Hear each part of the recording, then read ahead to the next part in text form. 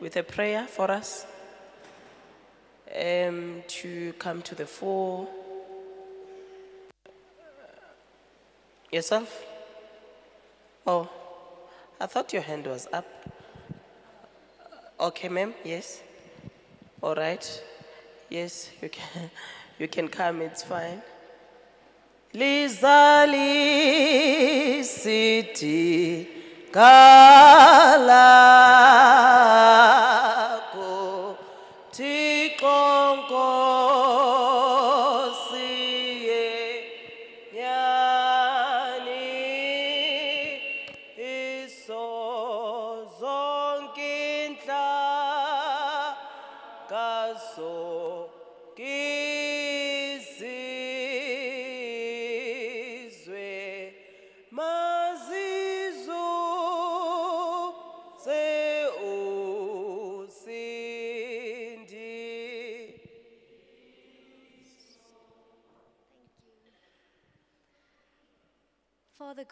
just want to come and thank you for today, that we have the privilege of life, and that we can be here together as children of South Africa and children of our Heavenly Father, and just give you glory for being good, for being all seeing, Father, for being interested in intricately involved in each of your children's lives.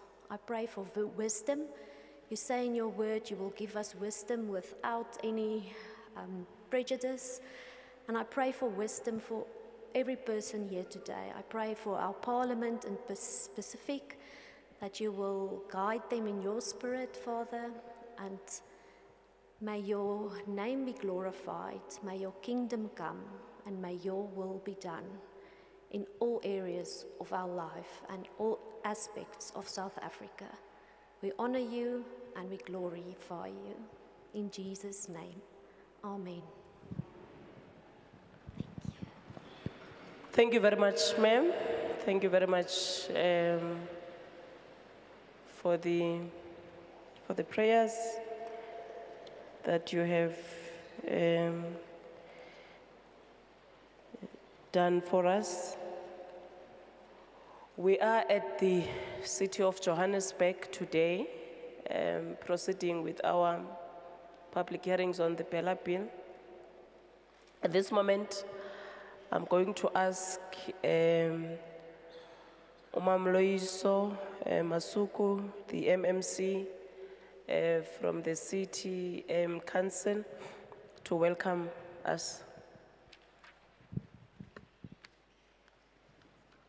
Thank you very much, uh, Chairperson um, of the Basic Education Portfolio Committee, um, Honorable Bongiwe Mbiko Gigaba, members of the committee who are joining us, members of parliament, um, members of the provincial legislature. Um, I've seen some chairpersons as well.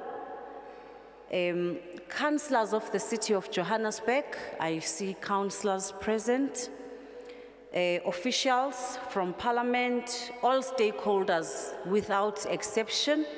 Ladies and gentlemen, you are welcome. And I believe um, we are of the same mind and understanding that our presence here um, and deliberations that will unfold are part of the critical steps that are meant to really knock this bill into shape. Besides the fact that uh, this is prescribed in our constitution of our country, it's also a tradition that has been passed on generations by our people in this democratic government that consultations be done on anything that has an impact on our people. We all know that members of parliament are elected to be the voice of people. However, they are also expected to come back to us and as the people they represent so that they know our views on a range of matters. Therefore, this exercise is important and it makes certain that Parliament is not seen as an ivory tower, but is an accessible institution and a true representative of the people. And this bill by other like other bills, but this one in particular is critical as it will affect the shaping of the young minds of our country. It impacts on the future and should be considered of high importance. As you would remember, Nelson Mandela said, education is a great engine of personal development. It is through education that the daughter of a peasant can become a doctor, that the son of a mine worker can become the head of the mine, that the child of farm workers can become the president of a great nation. Let us mold this bill in such a way that it has positive results on those that it is meant to assist. Chair of, of the committee, it is public knowledge um, that our city has been going through changes and there is now a new coalition government of local unity. Let me take this opportunity to assure you that assure you and the residents that this government of local unity is committed in maintaining a stable, functional, responsive and service-orientated government. The stability and efficient functioning of the city is a priority to us and we will strive at all times to maintain decorum. We are making this commitment in front of you as members of parliament because we are also accountable and to the residents of almost 6 million residents in our city.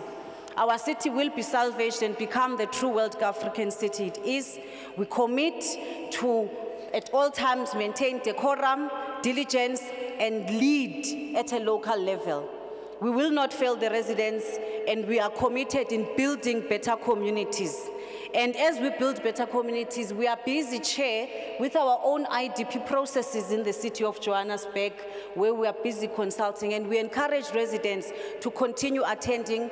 They were postponed, now they will be resuming next week. Those IDP sessions are important as, as they impact your lives as our residents.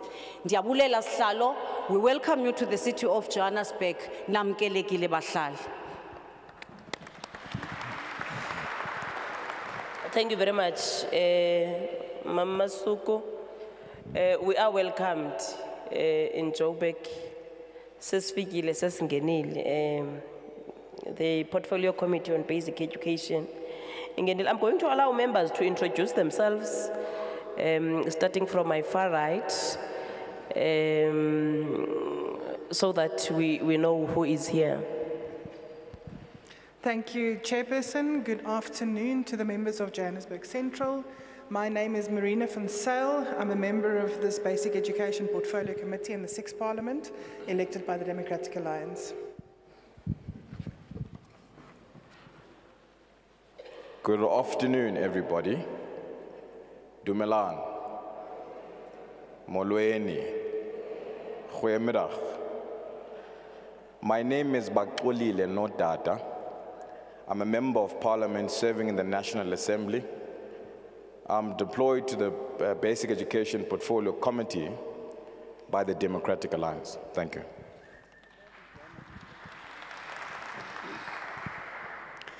Goeiemiddag Johannesburg. My naam is Marie Soekers, ek is van die Wes-Kaap. Ek dien op hierdie komitee en ek is uh, represent die Afrika Christen Demokratiese Party, African Christian Democratic Party, ACDP.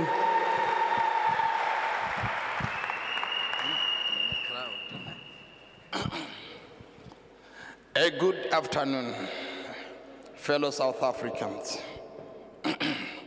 My name is Ronnie. My father's name is Murat Tsekla.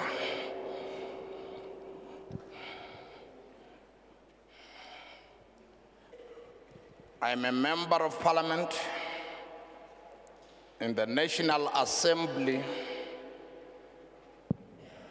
deployed by the African National Congress.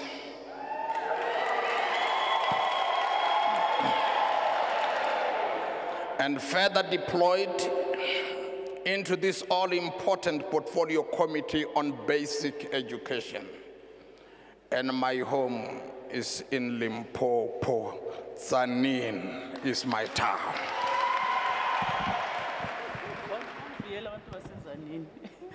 Uh, good day, everyone. My name is Nombuyiselo Adoons. I am the member of National Assembly and the, member of this Portfolio Committee on Basic Education. Eh, ke romilwe ke mokgatlo motonna o busang wa batho ba fela ba tseisang sedidi eh wa African National Congress ke leboga go menagano Dumelang. Um, my name is Tebogo Letsie. I'm from Gauteng. I'm a member of the Sixth Parliament, deployed to Basic Education Portfolio Committee.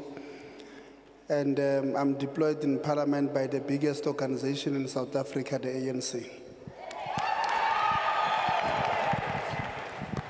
Sanbonani, igama lami ngubafuze Yabo. I'm a member of the National Assembly and the Sixth Parliament. I'm also a member of this uh, Portfolio Committee on Basic Education. I am from Gauteng and I'm deployed to Parliament by the oldest liberation movement on the continent of Africa, the African National Congress. Thank you very much.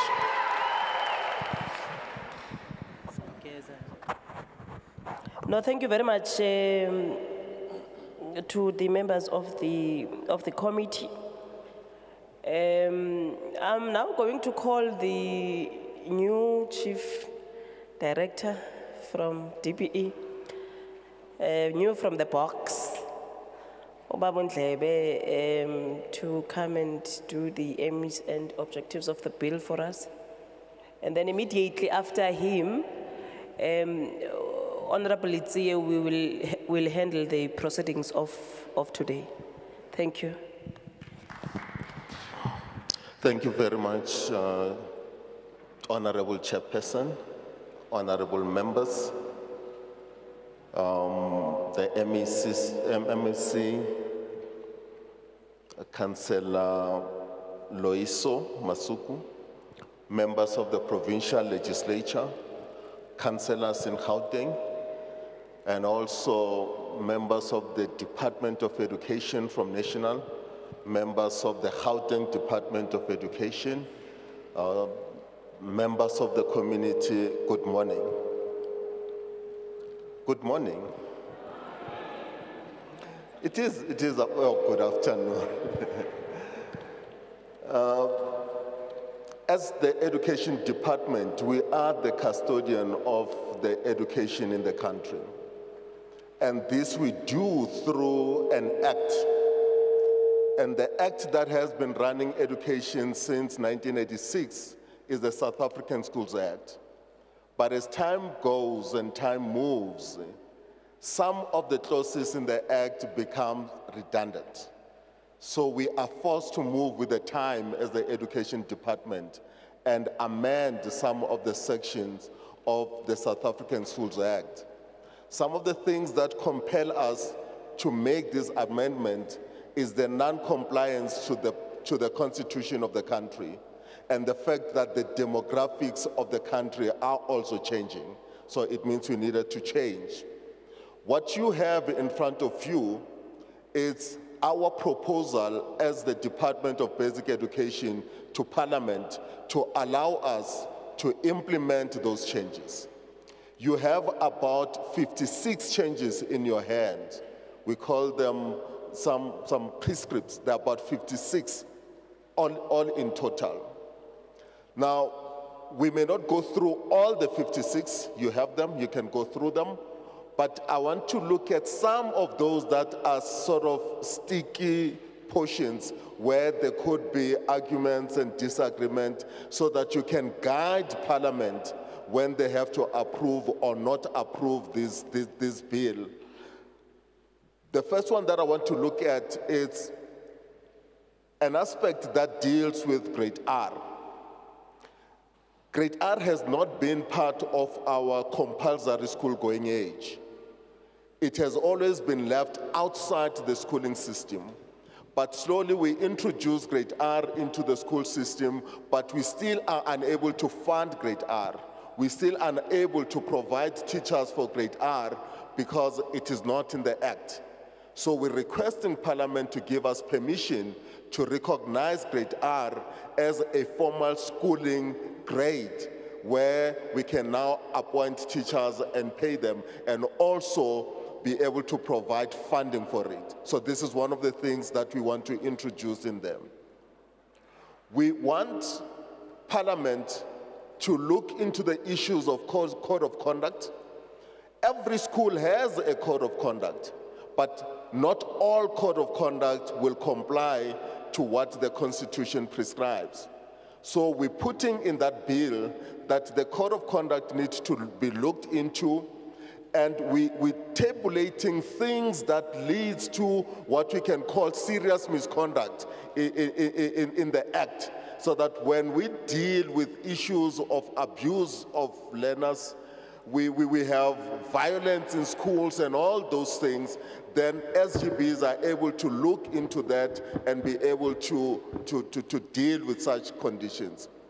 We're trying to indicate that some of the things that we find in the Schools Act are minor and, and waste a lot of time, where people will be prescribing things like hairs and children get expelled from school because the head doesn't prescribe to what the, the, the, the school demands. So is these things that we're putting in the act and say, can we control these things and make them something that will not prevent learners from going to schools?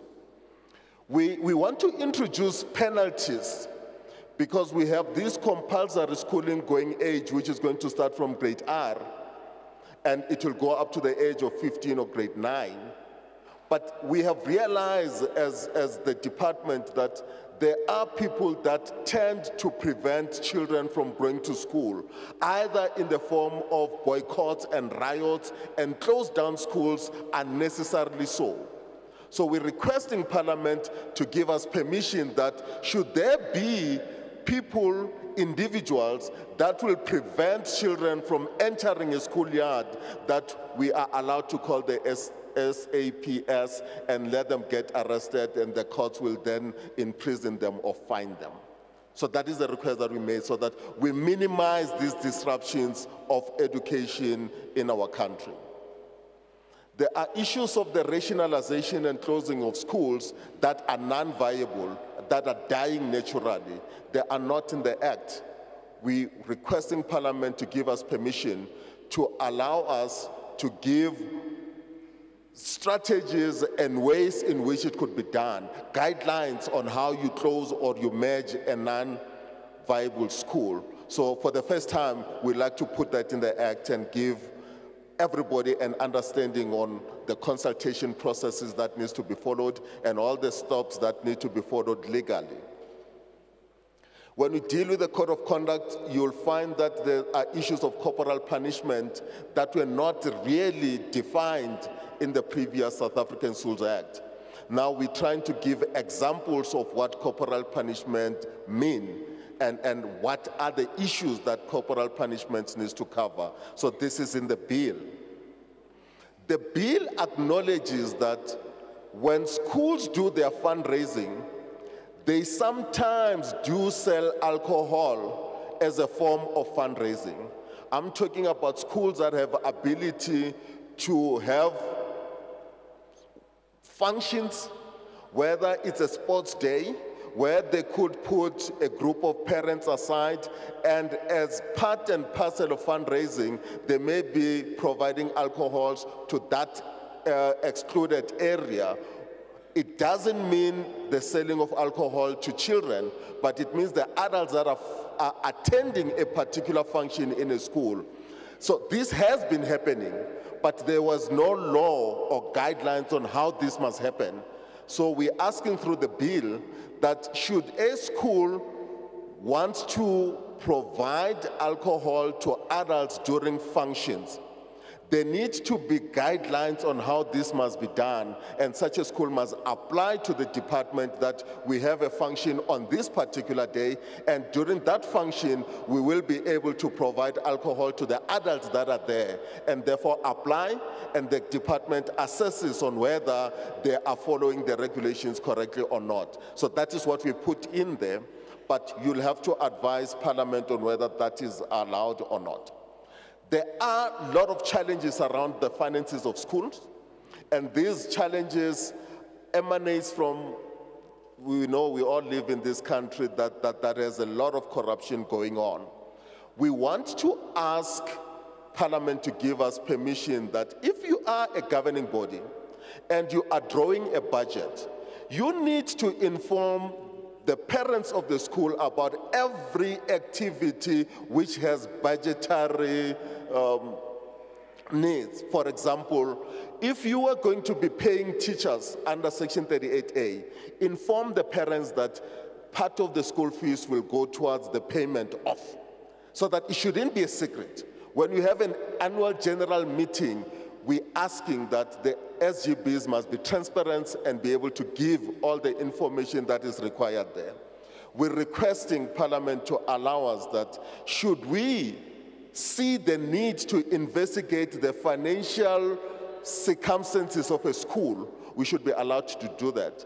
To call any other officials from the law enforcement agencies to even investigate the financial matters of a school. That's what we're requesting. And we are requesting that when we deal with issues of finances, SGBs need to report to the department about those activities on a quarterly basis. At the moment, they only report annually, but we've realized that by the time they report annually, a lot has gone wrong in there and cannot be uh, rectified. Hence, we're requesting that can we see these financial statements on a quarterly basis? And those who serve in the SGBs, may we even know their financial status so that they declare them in advance because they deal with a lot of tenders and we, not, we need to know their interests. Hence, we're asking that they declare their interests. We're requesting that we have SGBs having learners in them, but learners were never given clear guidelines on what their roles is and what is it that learners cannot do. Through this act, we're beginning to say learners must be in the SGB. You can't remove them. But even when they are in the SGB, they can't participate in appointments and they can't participate when you sign contracts, which has financial implications. But for the rest of the discussions, please put them in. So that is what you're going to find in the Act. Now, because demographics are changing, more and more communities are getting integrated. There are two main things that we want to look at. That is the language policy and the admission policy. Currently, the language policy is determined by the SGB. The admission policy is determined by the SGB. We want to leave that responsibility still in the hands of the SGB with a rider. The rider being, should the language policy and the admission policy not comply with the constitution, we're asking the head of department to intervene in that regard.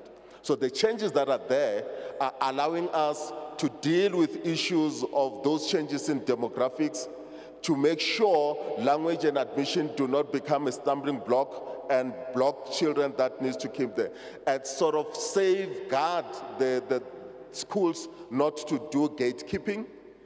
The powers are still in there. So when you read the proposal, the proposal are giving steps that should an SGB realize that the language policy or the admission policy is not in line with the constitution, the HOD will intervene by deal, working with the SGB, consulting with the community where the school is found. These are steps that you find inside the BELA bill that we're giving. So all we are asking is that the SGB cannot be the referee and the judge. There need to be somebody who needs to say, we're not agreeing with your code of conduct or the language policy.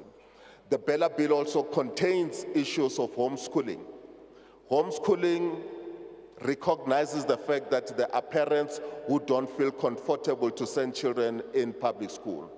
Homeschooling recognizes the fact that there are children that cannot cope in a public uh, circumstances. Homeschooling is something that will continue because it's a democratic right of a parent to homeschool a child. But we're saying, should you decide to homeschool a child, do us a favor, inform the department that my child is not coming to you, will remain with me, and apply to the head of department that you want to do homeschooling. And as you do homeschooling, we want to ensure that we know the type of curriculum that you're offering. We're not choosing what curriculum you you have to give. We're not telling you to do our curriculum.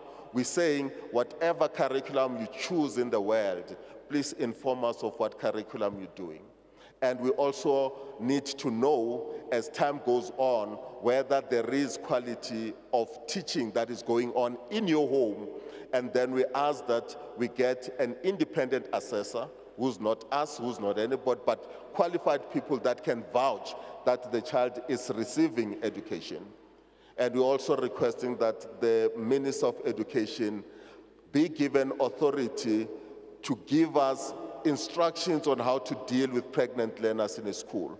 At the moment, we're not refusing admission to school from pregnant learners, but there are no steps on how teachers can deal with those children when they are at a school. So we're requesting that the minister be given that authority to guide the teachers in a school how to deal with learners that are pregnant. Chairperson, thank you very much. That is the brief.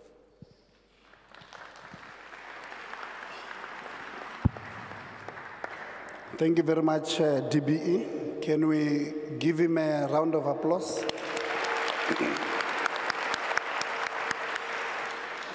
um, we are now starting with uh, the business of the day. There are some few ground rules or house rules that uh, we must lay out. This is a process of parliament, uh, meaning that uh, what you see in parliament will happen here. Uh, we will allow all of you, those who want to speak, to raise their hands. I'm going to note block by block. Uh, we'll start with one block, get 12 people. They will come and sit here. Uh, then they will come to the mic. We're giving you a maximum of three minutes. You don't have to take the whole three minutes. Um, there are a few things that when we are speaking, we want to hear you say. One is that you must introduce yourself so that you are able to record who said what. Two, you must, either, you must also say you are either supporting or not supporting, or, or supporting or rejecting the bill. Um, and then uh, when your time is done, I'm going to time you, I'm going to tell you to stop. If uh, you have exhausted your three minutes, uh, and then you are going to go back quietly to sit down. There are those who are like me who are shy, who don't like speaking, but who want their voices heard. You can write. There at the back there, there's a lady waving some forms. You see? You can quietly go to her, take the form and write. On the form, it will say you are either supporting or not supporting. You can't write and come and speak. You will choose one. You'll either speak or you will go and write. Are we clear so far? Those of you, oh, there are people who may say things that you don't agree with. It's their right to say those things. When you come and speak, you can say things they don't agree with. But what we are not going to allow is for you to intimidate those who are saying things that you don't agree with. So here, democracy will uh, prevail. We will allow them to say what they want, as long as it's not offensive, it's not, uh, you know, we're not using uh, unparliamentary language. Uh, those of you who are out of order, we've got parliamentary protection services. Agari, those of you who watch that channel, you see that uh, sometimes uh, when uh, uh, members of parliament wants to be Spider-Mans and all of that, we call them. Even here, uh, those of you who don't want to listen, they will be here to do what they normally do, but we hope that it does not get uh, to that part. those of you who wants to, we've got sign language uh, section there at the corner. Those of you who wants to be nearer, you, you'll tell me.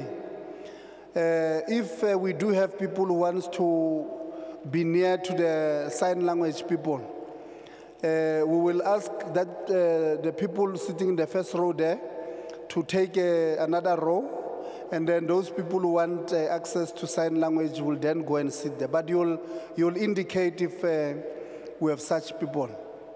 You can speak in any language you want. Uh, we do have a number of uh, interpreters on hand to interpret what you are saying. Um, we will use our discretion whether we must interpret this or not. Um, so go so mo a iketsetsa. Uh, on a more serious note,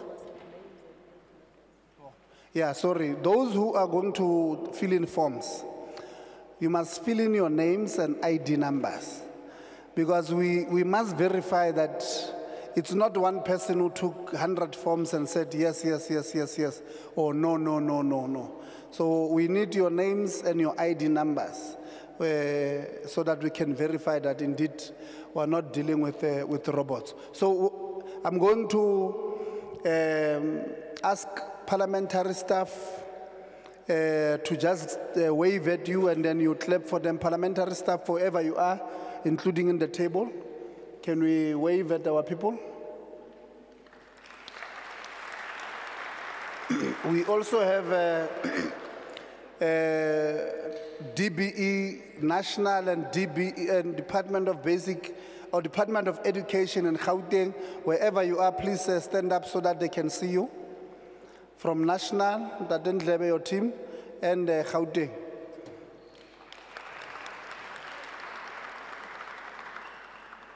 Uh, No, thank you very much. Um, So I'm going to start noting hands. I'm starting this side. Uh, And I'm going to try and cover as much as I can. Uh, My sister in black one, you'll come and sit here in the first seat. Number two, number three in green, number four, my brother. As I pointed to you, number five, the check. He must also come. Yeah, both of them, five and six. Yeah, five and six, Ariane. Brown, seven. Uh, eight, white t-shirt. White t-shirt, eight, come. Nine, yeah, you can come waving. You must sit, you see, uh, uh, I was going to jump you, but I decided to give you a chance. We must sit down eh, when we are raising our hand. No, no, she can come. Are- Are you, are you a, no, no, Are go sit in that. Are you a pair? You are a pair? Okay, all right. Yeah, uh, my sister, yes? Tla bona mo. So, okay, I still have two. My sister, the brownish, yeah, yes. And then a gentleman with a hat, yeah, right. No, no, it's fine. I carry more like one. So we're taking 12. No, no, both of them, it's fine. Number one, uh, let's go to the mic. And then uh, don't forget, you're introducing yourself. You indicate support, reject, and then you can say what you want. I'm going to time you. You've got three minutes. Start.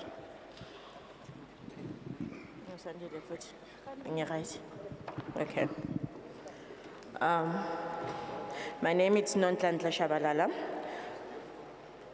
Section six, language policy, must be compel, must compel the language policy to have uh, three or more of indigenous South African language. Section eight, we don't support. We reject section eight in totality. Liquor Board Act number 59 of 2003, the distance between school and tavern shipping should be 500 meters. Generally upheld views by South African population is that schools should uphold high ethical and moral standards and therefore selling liquor does not contribute to this mentioned social value.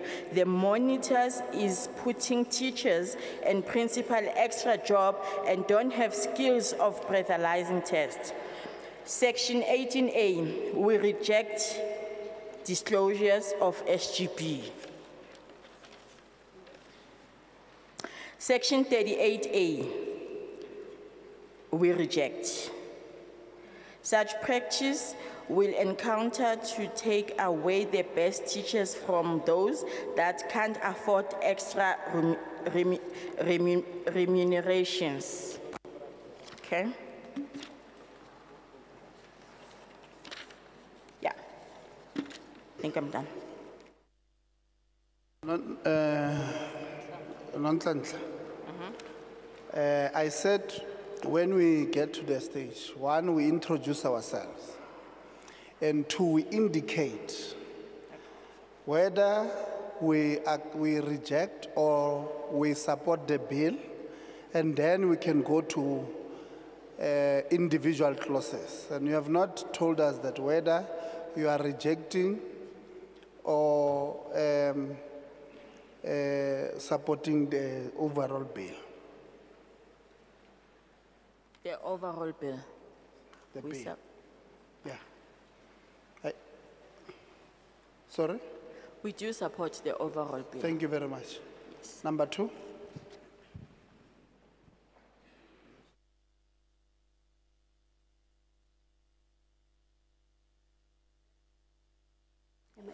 Thank you very much, uh, Program Director. My name is Pexi Jafta.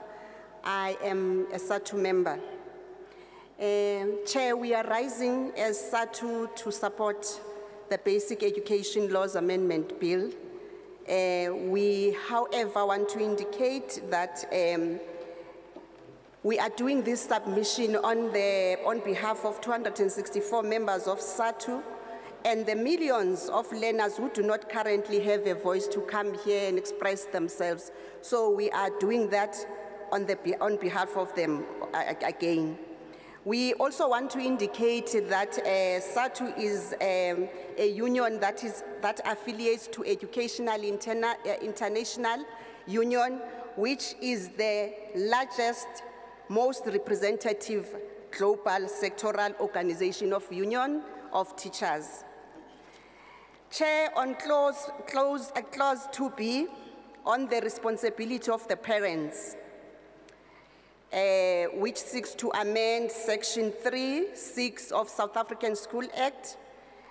Uh, we as SADTU, we, we are indicating that the clause uh, that uh, seeks to increase the penalty and pro- provision on Section 3.6 we are seconding it by allowing it for both the imposition of both fine and a sentence. We are, however, also adding our recommendation as follows. Oh.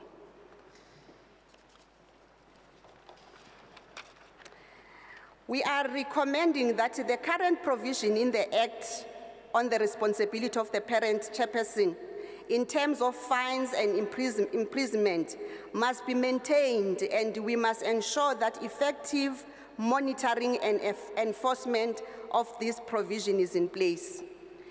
We are also recommending that we should draw lessons from international practice in terms of compulsory education laws, which typically holds parents and guardians responsible for a child's attendance in school. We are also indicating that the penalty provision should consider socio-economic conditions, context, literacy levels, because some of our parents, they don't even know that uh, education is compulsory. So as and when that happens, that should also be taken into consideration. And also, we must also take into consideration the type of support needed before administering that penalty, because we have different levels of parents. We are also indicating that an intense advocacy program to implement, to realize school attendance of learners must also be entrenched to parents, and also parents must be able to know what are the consequences of learners when they are not attending classes or school. We are also indicating to say maybe we must also be given truancy officers uh, to assist Uh, Thank you, thank you. Uh, our time has expired. Thank you very much. Number three.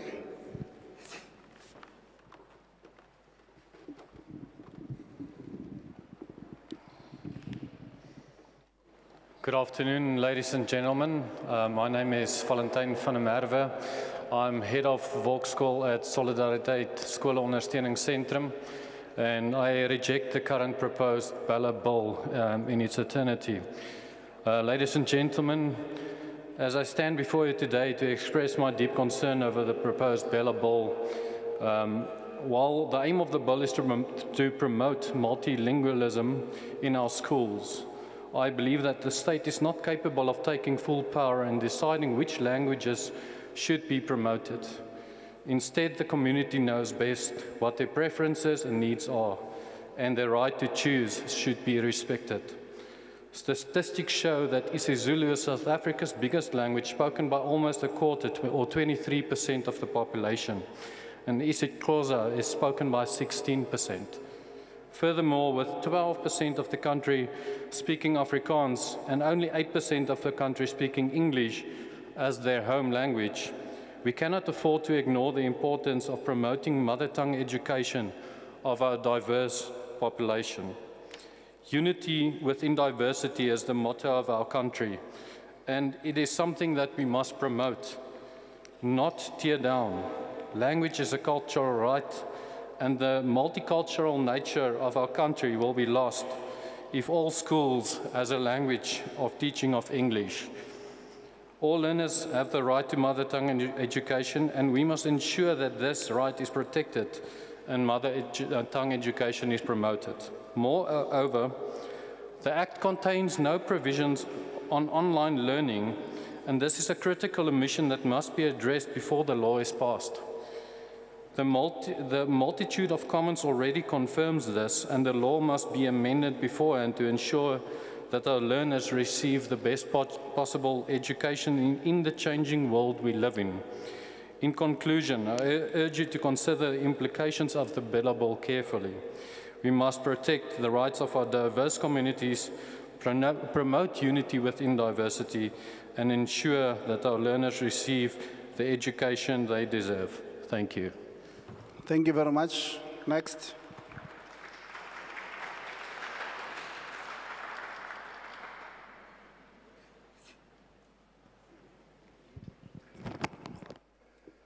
Sanbonan.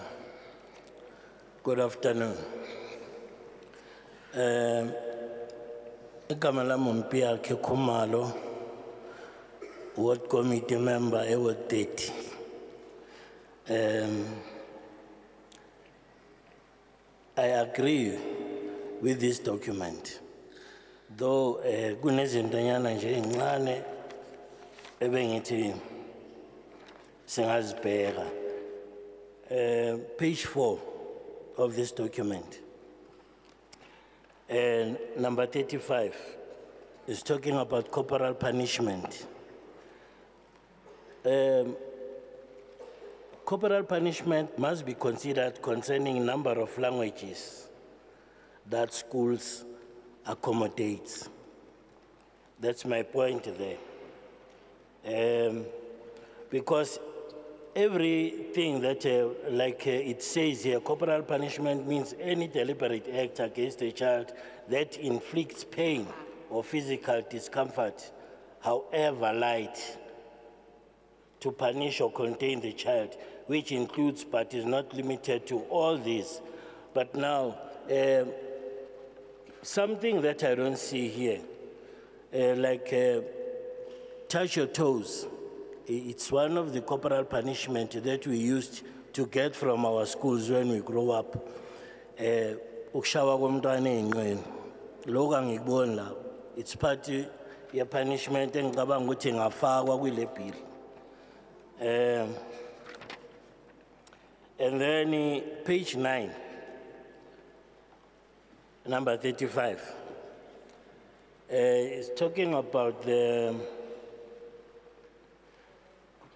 governing body of a public school may subject to sub, uh, subsection determine the language policy of the school. But now, uh, in this 13, it says provided that the language policy of a public school must be limited to one or more of the official languages of the Republic uh, as provided in section 6.1 of the Constitution. Uh, in this section, mina bengicabanga ukuthi maybe kungatiwa provided that the language policy of a public school must not be limited. Actually, it must include three or more of the official languages, including the sign, uh, South African Sign Language. Um, yeah, I think it, amaphuzu ami or uh, yeah, ngiyabonga. Thank you. Uh, wait a bit, she was, there was a, a little bit of Zulu. Uh, do you have a Zulu? Yeah. Le- Let's go in, uh, summarize, because most was in English. Let's uh, summarize. I think just mention, first of all, he mentioned his name, that is Mbiake Khumalo. And in that clause, in page four, regarding corporal punishment, he also mentioned that it will be good to add just one thing because one of the thing that is not here, when he looks here, it's the hitting of a child right on the buttocks. So he feels that if that can also be added on this act, it can be useful. And he also touched on, on, the, on the language policy, and I think that one he mentioned on English. So that's, that's, that's the point that he mentioned, Chair. Okay, he, he, he, at the beginning, he said he supports the bill. You did not say so. Let's, let's concentrate. Uh, next. Thank you, Chair. My name is Ben Ferreira. I'm presenting FETSAS. Thank you for the opportunity. We partially support the bill. We're not totally against it, and I will indicate in three ways uh, what we see. What we are against is the whole principle of governing body members to uh, supply their whole financial position. We think this will in, this encourage people to, to make themselves available if their financial position is uh, widely recognized or available to other people. I heard what Mr. Ndlebe said about uh, the admi- admission policy. It must be in line with the Constitution, but we are afraid that if the HOD get too much power, then the power falls away from the SGB to determine the language and the admission policy. Another thing to, to uh, take in consideration is determining the capacity of the school. The SGB is the right persons in the right position to determine the capacity of the school. Where you've got a broader determination of that, you get the department saying, you've got 10 classrooms with 40 people, this is your capacity. And classroom sizes differ, and it's the best opportunity to leave that in the hand of the SGB to determine the capacity and then also the admission policy. Uh, there was a lot of references already today about the language policy. We feel that must be something in the, in the hands of the SGB. Take note that we don't have two languages in the country, Afrikaans and English. And that is what is happening, is that you can either choose between Afrikaans and English. And there need to be proper provision for mother tongue language, and that is where the SGB of that school plays an important role when determining the language policy. So we're against this thing that the HOD can intervene in this whole process. Then there are three matters or a couple of matters that we support in the bill. The whole thing about grade R to make that compulsory. We wholly support that principle and it's a thing that is long outstanding and we support that article in the bill. The next thing that we do support is that there must be uniformity, guidelines and rules for election of governing bodies. At this stage, we've got nine provinces, nine regulations, and there's no uniformity in the guidelines for election of SGB members, and we, we call on that. Two things that we need to, in this bill is a clear definition of meetings. I see my time is running out. Yes. No, no, it's run out. Add the- Okay, thank you. Thank you very much. You said you partially support. Next.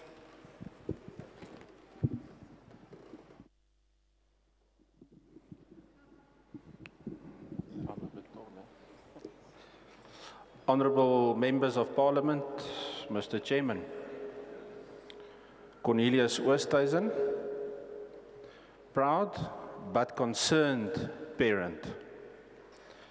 We reject the South African Schools Act proposed amendments in totality and also in specific the amendment pertaining to language policy changes. That in short. Also, the citizens of South Africa reject your notions of dictatorship. I thank you. Thank you very much. Totally reject. Next. Bonani. Um, my name is Apiwe Sinege. I am from Ward 19 in Kliptown. So I'm just um, a young person passionate about education. So in terms of, I, first I support the proposed bill with few requests for reviews specifically on um, issues of corporal punishment. I feel that instead of, um, you know, continuously upholding to corporal punishment and so forth, there are qualified social workers within our countries who can be delegated to different schools to deal and assist with issues of behavior. Um, because um, because uh, corporal punishment it's in conflict with the Children's Act.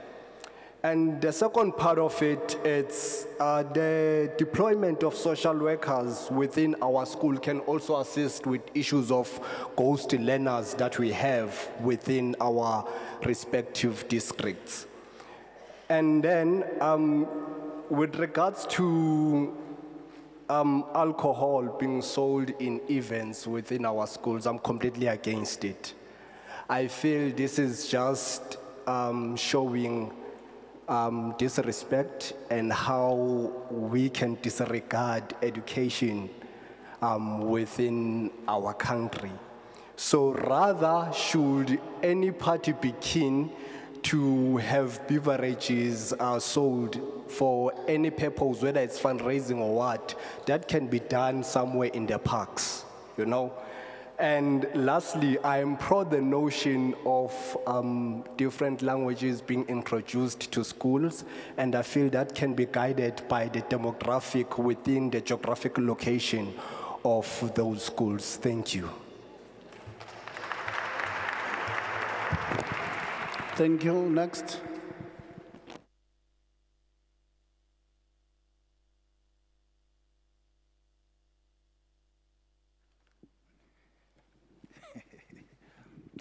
Okay, uh, I'm not sure whether it's still morning or it's day or it's afternoon or it's evening. Okay, yeah, sure. This is uh, Soli Matupa coming from SADTU. And then as SADTU, we are actually supporting the bill.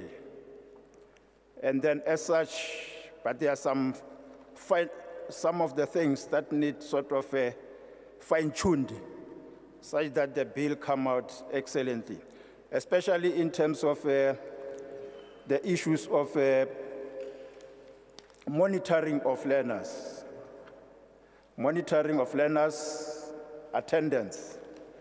You know, there is a, we left the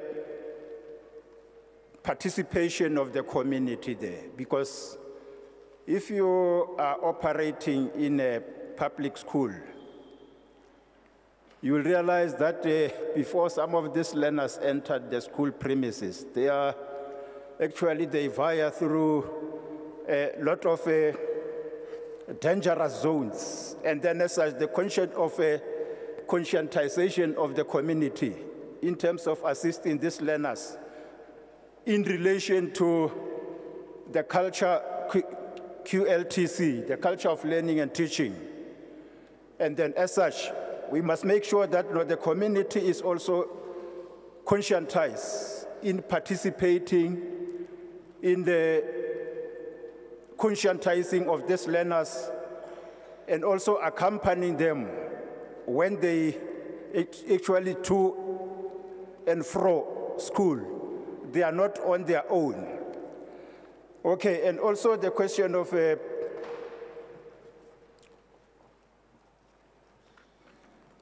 response in terms of uh, registration of learners. We think the, the, the, the, question of response from if the learner is rejected in a school, we think 14 days is too long. We, we know the queue may be long, but uh, if the time frame can be reduced such that at the end of the day, the, the time is not wasted for the learner to be in class while we are still dealing with uh, legal issues there. And then as such, we will propose that uh, that time frame be reduced such that uh, at the end of the day, the learner's time is not wasted. Well, thank you for now. Sure. Thank you. Next.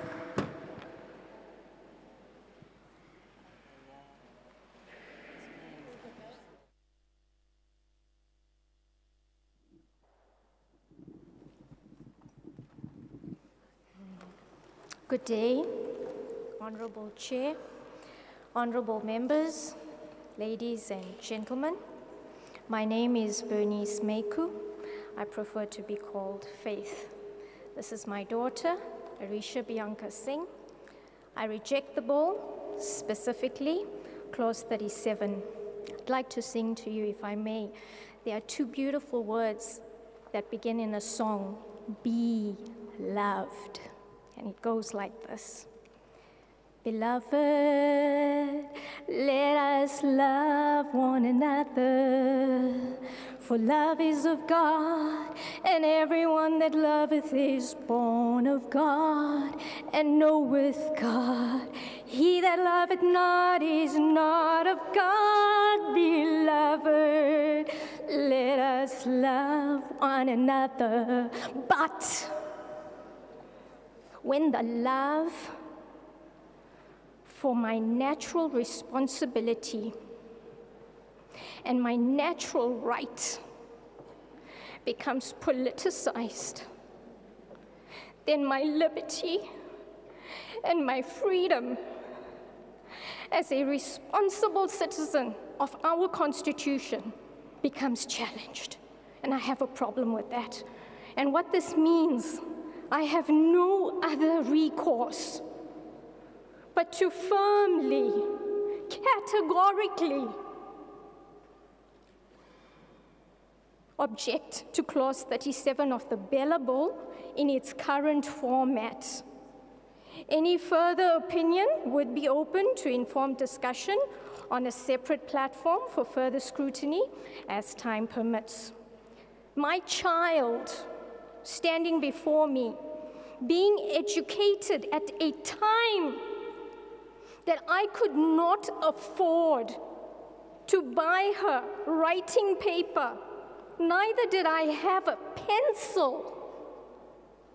She began writing with a pen, and at the back of a desktop calendar, many, many, many desktop calendars from our local municipality, in spite of an uninformed government social worker telling me The next time I see you here, I will take your child away from you. A government teacher refused to allow my child to use a toilet. And my child in elementary phase instantly said to the teacher, You do not love children because if you did, then you would allow me to use the toilet. Mummy, I don't want to go to that school. God bless you in Jesus' name. I love you very much. Thank you. All in support, let me hear you.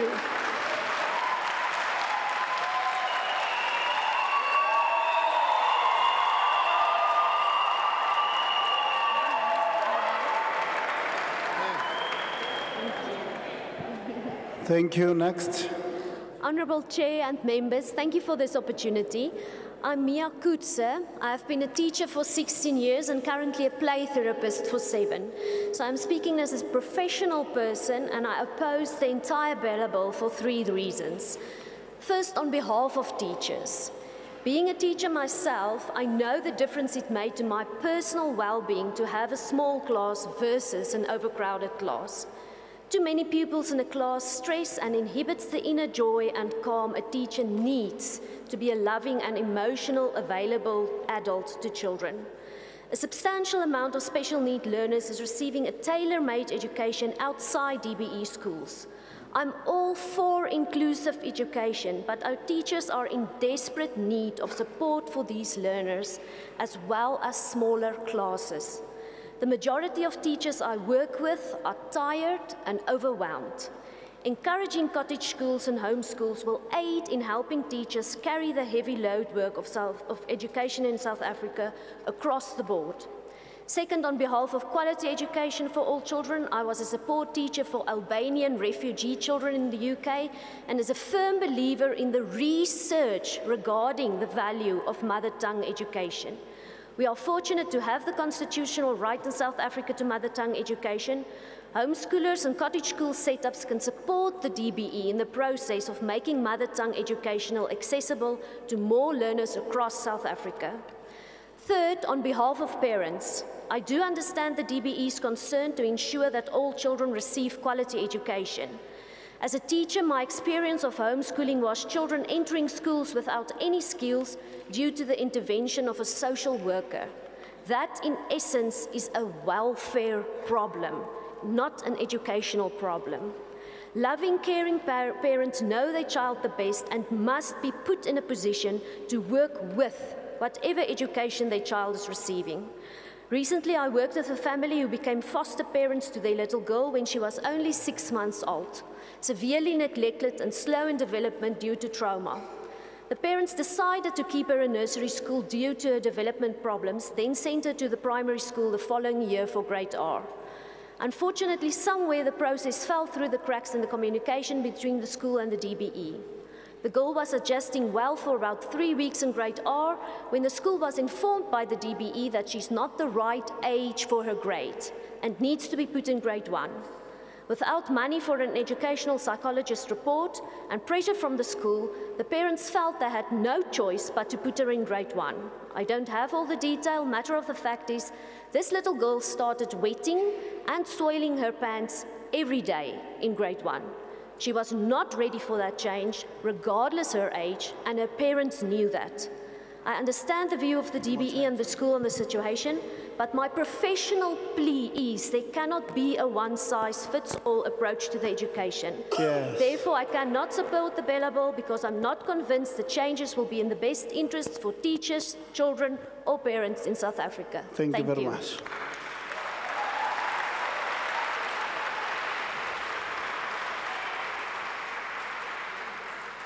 I- I gave her 19 seconds more. I won't give you, no? Thank you. Let's go. Thank you, honourable members, for the opportunity to speak to this committee. My name is Marita Green, and I am a homeschooling mother of seven children. I have been homeschooling for over 20 years. Um, my eldest is an award-winning student at the University of Johannesburg, and she is busy with her master's degree at the moment. Um, I reject the bill. I strongly object to Section 37. Section 37, as it is, uh, presumes that it is necessary for parents to apply to be registered to homeschool their own children. Now, it doesn't say inform as mentioned, as it was mentioned earlier during the opening address. It states that parents must apply to the head of the department for the registration of the learner to receive home education. Now, this is equivalent of requiring parents to ask permission to attend to their God given obligations to the children that God has made them responsible for. Over the last 20 years, I have come to know many homeschooling parents, and I can tell you that most homeschooling parents find it very offensive that they should ask permission to attend to their God given duties. I don't need permission to feed my own children. I don't need permission to clothe my own children. I Also, don't need permission to educate my own children because I already have it. Um, even Article 26 of the Universal Declaration of Human Rights recognize this um, right. It states that parents have a prior right to choose the kind of education that shall be given to their children. I therefore appeal strongly to this committee of honourable members to remove section 37 in its entirety as it fails to respect the duties that parents have towards their children. Thank you. Thank you.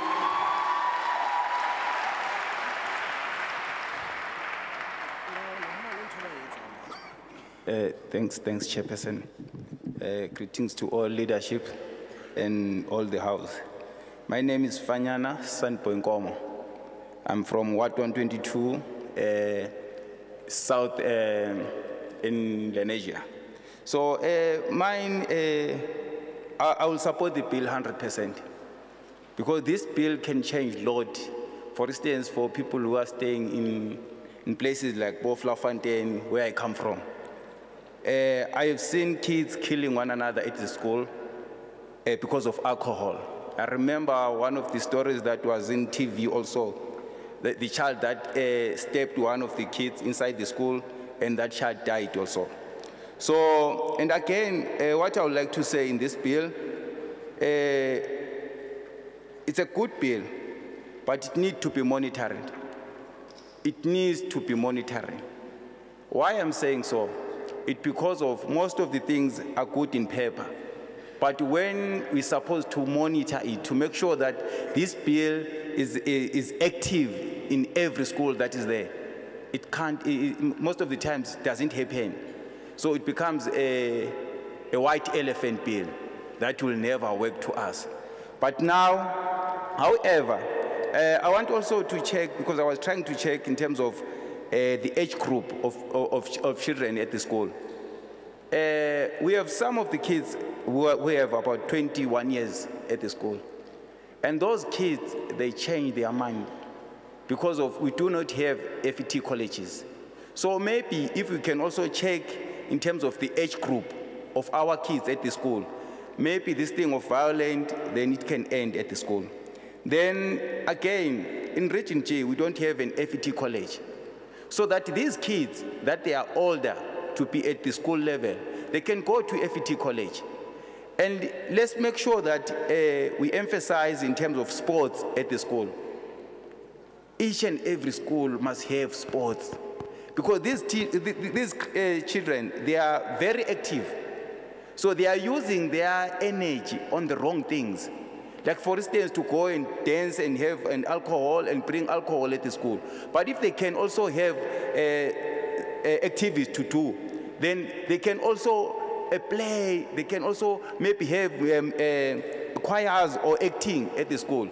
Those activities, they make sure that they give discipline into, the, into our kids. Thank you so much. Thank you.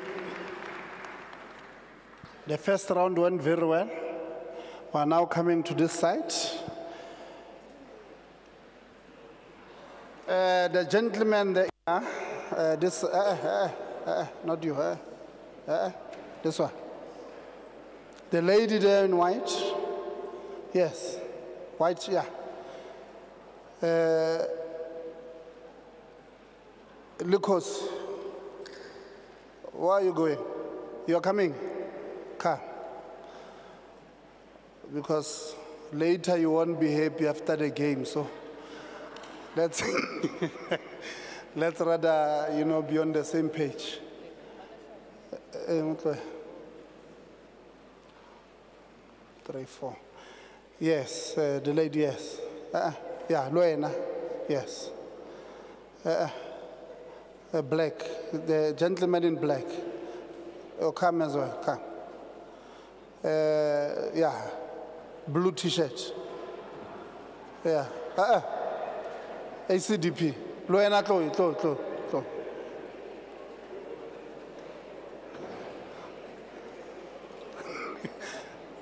Yeah, uh, my brother come. Then, uh, and then, yeah, gentleman, brown, brown jacket. Oh, yeah, I don't know. Brown jacket, come. Abud, no, brown jacket, next to you. House, yeah, this side. Number one, no, no, it's fine. Number one is, is coming here. Yeah. I'm, I'm taking 13. I got this one is standing up. Yeah, let's go, my brother. We know the rules, na? Yeah, let's understand them. Sure.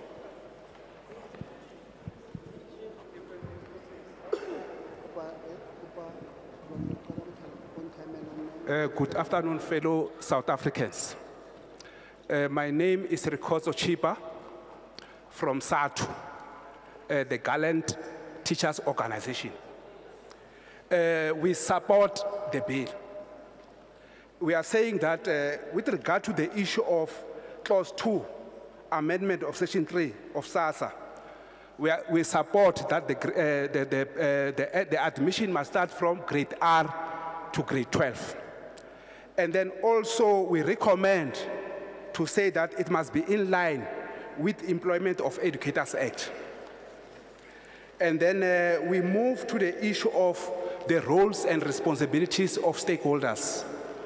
Uh, we recommend to say that the roles of teachers, principals, SGBs, and the district, it must be explained, it must be specified. Uh, we look at the issue of language policy. Uh, clause 5, we also support the issue of language policy. But we, we are saying it must not be, uh, it must not isolate otherliness. It must be inclusivity, the issue of rainbow nation. It must not discriminatory. Thank you.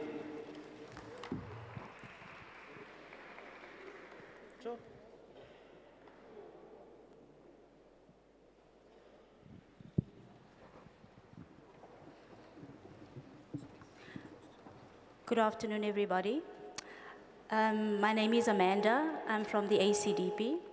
We reject the BELA Bill, and in particular, Clause 41, that amends the Section 61 of the South African Schools Act. This clause allows the minister to make regulations concerning learner pregnancy. The DBE's policy on the prevention and management of learner pregnancies is about providing sexual reproductivity health services to learners as young as 12. These services include, as the policy itself says, enabling, and I quote, learners to obtain abortions. This can be done secretly. This can be done without parents or guardians knowing. This can be done without the consent of parents and even against the wishes of parents, as we discovered during COVID with the vaccines. Par- parents will be pushed out of the picture and their place taken by strategic and social partners will be assisting 12 year old learners to uh, access abortions and all forms of contraception. We have many educators with us today, and I'm sure that many of, of most of them would not do this or allow this to happen. However, they will not have to, a choice if they want, want to avoid jail. The minister not only wants the power to make regulations, but also to push teachers, parents, and SGB members out. The second part of the clause 41 will give the minister power to punish those who don't implement the regulations with fines and jail sentences of up to six months. These regulations could force teachers to refer learners as young as 12 for abortions and all forms of contraception and compel them to keep the secret from their parents. The DBE may claim that this is not how they will use these regulations, but we know we can't, how can we trust them? They haven't said what these regulations are. Even then, in a few years' time, the minister could change these regulations. The minister is asking you as parliamentarians to give her a blank check over our children. This is part of a war on families with the government taking the place of parents. We, we therefore reject the BELA Bill and in particular clause 41. The ACDP rejects this BELA Bill in its totality. Thank you.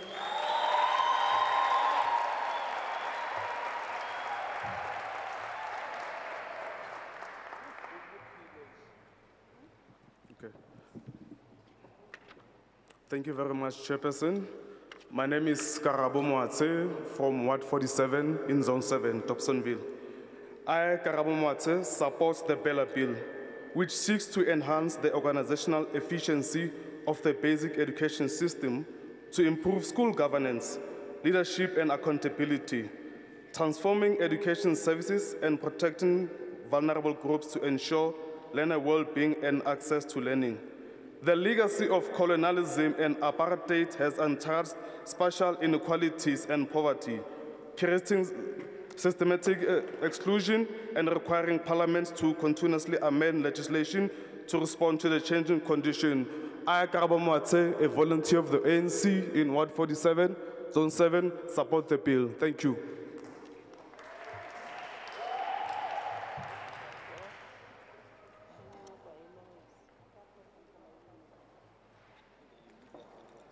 Good afternoon, everyone. My name is Regileng Victor Maimel from the SGB Association called Contribute a Hand in Education. First of all, I'd like to thank for the opportunity for giving our opinion and our ideas. We reject in totality the, the BELA Bill. The BELA Bill the BELA Bill to us as school governing bodies, associations, is the same like we say we are going back. It's the same as Act 47 of 1953. And this is what is happening initially in our schools. We are taking the power from the people and we are saying the, there's public ordinary schools, whereas we want the officials to take over through the minister to, uh, from the public or from the, uh, the governing bodies. There's no governing bodies which are governing now. We are just there as puppets. We are not doing anything. So this BELA Bill is just a tombstone on top of a, a grave of the SGBs. So we rejected it with the contempt it deserved.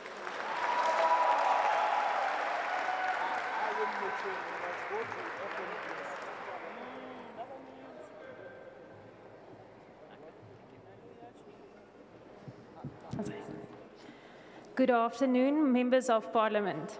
My name is Mary Nee Brits, and I thank you for your time today. I reject the BELA Bill in its totality. There is a saying, it is the role of the church to inform the conscience of the government. That being said, I am here today as a Christian, plugged into a biblical church, a concerned citizen, and a homeschool mother. I have many objections, but not enough time today to address all of them. I do believe to all these objections there is one simple solution to all, which I will mention at the end. I specifically today object to sections 2, 4, and 37. The BELA Bill causes a very big problem. The BELA Bill undermines and disregards that God has instituted and designed the family unit. The upbringing and education of children is only the responsibility of parents, and the government has no ruling authority here. This includes the choice of what age, where, and with what a child is to be educated. In the case where parents choose to use public schooling, the government must still consult the parents in this education.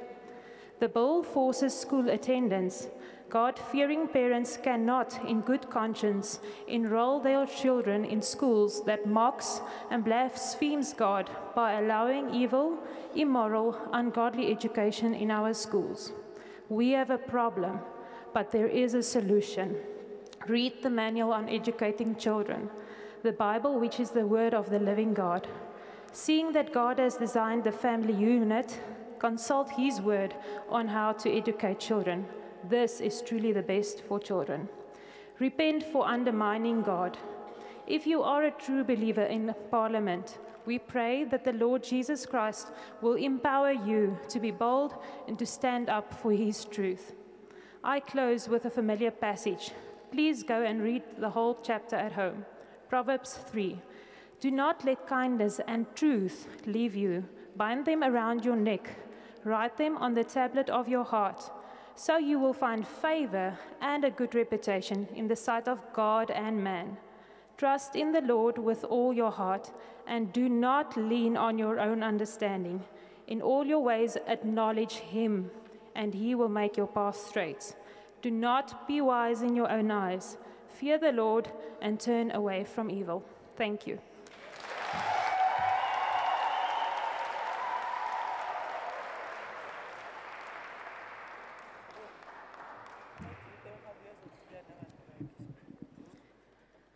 Good day, honorable members. My name is Livan. I'm 15 years old and I'm a homeschool learner, and I reject clause 37 of the BELA Bill.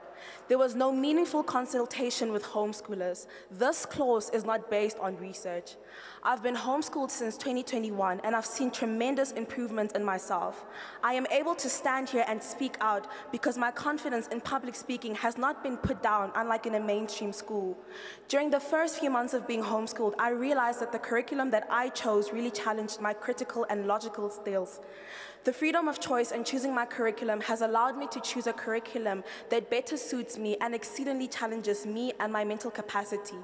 I have a vast majority of over 70 subjects to choose from, including law and psychology, which further prepare me for universities.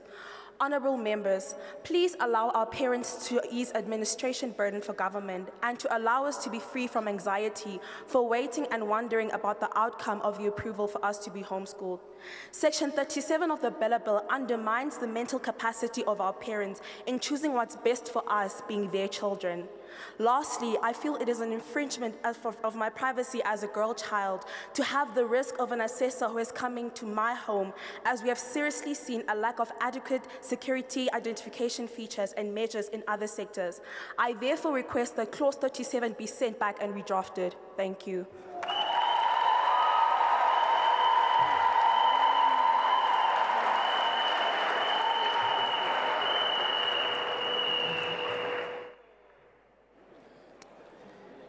Speakers, I greet you all in front. I greet all of the honorable members.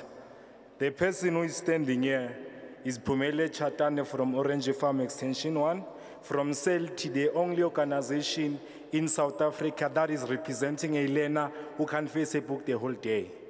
With my intellectual disability, I also want to say tomorrow, Mama, I made it. I know I can't look at the book the whole day, but I also can be a technician. I must not be thrown out of the bin, but we'll fix it, don't worry. I love you all. Eh, I will say it, what I will say is one. I reject uh, point 19 by saying, eh, kubhlungu, I won't lie, kubhlungu. Kubhlungu ukuba ku LSEN class ube ku normal school. Siyathukwa bafethu. Mina ngifunde kabuhlungu for 18 years yonke. 18 years ngifunda siyathukwa even the teachers basithuka. So please i'm rejecting it kakhulu. I'm saying no. I'm rejecting it but please guys singayilungisani yonke lento le singayilungisani. If you want to know about a slow learner come to CELT we'll teach you. We'll show you challenges. We'll show you solutions I will be a technician, I'm a carpenter, I will be successful, I won't be a nyaope. I will be example to you, I will be your child. A good one also. I love you all. Ngiyanithanda kakhulu. If you want to see more, what's the Orange Farm? 27 May, I will be doing a workshop there. I will show you challenges, solutions. I'm nationally. You'll see, you'll see me in all of the provinces. Don't worry, I'm a picture of a special school. Also RCLs, I'm representing it. Thank you. Hold on, hold on. Eh, my uh, instructions were that after introducing yourself, you say you reject or you um, um, support the bill. Okay. Uh, when are you are saying you reject clause 19? Yeah, clause 19. I'm asking, Okay, yes. let's uh, either reject the bill or support the bill. Okay. Into 19, I reject the bill. Yes. Sir.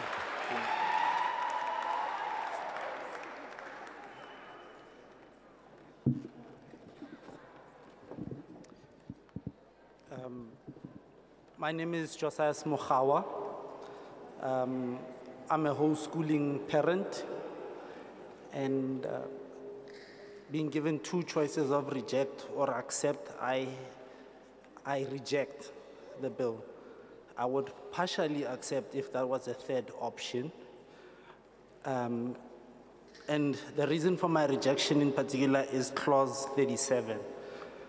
Um, what I see in this clause is that there is almost a, a thought or an idea that parents would be irresponsible in dispensing their duties to educate their children. That the government or the systems of that the government has put in place would be a, a better al- alternative to parenting. As a parent, I would want to be uh, given that right to determine my child's destiny and in terms of what education they're going to receive and how they're going to receive it.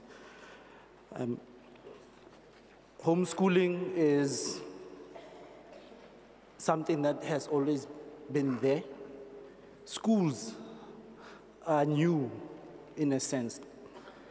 And you cannot mess with what is naturally there.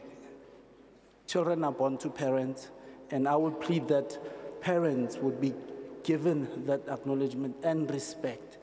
And maybe if you were to change anything there, make that clause about how the department or how the government would support those parents who wish to follow a different route, to, you know, who would want an alternative to the system that is offered currently. Thank you.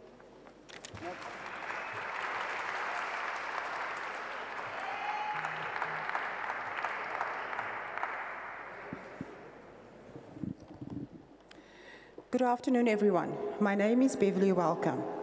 Um, we reject the BELA Bill, and in particular, Clause 41, that amends Section 61 of the South African Schools Act. This clause allows the minister to make regulations concerning learner pregnancy.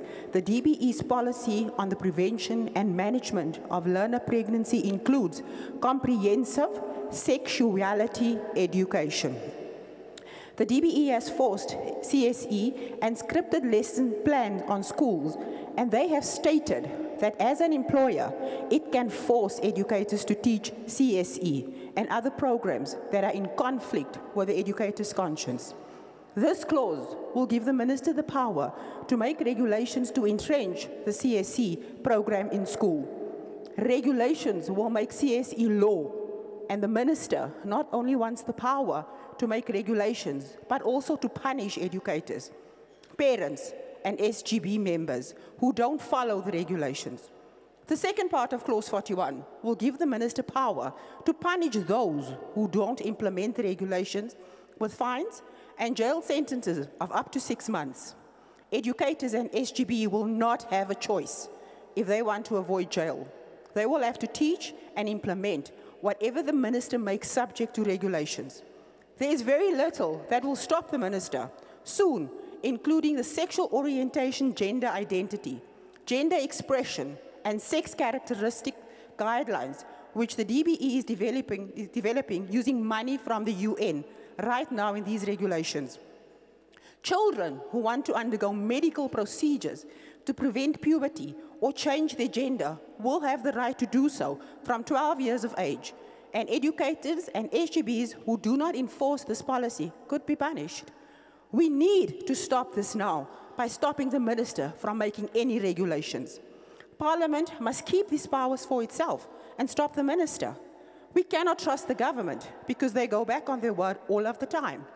We therefore reject the BELA BELA Bill, the BELA Bill, and in particular Clause 41. ACDP rejects the bill outright. ACDP rejects the bill in its entirety. We ask you, we ask you to rather amend the bill to include freedom of conscience, of conscious protections for educators and SGB members. Parents should have freedom of conscience and be able to protect their children and have the right to opt from CSE classes. Comprehensive sexuality education cannot be separated from the values and belief systems of parents as this involves closely held beliefs. I thank you. Sure. Next.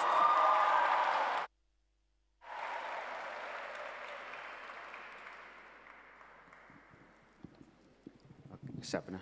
Tawela. Good day, everyone. I am Madimeja Ernest Lamola. I'm the DA activist. I'm rejecting and objecting this bill concerning several issues because the, I call this a bully BELA bill because it is unconstitutional because it will discriminate and undermine other official languages as prescribed by our constitution such as Afrikaans language. Limited the power to the school governing body and decision making concerning the language and, and admission of policies to, for their schools. That will undermine the progress that is already working better, so to speak, by the SGB. The other issue is the centralization of power to the Department of Education, which means problematic to me because it's the non-performing department that uh, cannot even build their, the, the school, they cannot even uh, eradicate or alleviate the pit toilets for their schools. They, they should just, they should start there. They, I can give them the solution to just stop this hearing and save the, the, the time of the citizen and the money that they should, uh, can be used to the available uh, matters.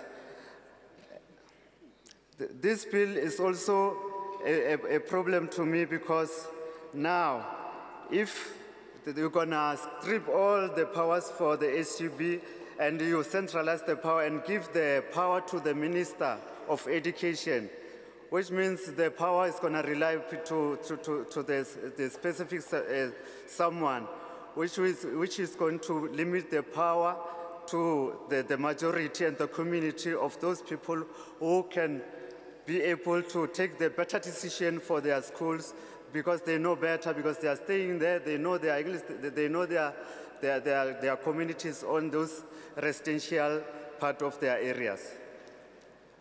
Which means this bill is, is going to capture the schools' uh, uh, rights to come up with those decision making on the matters that concerning the, uh, the learners, that concerning the schools, that concerning the, the decision that need to be taken by the schools. After all, I am rejecting these bills. Thank you so much. Next.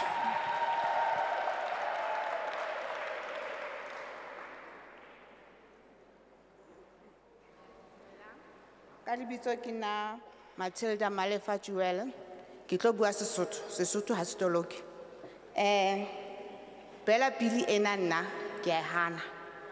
Ga ga ke dumelane le yona hohang especially ha o tla corporation punishment mo baneng ke batla ho tseba hore ha e molao o wa punisha bana o dumelana o tsamaisana le bo mistress ho baneng or ho baneng ba bona bana ba sekolo bane le bona ba le jwalo ba utlwana ba utlwisetsana bohloko ba ba bulana ba bolayana ba tella ba di-teachere tse ba di rutang. Ke na le ho faith masbuku ka bo january re checka dikolo mo pimville around soweto.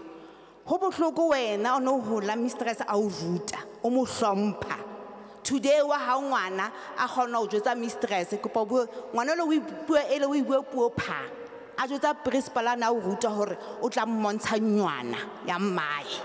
A e bua puo phang molao o le re fang bana ba rona o a ba hlola. O hlola le rona le batswadi. O hlola le bona matitšhere gore ga o se go le teng ngwana ga se e le ntho e sele o qala o mo qala kae. And then when it comes to liquor re a hana ho rekisa bojwala. Tje mo south africa re phela lefatsheng la gomora le sodoma. Bojwala di-drugs okopipe di-weapon di-killing tse etsalang ka hara jarete ya sekolo. Bana ba sekolo ba bolayana ba bolayana ba bolayana le for diteki or sepoti. O tlo ngwana a loser bophelo ka taba ya sepoti. Ga se ntho e ntle. Molao o ke kopa ha le dutse mo komiting ya lona le se ka dula jwala ka komiti fela empa le nke moya wa botswadi le nahanele batswadi ba hodisang bana ba bona ba lekang ka bojohle ba bona hore bana ba bona ba thole future e betere. Gona no ha o sheba most of rona re di-single parent re hodisa bana re le bang. Bontate ha bayo bontate ba jewe ke ahu tsebe ya lefatshe la south africa. So ha ho le so bana ba rona re tlo ba fa eng? Ha ngwana o mong le mong a fiwa di-rights ba fiwa di-rights tsa ho etsa ntho e nngwe le nngwe ba e etsang. Bana ba rona e tlo bo mme le bontate ba jwang? Bane ke tseba thuto nna ho thwe e qala ka lapeng. Ha molao wa motswadi rona re duswe ke bomme le bontate le bonkgono le bokhoko le boragadi ha ho thwe ho etsuwa tje molao ka jeko re tseba ho ikemela re ba re tlo ba fa eng bana ba rona ke le jwale le kenyeng pelo ya botswadi le se ka ka thuto ya di-levels mpa le kenye pelo ya botswadi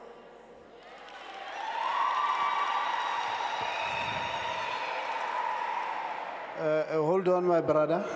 We must get the translation. Uh, translation. Please, uh, Mara. There are certain uh, issues that you must take out. Please. I'm cognizant of that. My name is Malifa Jewel. Sorry. Which? Thank you. Sorry, sorry. Apologies. My name is Malifa Joel. I reject the bill, especially the matter of corporal punishment. Uh, kids themselves do attack each other and they attack teachers at school. It's said when parent, I mean, children use abusive language to what uh, teachers, you know, as you used to be, to be obedient to, to teachers when you're young, but your child is no longer be obedient because of the rights. The issue of alcohol and drugs and weapons, those are big issues that they end up killing our children. And for useless things like heads, uh, she's appealing to the members to think like parents. Some of them are single parents. Fathers are no longer are not there. So if kids have too many rights, there will be too much. Uh, there will be too much disobedience at home. So do not abolish the law of parents. Think like parents. Thank you. Thank you. Next.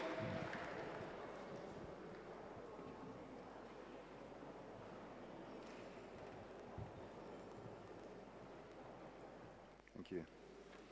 Honourable members, thank you for the opportunity of speaking today. My name is Craig Swat. I partially reject the BELA Bill, which means I must say I reject the BELA Bill. I plead for you to remove clause 37 from the BELA Bill. I decided to home educate because I wanted to nurture this love for learning in our child. This decision led to having a thriving child today who exceeds in academics amongst all of her other passions. At the schools where we inquired to place chi- our child at the time, they were unable to accommodate her with new concepts of learning because schools must follow the grade to age prescribed cu- curriculum. According to the Schools Act, we realized this would be harmful to our child's development, so we opted out to home educate. My daughter has the freedom to complete two grades a year due to her love for learning. She is able to enjoy her passion for music at the same time as the subject. Homeschooling is a wonderful, stress free, and it's available to everybody. It's my right, not, it's my right to notify the Department of Education that I'm educating my child. I need not ask for permission for my to, the act, to act in, the in my child's best interests. It is my right as a parent to decide which educational path and curriculum suits my child on the basis of her interests and her talents.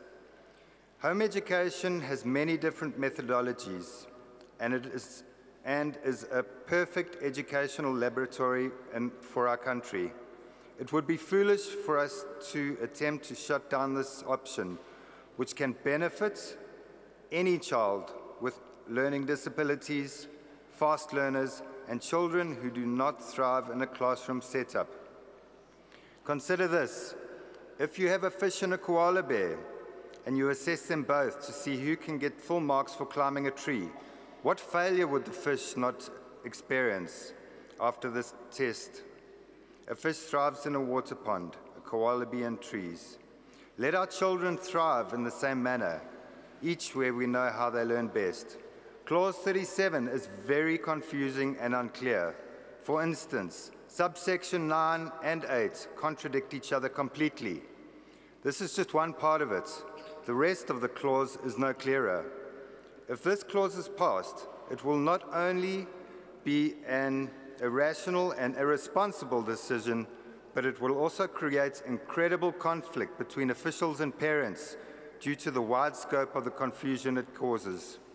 I plead for you to remove clause 37 from the BELA Bill for the sake and benefits of our Thank you. children. Thank Thank you very much. Next.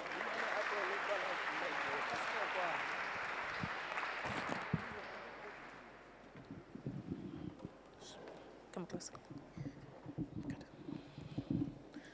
Dumelang, eh, ka lebitso ke Lebogang Chauke, ke tlhaga Ward 13 ko Protea Glen.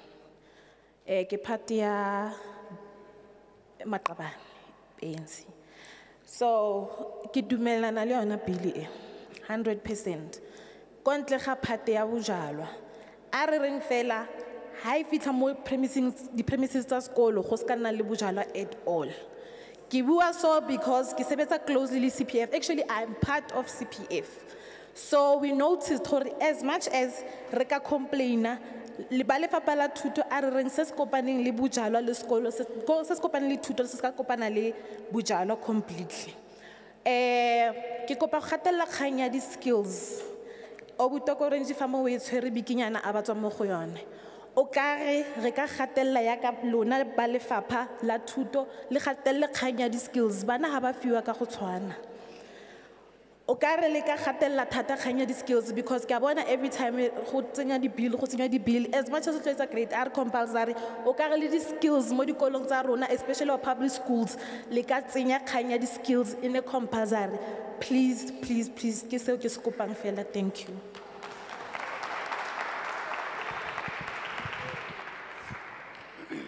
Thank you. Uh, or translation? Yes, uh, Okay. Chairperson. Uh, Thank you very much, Chairperson, for the opportunity. My name is Lebogang Chauke from Protea Glen, Ward 13. I'm a member of the ANC. I support this bill 100%, except for one aspect, which is uh, uh, that aspect which speaks to availability of alcohol in schools. I do not agree with this. Uh, we must not uh, bring alcohol to the schools. I am also a member of uh, CPF. We know the, that uh, we know what problems uh, can arise because of using alcohol in schools. And the other aspect I want to uh, emphasize is about uh, skills development in our schools. I am making this humble plea to the department to look into this matter of introducing skills development in our schools and to make it compulsory. Thank you very much. Thank you. Um, those of you who are filling in the forms, I'm told that uh, you are ticking on the detailed summary, that you are ticking support, not support, and partially support. You are ticking all of them. Yes. So you are saying uh, that table is lying? We can show you there. So when we are doing that, we are doing what we call a spoiled ballot. So we are, we are pleading with you. You just take one. Whether you support, you're not supporting, or you partially support. So there's three options, you choose one. Ra utlwana ke? Yes, now a ring, ring, uh, uh, yeah, a re, one, two, three, four, five. This, the lady, six. The gentleman, seven, yeah, the torch. Eight, next to him. Right, nine, come. Yeah, mama. Who pointed you? Who pointed you? Ah, when? Yeah? Ah.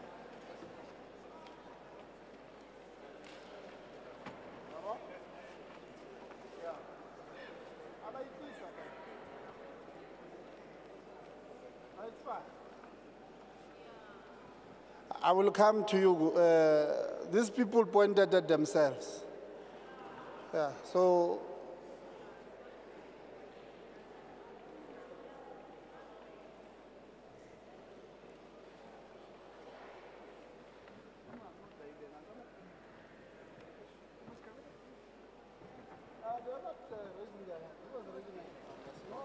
Okay, is that fine? Thanks.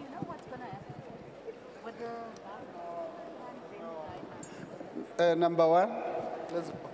Good day, honourable members. My name is Jasmine. I'm a homeschooled homeschool mom. Sorry, I'm nervous. I oppose the Basic Educational Laws Amendment Bill in its entirety. I'm here as a concerned citizen and mother. Today I will be representing my own children. This bill is unconstitutional. How can we say that the Bill of Rights is a cornerstone of democracy in South Africa if we allow this bill to be passed? Be- because that would mean that democracy will no longer be a cornerstone. Currently, the public school system is overwhelmed. Grade odds, grade ones that don't get placed in public school because of a lack of space, teachers, and resources. Which brings me to my next point.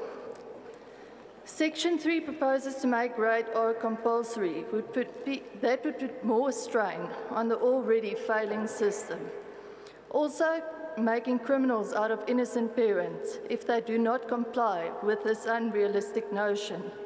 There's a body of evidence that indicates they still need to play at that age. I object to clause 3750, section 51. Homeschooling takes a strain off the already overwhelmed school system. Therefore, it should be celebrated and not persecuted. According to the Bill of Rights, we as South African citizens have a freedom of expression, which includes academic freedom. We should be able to choose freely the curriculum we want to use that's best suited to our family. We are a God fearing people, and we choose to live our lives to the Word of God. we have the right to express our religious beliefs throughout our schoolwork on a daily basis. Homeschooling is accessible to everyone, and it doesn't have to be expensive. We sit with our children day in and day out. Therefore, we are constantly assessing them, which makes it futile to get an assessor from outside. According to Section 14 of the Bill of Rights, we have the right to privacy, so home visits by government officials is an invasion of that privacy. In conclusion, we will not be handing over the rights and freedom of our children to the government. We stand in the unattainable authority of Christ. The BELA Bill is a complete overreach of government. By forcing these laws on South Africans, it will not benefit children at all. Thank you.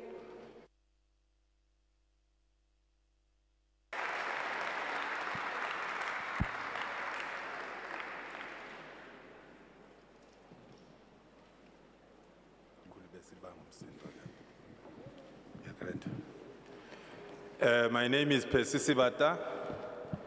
I'm here to represent the PCO of Lenasia.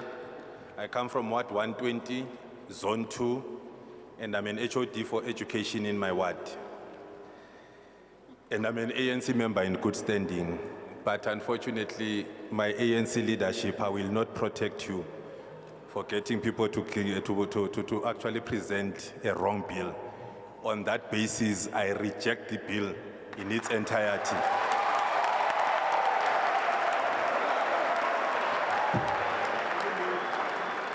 And I would like to refer you to page 12, uh, where there is an amendment on section 8 of Act 84 of 1996.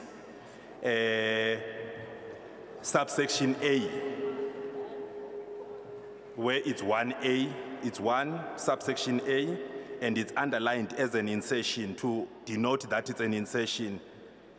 That very same ambiguity where you include in a bill unless authorized, that actually like throws away everything else that you have written under this bill. Because when you say unless authorized, it technically says that you have assigned all the rights to the HOD and the minister, which nullifies anything else that the experienced educators on the ground can contribute.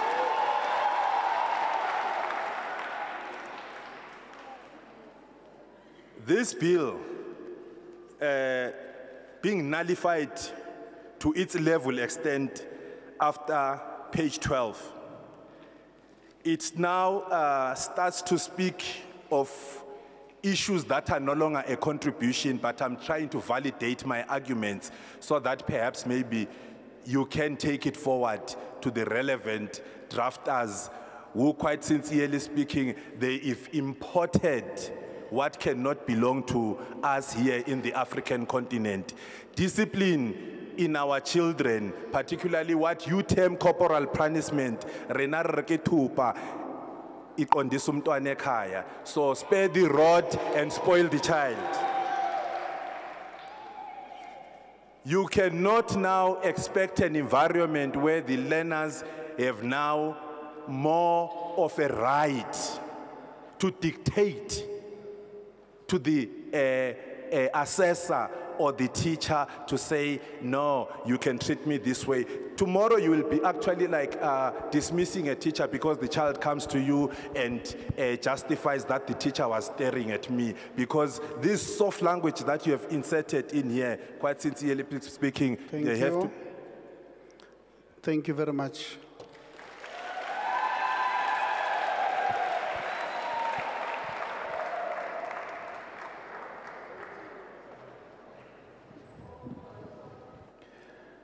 Good afternoon, everyone. My name is Denver Fokanes, and I represent my family.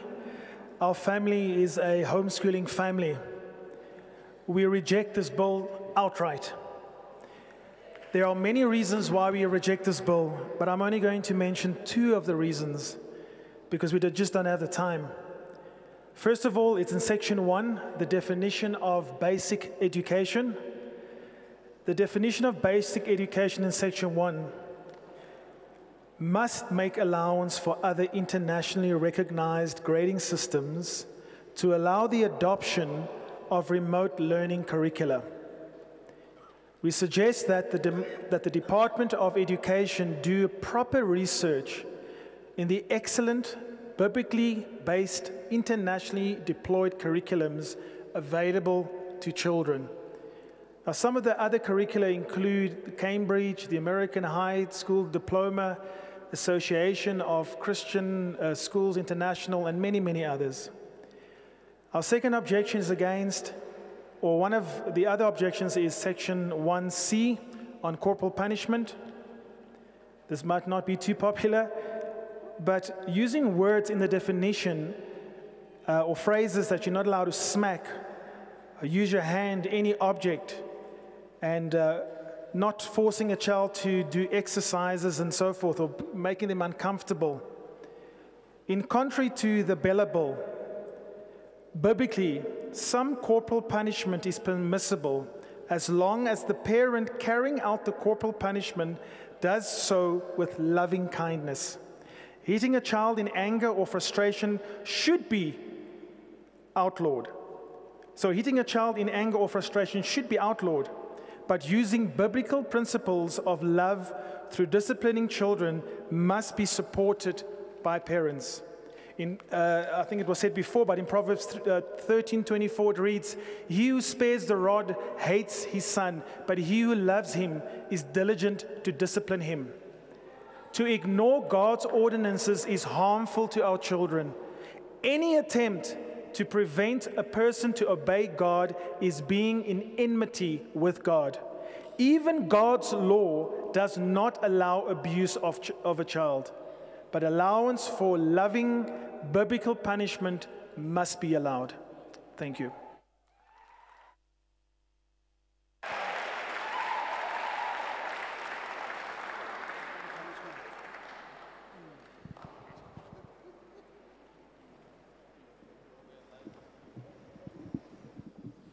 Am I final? Okay. Uh, greetings to the leadership. Uh, my name is Temba Makubela. I'm from Soweto. I'm with Bahlali Baduli, Soweto here. We are here to confirm, to say that we warmly accept and support the bill.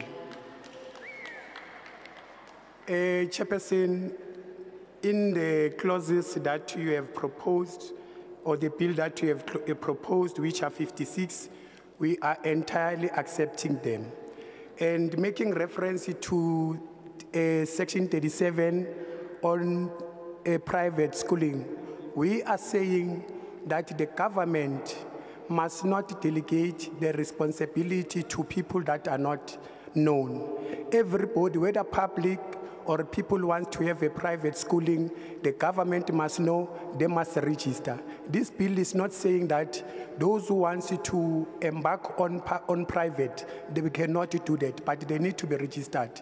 Because if anything goes wrong, if we have uh, um, uh, schools which um, go, uh, uh, good schools. It is the government that has been playing. So the government has the responsibility. So on that one, I am saying I'm supporting you. And then on this bill, uh, especially on section 21, the, the, this bill is proposing that section 21 must be removed. I'm saying already that clause or those powers in terms of section 21 school lies with the HOD. You, the SGB applies for, for those powers. So we are saying now um, the, the, the, the, the government must, must maintain and must monitor that um, section. And then in terms of section 10 that deals with corporal punishment, I support that section and but I'm saying because we are saying that children must not or the school must not administer corporal punishment. The department or the parliaments must provide alternative way of correcting the behavior within the schools because if, if there's no alternative in that regard, it becomes a challenge. And then I also want to emphasize on this one of admission police. It's very key that we must emphasize that we are supporting that we must have more than three official South African language in the admission police. The addition, it must be the sign language. I thank you.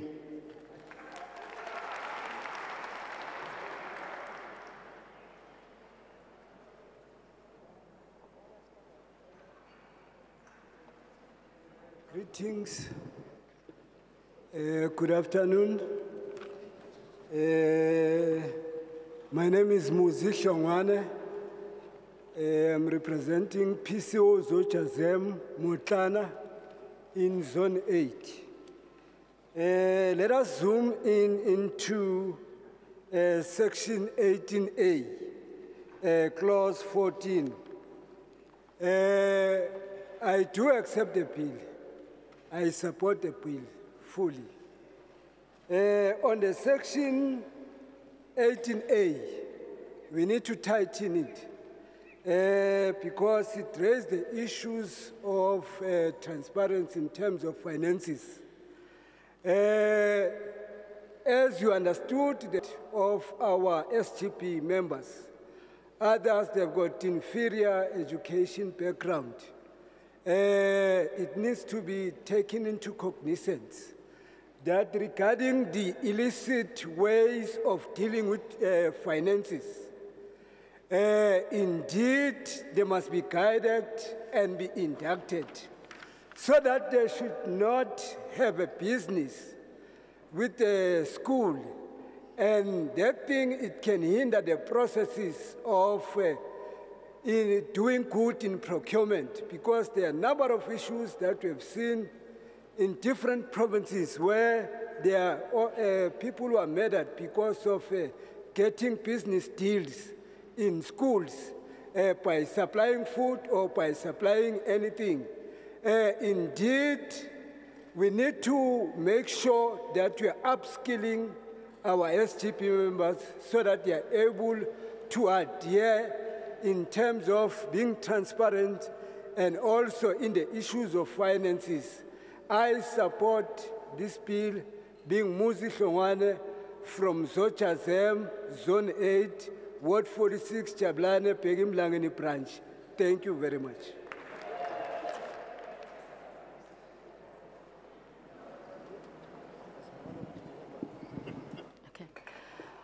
Good afternoon, ladies and gentlemen. Standing before you today is Faith Sbongile Siku, representing the ACDP. We, as the ACDP, are opposed to the bill, and in particular, Clause 37 that amends Section 51. This is the section on homeschooling. When the DBE imposed comprehensive sexuality education and scripted lesson plans on schools, the DBE spokesperson Elijah Mhlanga said in the press that the only way parents would opt out of the new CSE lessons is by sending their child to private school or homeschooling them. Parents then took children out of school to homeschool them, but now the DBE wants to force the national curriculum statement, what people normally call CAPS on homeschoolers. The Department of Basic Education has said in previous meetings that homeschoolers will be free to choose curriculum.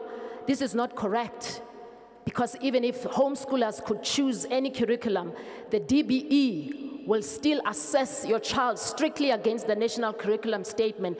This is set out in section 51, subsection 2.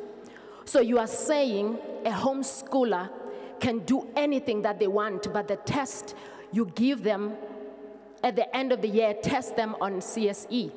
If a homeschooler does not do CSE, they will fail the assessment, and then the provincial education department can stop the homeschooling and force them to go to school where they will be taught CSE. No one can escape CSE, not even at home. The BELA Bill is being used to force learners to do CSE. We, as the ACDP, ask that these clauses be removed and that these clauses be added that protect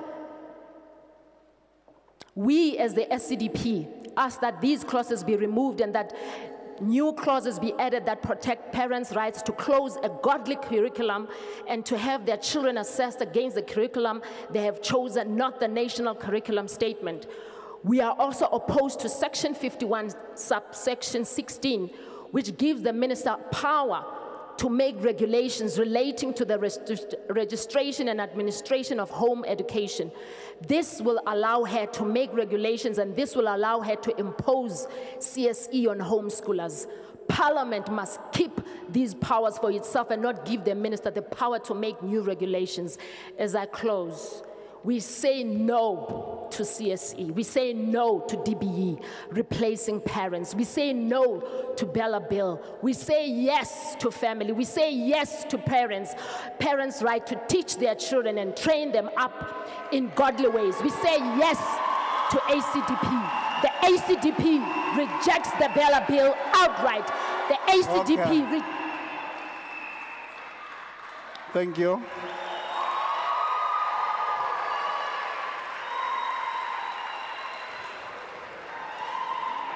Right. Good afternoon, ladies and gentlemen. My name is Maureen Kumalo. I'm here to represent ACDP. We reject the bill outright. We reject the BELA Bill and it, in particular, Clause 41, that amends Section 61 of South Africa, of South African School Act. The clause allows the minister to take regulation concerning the learner pregnancy. The DBE's policy on the prevention of the man- management of the learner's pregnancy is about providing sexual reproductive health services to learners as young as 12. These services include, as the policy itself says, enabling, and I quote, learners to obtain abortions. This cannot be done secretly. This can be done without parents, our guardian knowing. Parents will be pushed out of the picture and their place taken by strategic and social partners who will be assessing a 12 year old learner to access abortion and all forms of contraception. The DBE may claim that not is how they will use the regulation for, but how can we trust them? We challenge them to publish the draft regulation. We challenge them to say who is writing this regulation. We cannot say we support regulations enacted in terms of a bill until we know who, what those regulations are. Say what the regulations are, or is that also a secret that the DBE is keeping from parents? We say down with secrets, down with DBE, taking the place of parents, down with BELA Bill. Long live families, long live godly government, long live ACDP.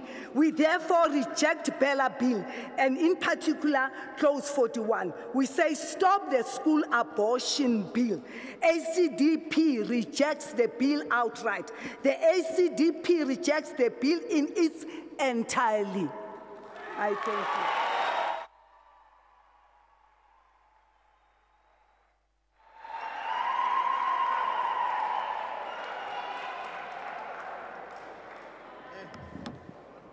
Uh, Thank you, Honorable Chair.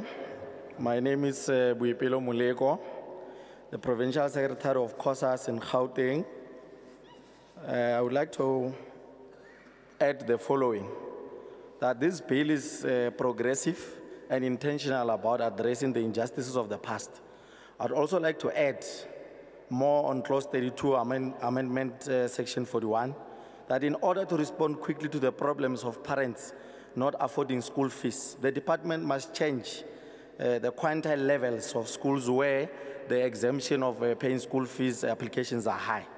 This must be done by- directly by the department because schools' uh, management teams are deliberate about not uh, approving these exemption applications because they rely heavily on these funds to, mu- to misuse them and to deliberately reject black uh, students who are not affording to enter those schools.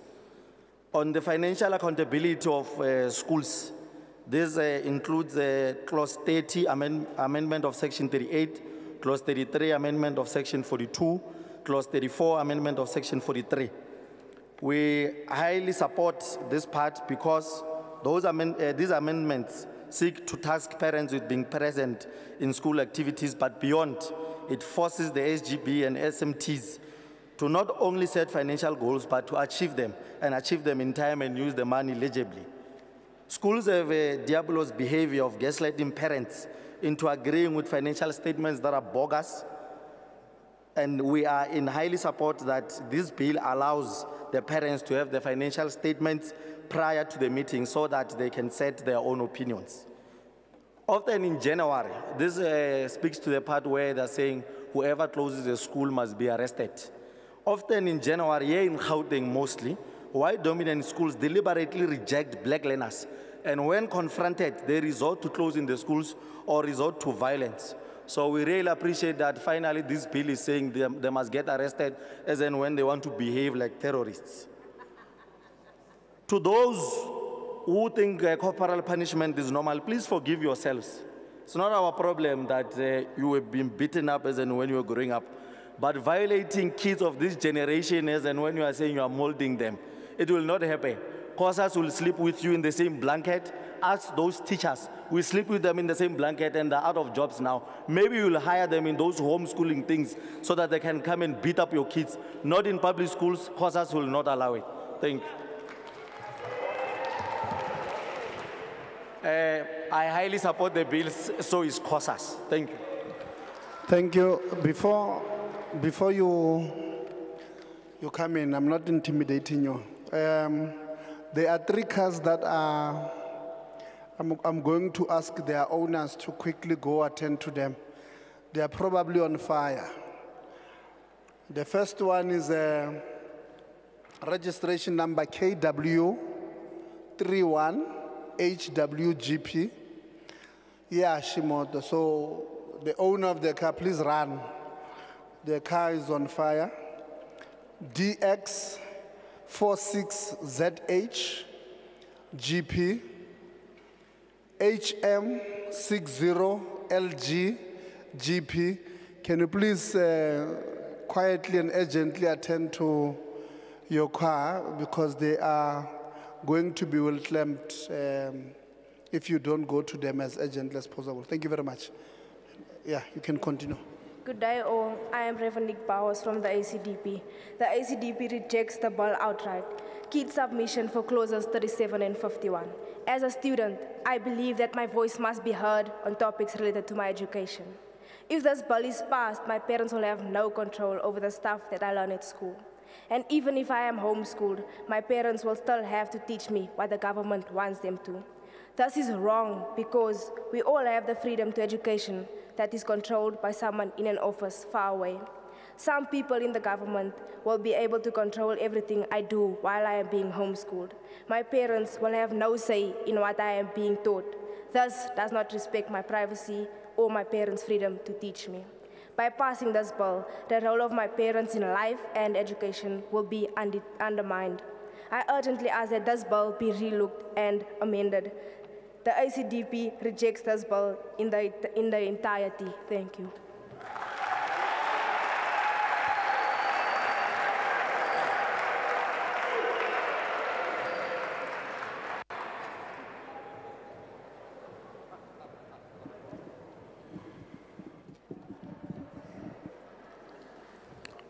Thank you for your time. Thank you for your ears, South Africans.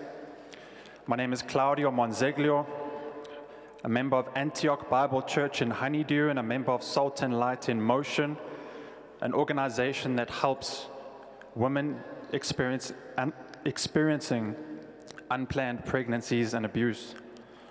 We object to the BELA Bill in its entirety, and because of time, let me give you a specific example. Section 41, in relation to the management of learner pregnancy, where the bill gives the responsibility of the management of learner pregnancy over to another party other than their parents. It is in your best interest to remove this section. If you allow abortions to girls through the DBE, not only the girl who chooses the abortion, not only the physician, but also the Department of Education will be liable for murder before God. We strongly reject this clause. A pregnant schoolgirl requires significant support from loved ones and a supportive community when she finds she is pregnant. To seclude the girl from support and the awareness of being pregnant will only increase the rate of minor pregnancies. Since the schoolgirl is a minor, this, needs, this girl needs her parents and guardians and they must be notified.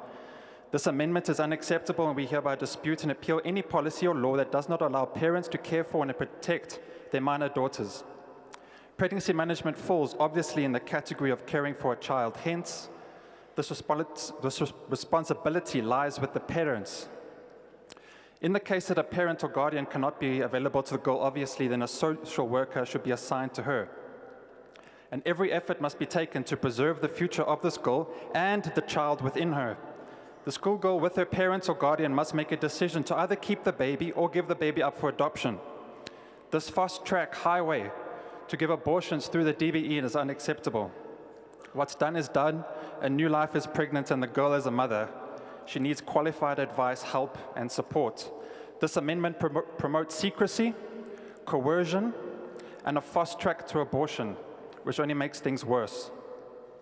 This also will promote underage and minor intercourse due to removal of all consequences of their actions.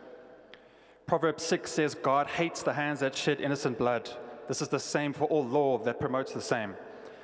And the contradictions in this amendment South African law is inconsistent with regard to the age at which a child is considered mature enough to make decisions.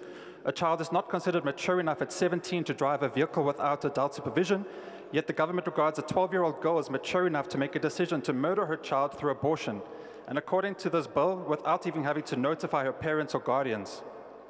Until we as a nation turn from this evil, repent, and obey God's law, we will see the effects of his ju- Thank you. judgment on our.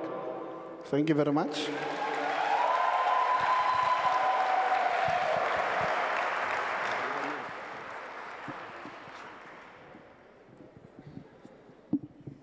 Good afternoon, everyone.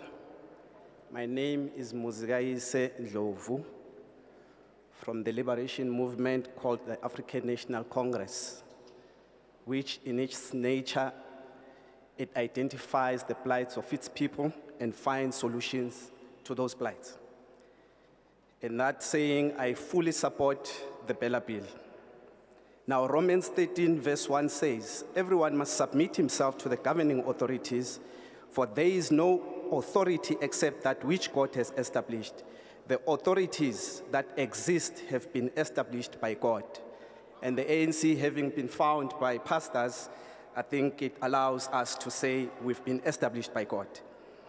Pre 1994, which ushered in our democracy, our communities were subjected to segregation based on language, race, and otherwise, and further segregation in township based on languages which were detrimental on so- social cohesion of our people. But democracy ushered in better policies that are acceptable to the large population of our society.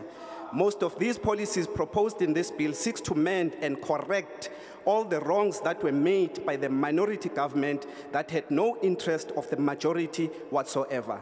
Language and admission policy must not be a stumbling block, it must be guided by the Constitution.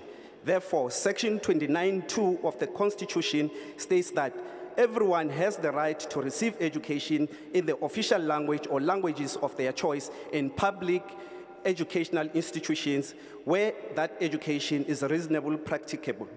This means that the children have the right to receive education in the language of their choice, and schools should, have should make every effort to provide education in that language if it is reasonable to do so.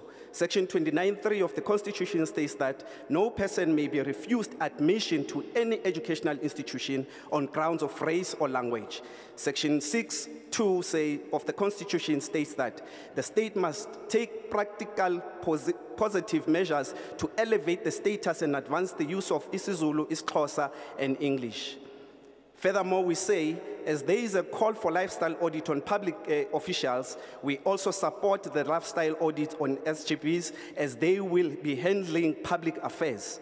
The bill provides the school attendance in compulsory from, grade R, which will improve learner preparation and resource support for grade R learners. We know that this bill will also improve the deteriorating learner perf- uh, uh, school performance and dropping out through clause 3 which call for enhanced monitoring of school attendance by educators principals and the school governing body and addressing misconduct in schools through clause 9 which clarifies what constitutes an act of serious misconduct by learners this bill will further address challenges regarding learner it.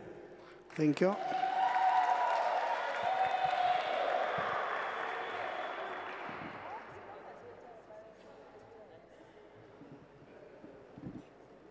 Vito ndzi nyile Tistol, noma Waterworks, noma ka community organization Philam Tomnyam. Ndzi alelana nawu lowu ngo ku xavisiwa ka byala na swidzidziharisi exikolweni wa pfumeleriwa. Mina na wu alela.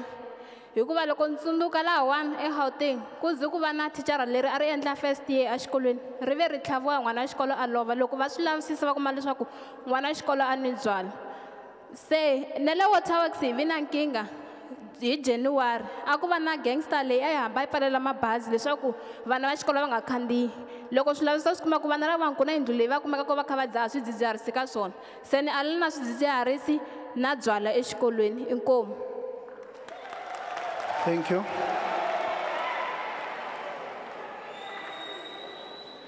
Uh, Mape, let's uh, allow translation.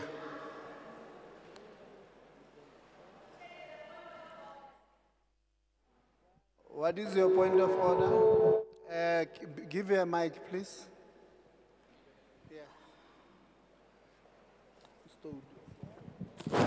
Thank you very much, Chairperson of the session. My name is Tulufelo Rakutu from Ward 60.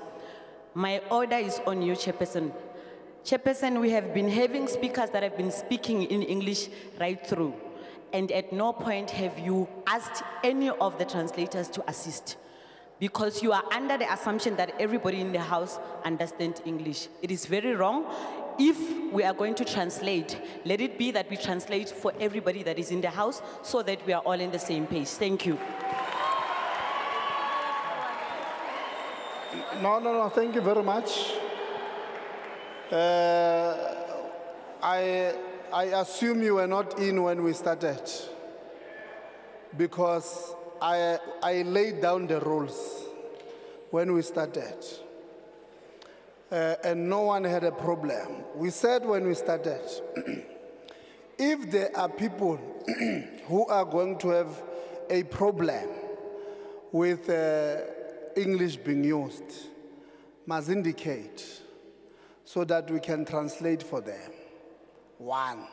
Two, we said, if there are people who want to be nearer to the sign language, they must indicate so that we can ask those gentlemen seated in the front row to, to move. No one had a problem. So your, your, your, your order is indeed not in order because it was part of the rules we have agreed. If you have a problem with an English, indicate so that will translate when they speak. That's what we said. But there's no one who's had uh, uh, that problem. And let's not assume, let's not assume that, uh, yeah, let's not assume that uh, if we have elders in the room, they can't hear English. Uh, it will be a wrong assumption. Uh, so I said, to, I said to you, is there anybody who has a problem? Uh, English being used. And I want to do that exercise now. Amblelo or or kimbotat. Ona le motho o sa utlwing ha go bua na? My sister, continue. Oh, Can a I translation. Okay, thanks. Uh, sorry, Chair. The previous speaker, the, uh, the young girl was speaking. Her name is Nyeleti Stole. She says she's from Waterworks, from a group organization called Pilamuntu Mnyama. And she is against alcohol and drugs because here in Gauteng we've experienced previously one of the teachers was stepped by a learner and it was found out that the learner was drunk so hence she is against that. Also, she says in Waterworks, they are experiencing some of people who are using drugs, who at times even uh, block the buses um, i- i- in- for them, I mean, for the bus not to, to passing in certain places.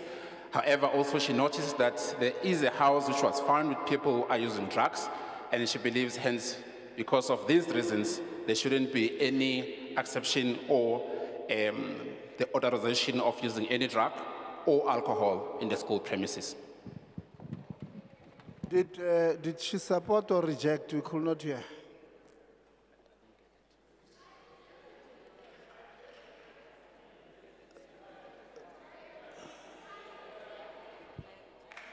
Thank you. No, that's fine.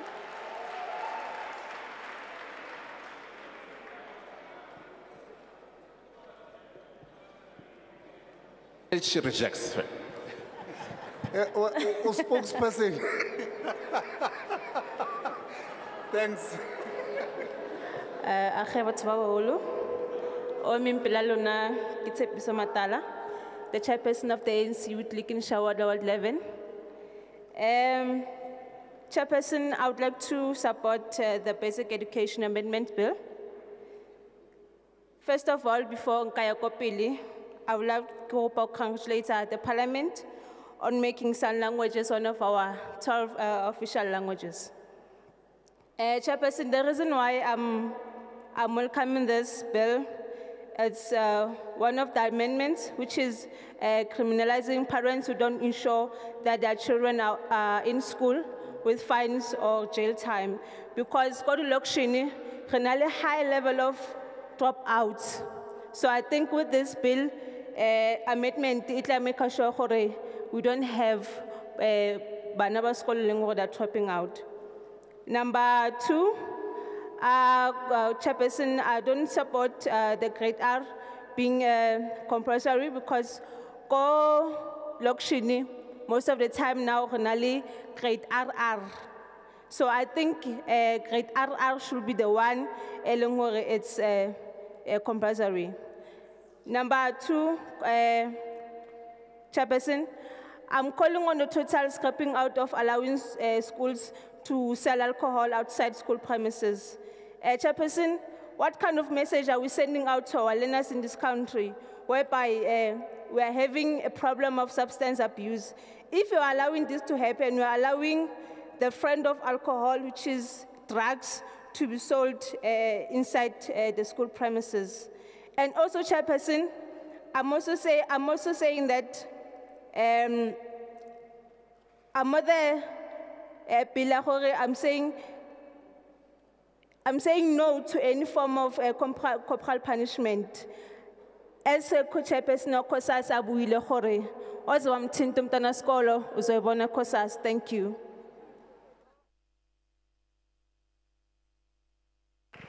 Thank you. Uh, don't forget, nah, those of you who, wants, who, who are shy like me, you can write. And uh, the, the forms are still there behind the camera person. I'm now coming for the last time this side. Uh,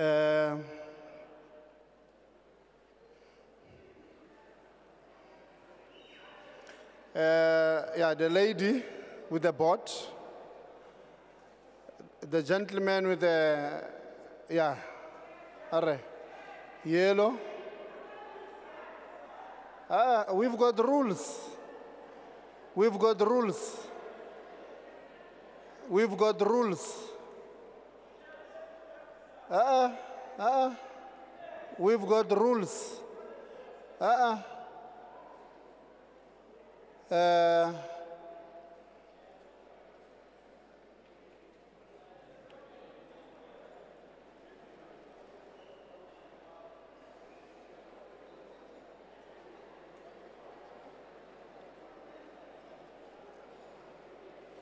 pointile ke nna? Oh yeah no no that one i did.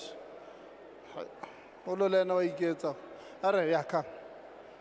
And then uh, yeah jean and then uh, uh, uh, timer yeah? Time no no this one yeah. One two three. Mmela no pointile ke nna? Oh yeah. One two three four five six the lady, seven. The gentleman uh, behind, eight. Uh, uh, uh, sit down. The, the, yeah, you, you come. Yeah, come. Uh, uh, Abuti, Abuti, Abuti, Abuti, kikupile ntato. Yes, this, yeah. No, come. Ya wena kwena ku khombile a o khombile ke manyana. Ah, okay. Le ba kae mo? Eish.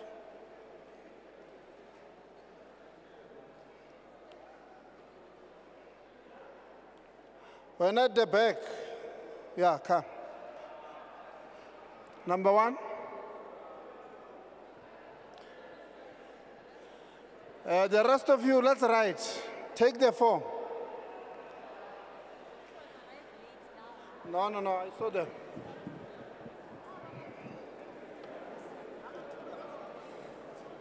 Ladies and gentlemen, all protocols observed. My name is Ntumba. Oh, hold on, hold on, hold on. Why is, uh, why is it noisy?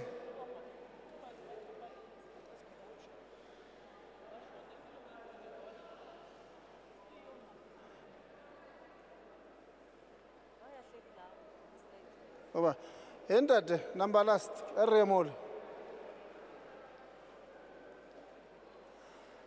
Can we, can we settle down? Want to understand what's, what's the commotion about.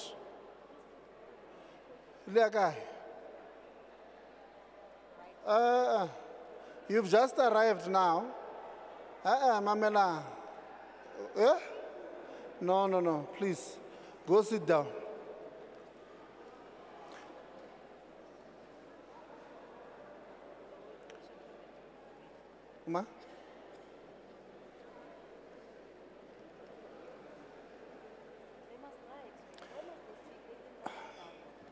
Can we go sit down? I don't understand the commotion.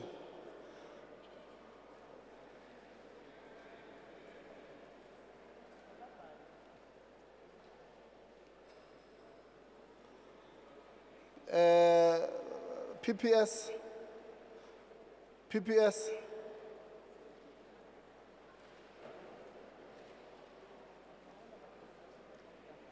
Uh-uh.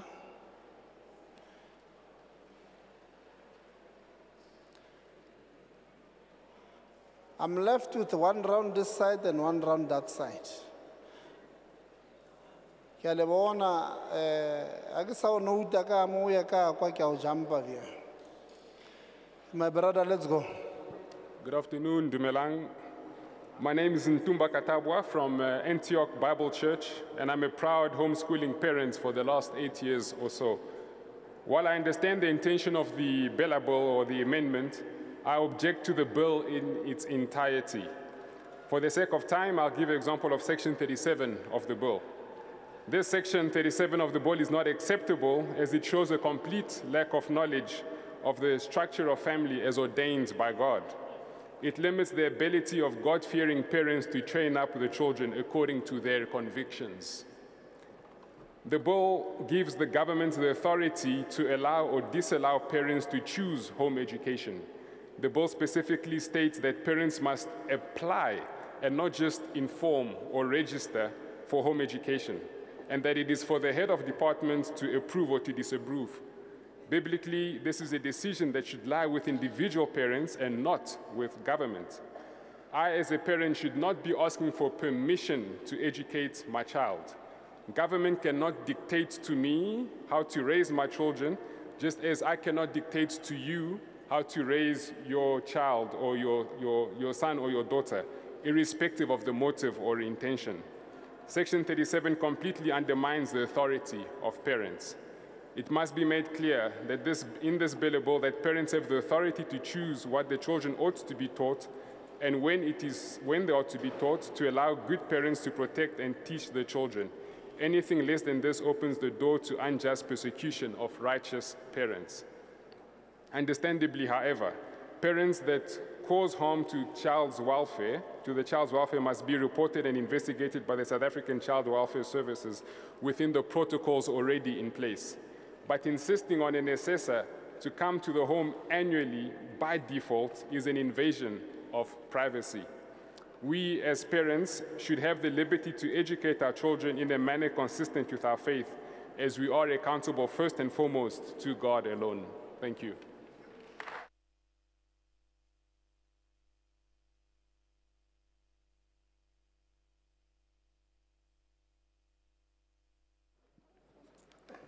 Okay. Uh, good day. My name is Namsankonyane. I'm from Ward 35 representing SANCO as an organization, a civic organization. Um, I'm here uh, not to, as a SANCO uh, member, we're not, we're not supporting the bill. Uh, one, the section, the, the, the section Okay, the one that uh, spoke, I think it's page five. Yes, it's page five. Uh, the one that says uh, homeschooling. We have a problem. The teachers are giving learners, like the grade R learners, a lot of homework, like page 10, like 10 uh, pages, and then they, they're expecting us as parents to assist the learners wi- without uh, explaining further what, what's supposed to be done in the homework. And another thing, we not in support with the one that speaks with uh, its citizenship, as in like uh, undocumented uh, citizens uh, to be to be like uh, allowed in school. So that is why we're not uh, supporting the bill. Thank you.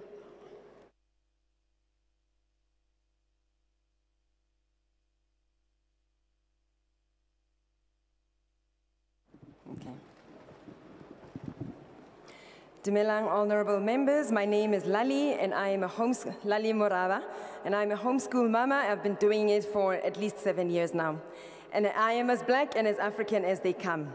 I'm also a member of the Gauteng Association for Homeschooling and the African Legacy Home Education. No one but my children and my convictions have sent me here.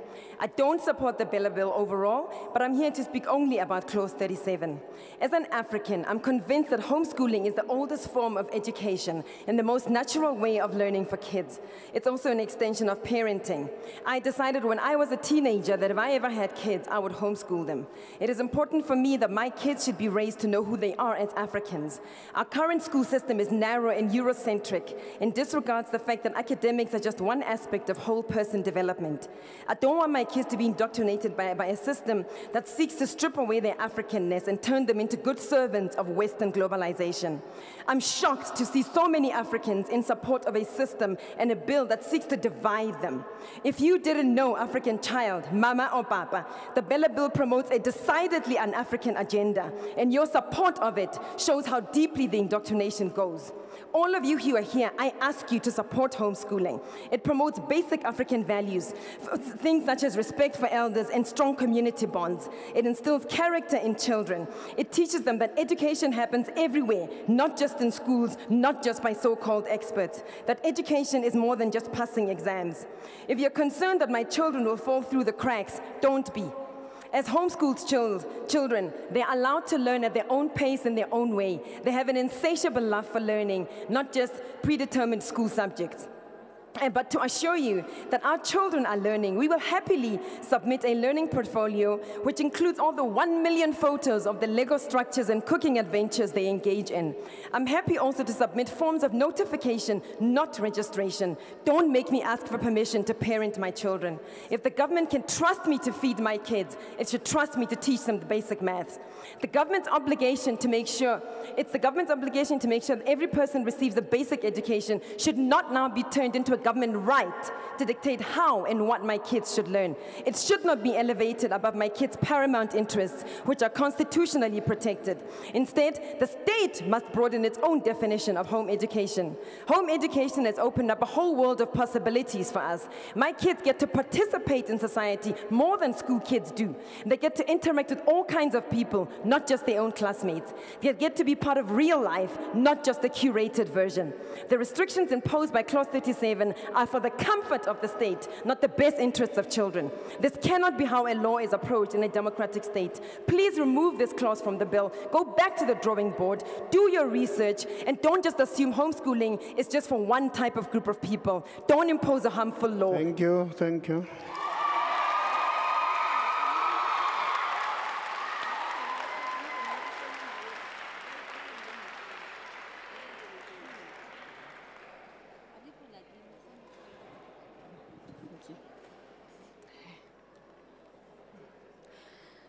My name is Thalia Prigger.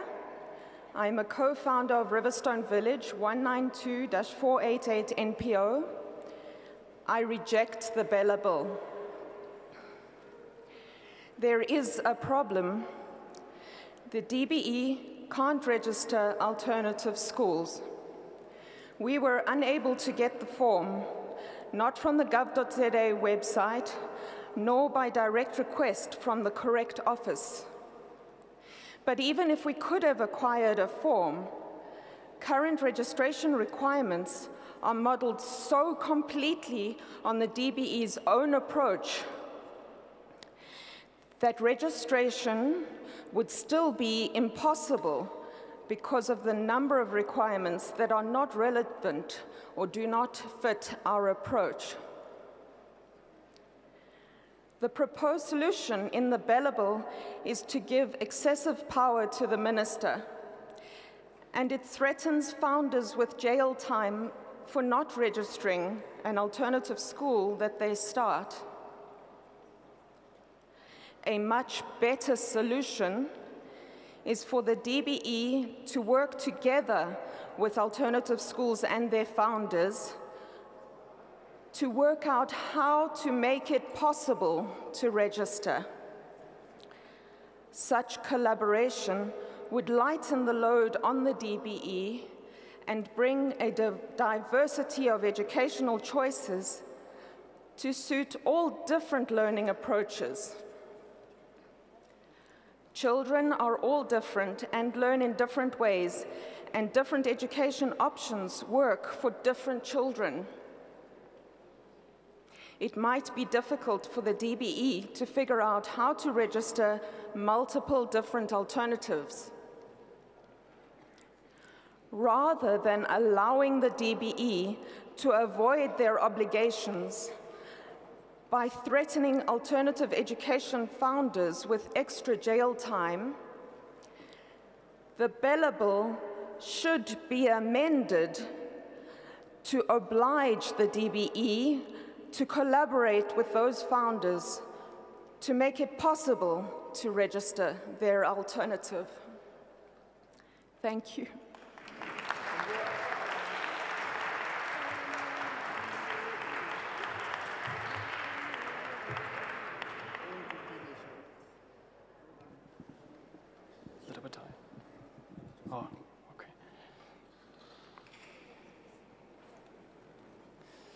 Sanbonani, Dumelang, Goedemiddag, good afternoon, Honorable Chair and Honorable members. My name is Gideon Pereira. I'm a Christian. I'm also a homeschool alumni, oud schooler, old, old homeschooler. Um, I object to the BELA Bill uh, in its entirety because I'm against, um, sorry, I'm against the BELA Bill that's being proposed in its entirety. I specifically reject, specifically reject clause 37 with regards to home education, and I will support why I say so. I, but I reject the bill in its entirety because I'm against taking away rights from the parents and giving it to the state with regards to public schooling. School boards consisting of parents, etc., etc., should have the power to decide over school matters, not government. I'm also against the selling of alcohol for raising funds or any other purposes in schools, as Clause 8, I believe, proposes. The Bible says, Woe unto him who puts the bottle to the lips of his neighbor, it says in Habakkuk um, 2 verse 15. Um, woe unto him who drinks strong drink himself, but also woe unto him who puts the bottle to his neighbor. I oppose any clause that gives the head of department power to make regulations without revealing what those regulations are. Clause 37 gives the power to do this, and I ask that it be uh, removed. We want to know what are the regulations. Uh, the regulations can't just be made without um, declaring what they are. The Bill will give the head of department great power to make regulations as he, she sees fit. It gives the power to the head of department and it takes away from the people and from homeschoolers. Um,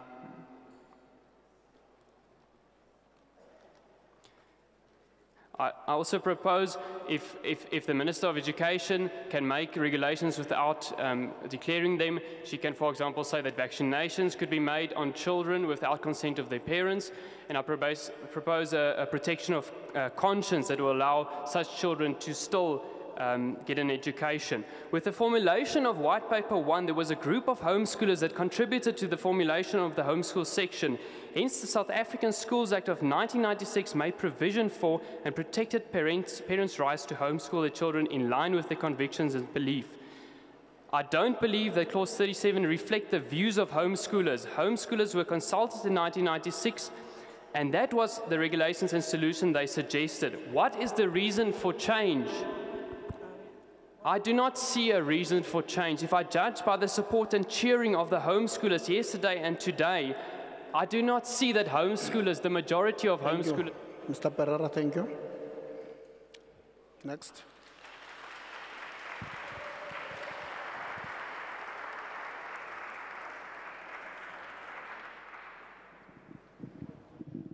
Thobela nna ka leina ke nna montšhating tswane ke nna moetsapele wa baswa ke tswa mokgatlhong yo o bitswago ka alexandra um, water and sanitation forum. Fa ke emetse ke dumelelana le ntho ya lena bili ya lena. Fela ke ne ngongorego. A se ke ke bone taba ya sanitation. Ka ga le gore sanitation ke yona ye tše dingwe tša sekolo tšeo di bopago sekolo. E fela mehleng ya matšatši a bana ke bona ba tswa sekolong ka pela. A fa bana ba rena ba bolokegile na? Moetsapele wa ka mogolo wa ka ke kgopela o e hlokomele taba ya sanitation. Dithoelete tša rena ga se di a loka ga di a ema ka go hlweka. A ke bone bana ba rena ba enwa metse ao a hlwekilego. Ka fao ba fiilwe tšhelete ba sekolo goreng ditšotšo tanki di be gona le rena re fela re donata ge le disepe gore bana ba rena ba tlhape matsogo. Ke bone seo se dirwa ka la education. Moetapele tsenelela. Bana ba rena ba kotsing. Bana ba rena ba ntšhwa sekolong pele nako e ya gore sekolo se tswe e tia a fa le tlo tsenya letsogo na? Ke kgopela gore le fele le tlhokomela malwetse le ona a nyoga. A malwetse a go tlhoka a go tshwana le bo dikgolela le bo diarrhea. Tsenelelang tsentšhang letsogo mo tabeng ya sanitation. Ka ga ke tswa mokgatlong wa water and sanitation re a kgopela goreng ga le dira le feleng le tlhokomela le bitsago le mokgatlo wa meetse gore le ona o fele o le thuša ka di-act tša bona gore bana ba rena ba kgone go bolokega. A ke bone gore re tlo ba le 100 percent rate pass ge bana ba fela ba etswa sekolong ka pela ba re meetse ga a gona. Meetse ga a gona jwang? Ditšotšo tanki di le gona le ka sempotse gore di-toilete ee bana ba ka kgone go ya di-toilet. Bana ba ka kgona go ya di-toilet ka metsi gore ba berekišago go tlhapa matsogo ka ona. Ke kgopela gore moetapele o lebelele o tsitsinkele kudu mo tabeng ya sanitation. Ka bjale ke re thobela.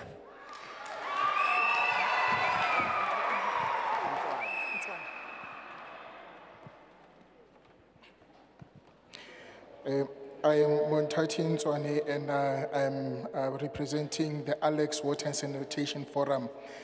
Um, I want to start by saying that I do support the bill, but I want to emphasize that uh, there's no sanitation that's been mentioned in the bill, and it is of serious concern because sanitation it is the foundation of education.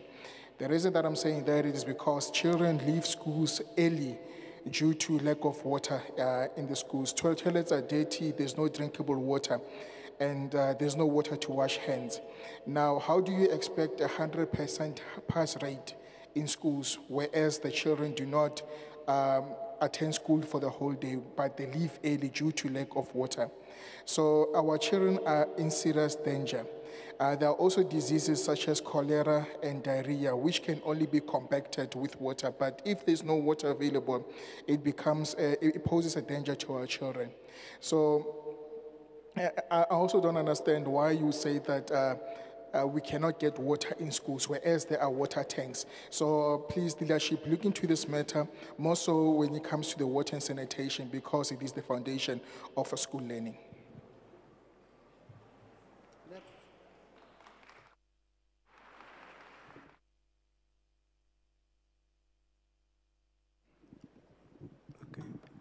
Uh, Good afternoon. My name is Thabo Mutlung. I'm from Alexandra. First, I'd like to say I support the bill, in its entirety.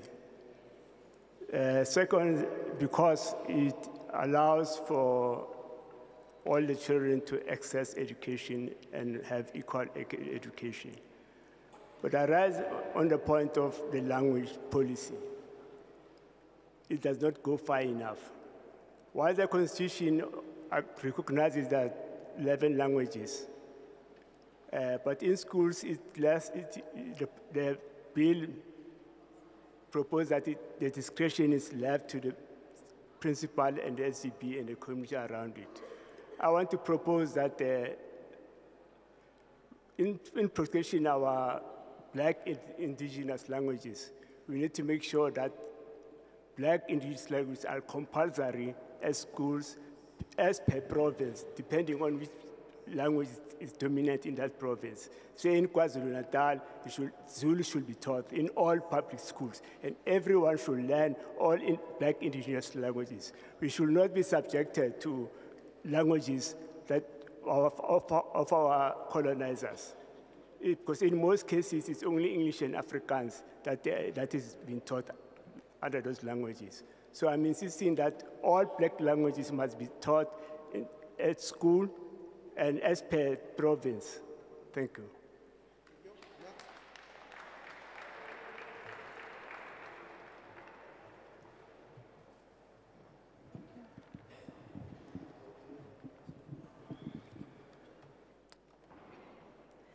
Fellow citizens above and around, I am Jana Clements, Oversight Committee and Training Materials Developer for EUDEC, which is the European Democratic Education Community. Why not AFDEC or SAFDEC?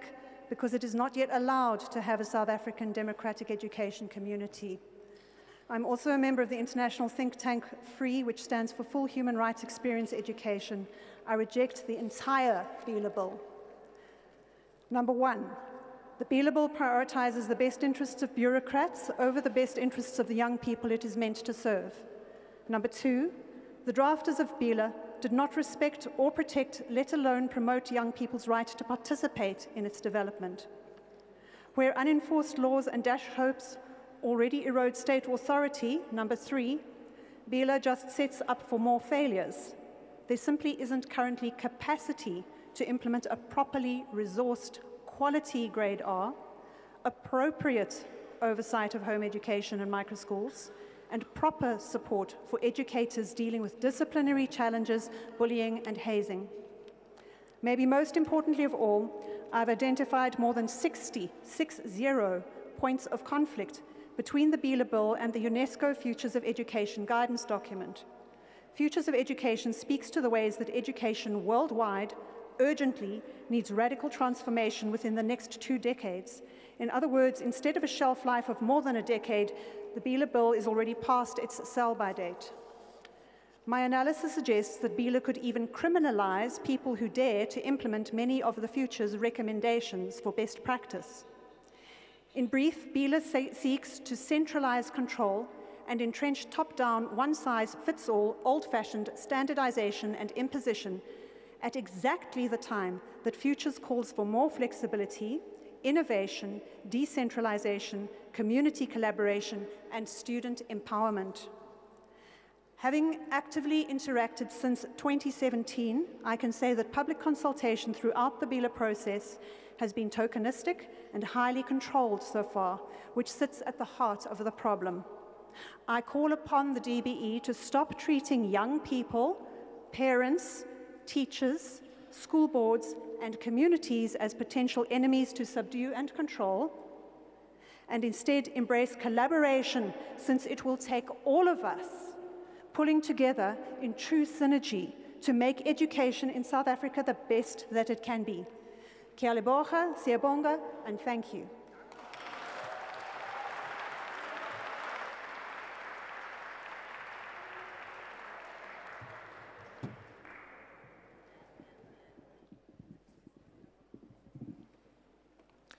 Greetings, uh, respective honorable members, compatriots of uh, the nation, citizens, and civil society.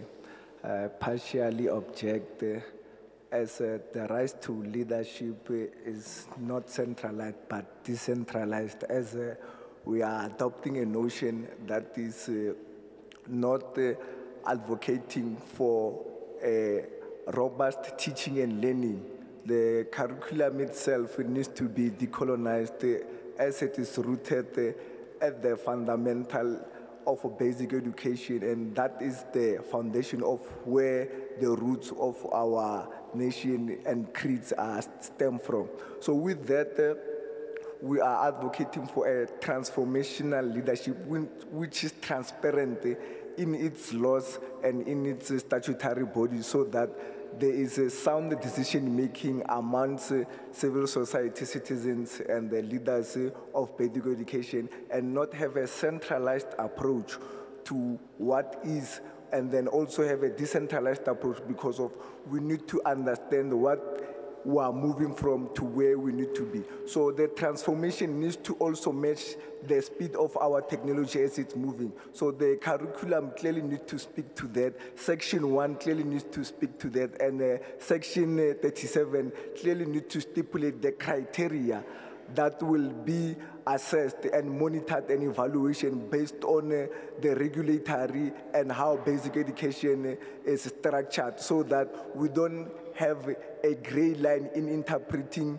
uh, delegation of authority and uh, understanding that uh, the pedagogy and how it is structured needs to advocate for a holistic approach, but not what you do on the left, you must also do on the right. So that speaks to the transparency, the pedagogy, the transformation in terms of uh, how is it structured and how is it aligned with the, transformation that is happening currently with regards to technology. And we need to understand that the delegation of authority not need to be autocratic or dragonistic, but it needs to be transparent. We need to have a mutual symbiotic relation where rudimentary approach should be advocated by the community, by the civil society, by parents, and also by active participants who are the vanguard of uh, these pillars of basic education. We need to understand that where we are to where we need to be, we call for an utmost decolonization of basic education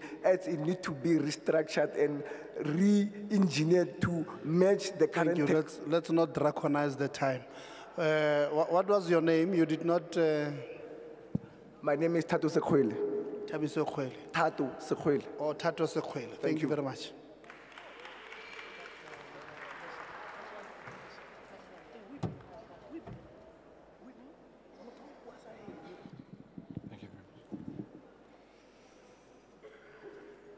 Good afternoon. I am Dr. Thomas Tolton. I work at Joburg Jain up the road. I oppose the BELA Bill, particularly Section 37. I represent my Christian community, my Christian family, and my local church. As a Christian, my concerns are regarding the lack of detail in the bill, which leaves room for wide interpretation and later broad application of laws pertaining to homeschoolers. I perceive this bill to be a potential threat to my God ordained freedoms and responsibilities and an offense to Almighty God. The bill assumes governmental authority over all learners, a biblical jurisdiction which God has given parents over their own children with great promise and at great cost. Parents have the authority to choose what material is to be taught and when it is appropriate to teach it. We do this responsibly, reverently, and selectively so as to raise our children in the fear and instruction of the Lord Jesus Christ. We strive to produce adults with godly character and great societal contribution as a Christian witness and testimony. All policies proposed by the bill that impose on this God given authority are ungodly. The potential refusal of the HOD to register a child as a homeschooler would be an unrecognized, unauthoritative, and unacceptable decision. The assessment of consultants to ensure a standard non inferior to that of the National Curriculum Statement may be intended as a noble proposition to protect learners from bad education, but we recognize God's assessment and superior biblical standard. This would be an unwelcomed intrusion of government into my privacy and over my Christian, God ordained authority as a parent to teach my children. I fear a ploy to control curricular content and gradually outlaw Christian, Christian Bible based content. At least there is no evidence in this bill that protects homeschooling Christian citizens from this threat. As such, the authority and assessment of a consultant is biblically unrecognizable, unacceptable to the Christian community. God fearing Christians will not comply with this. Biblically, full authority in the education system lies with the parents until this is proxied to a school and a teacher by a consenting parent. To assume authority not consented to by each individual parent in the ways proposed in this bill is a forceful invasion into God's ordained family structure. Christians must obey government, yes, unless the law of God is contradicted and opposed. Please consider this Christian plea. I pray you will recognize God's instruction and remember his warnings and the examples of nations who ignored his law and were made to fall. May God be praised. May our people, you, me, repent and believe. May our country prosper as God's servants. Thank you. Thank you, Doctor. Next.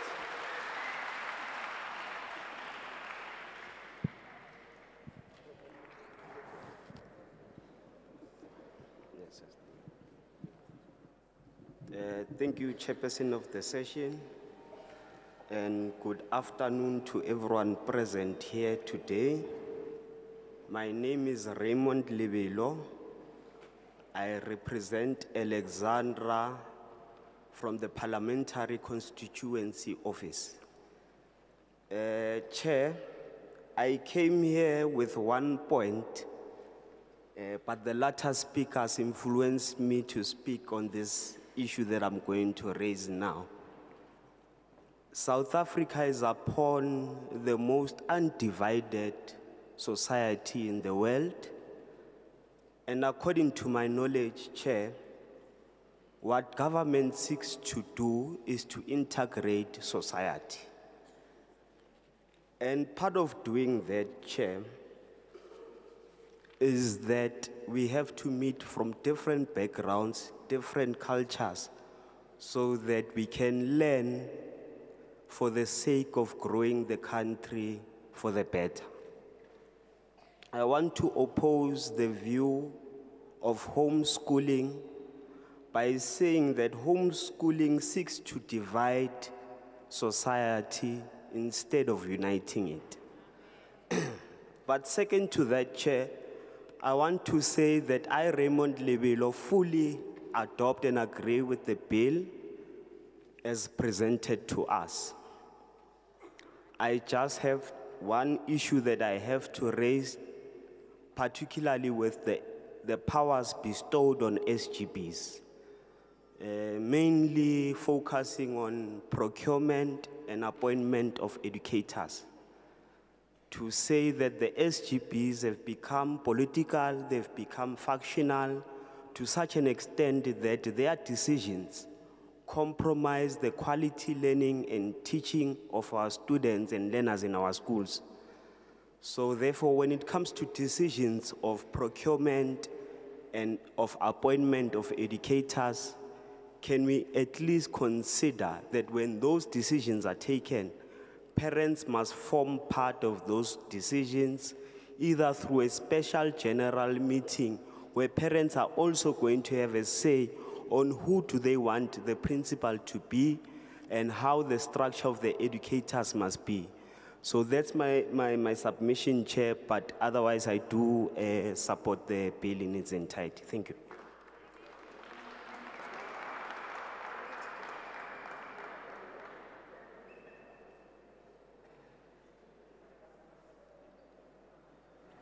Uh, afternoon. Kamalam Dungufwisile Gafanvik. I'm from the Orange Farm. Uh, I partially support BELA bill uh, with the following with the following points that I, I, I, I, I will fully say they must be enacted as the laws. Uh, we say in the sports is playing a very important role in the stimulation of uh, physical mind in, in terms of learning. And we would say, I would say the sports must be compulsory ezikolweni. Because thina ezikolweni zethu in the townships, you'll see nje abantwana mabaphuma esikolweni, they will go out nje and their numbers were- without even participating in the sports codes ezikolweni. We have the facilities that are being, uh, that are- that are dilapidated in the schools. They never used, they never been used or utilized accordingly. Uh, about tennis, but inland or tennis court, and all of that. I never seen anyone in, uh, in my local school playing tennis. Therefore, we're saying the DBE must therefore absorb or maybe deploy the coaches permanently in the schools to teach those, uh, to coach in those sporting coaches that are not fully participating in the schools. And their facilities are there, but they are not being utilized. So we therefore request that it must be compulsory or enacted into a law. Uh, the, the coaches that needs to be adopted in the schools or absorbed in the schools must be uh, proper qualified schools or those that, are given a prior uh, recognition of learning. Those that knows how to coach but they don't have proper qualifications. They must be absorbed in the schools as well. Uh, the second one, Chair, will be that of uh, safety and security in our schools. We have a high rate of violence in our, in our township schools. It's a well-known fact. And every time when someone is being stabbed in the schools, we'll have the MEC or whoever the minister coming to schools, probably for publicity stunt or so on. But we need an action. We need uh, the law that will be Thank you, enacted in thank you. schools. Chair Labour, thanks. Ho na le 14 second extra. Uh, I'm now in this section. And ke a itlisa ka gore ha ke le mole ke khomba motho go tla two. So ke a itlisa no. A re mam- a- mo right there one. A re time two. Three, a re, a re. Ha o tla le represent four, a re. Five, six. Are seven, eight. Are and that. Are nine. Ten. Have I not pointed you before? Are eleven. Have I not pointed you? No? You look familiar. Twelve. Let's go. Uh, those who, who have not been pointed, let's write. No?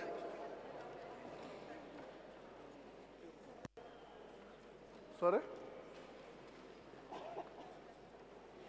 Oh, okay. Kimango, how much? Oh. Uh, we have a lost and found here. Ne? Somebody lost a phone. Uh, I'll keep it. When you um,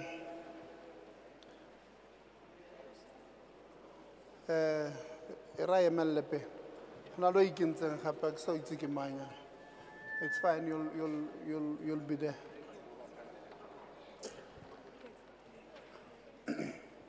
There's somebody who has lost a phone. Uh, i have it with me ne? Uh, it was found somewhere this side.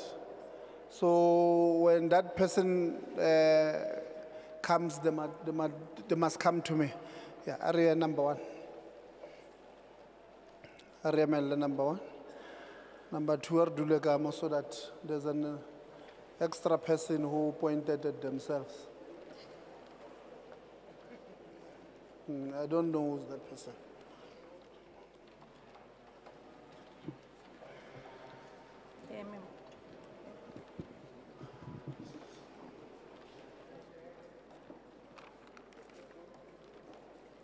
Okay, thank you. My name is Dimakatso Mabitsela.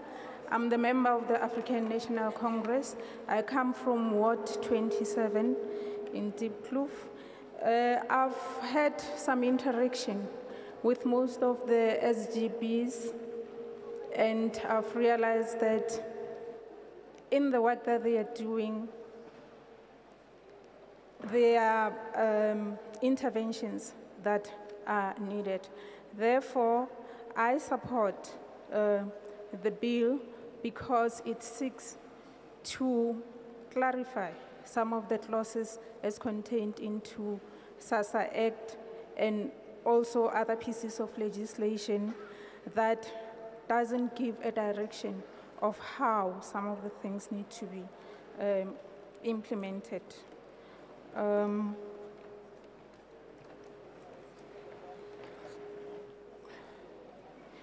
yeah, since I, have pointed on the issue of uh, the SGB, the bill seeks to improve SGB members' accountability through declara- uh, uh, declarations as mentioned in clause 14, enabling the HODs to investigate school financial records and limiting SGB powers where capacity is inadequate, and also intervening in terms of provision for support to schools through clause 17 on the withdrawal of one or more functions of the SGB and address challenges which vary per school.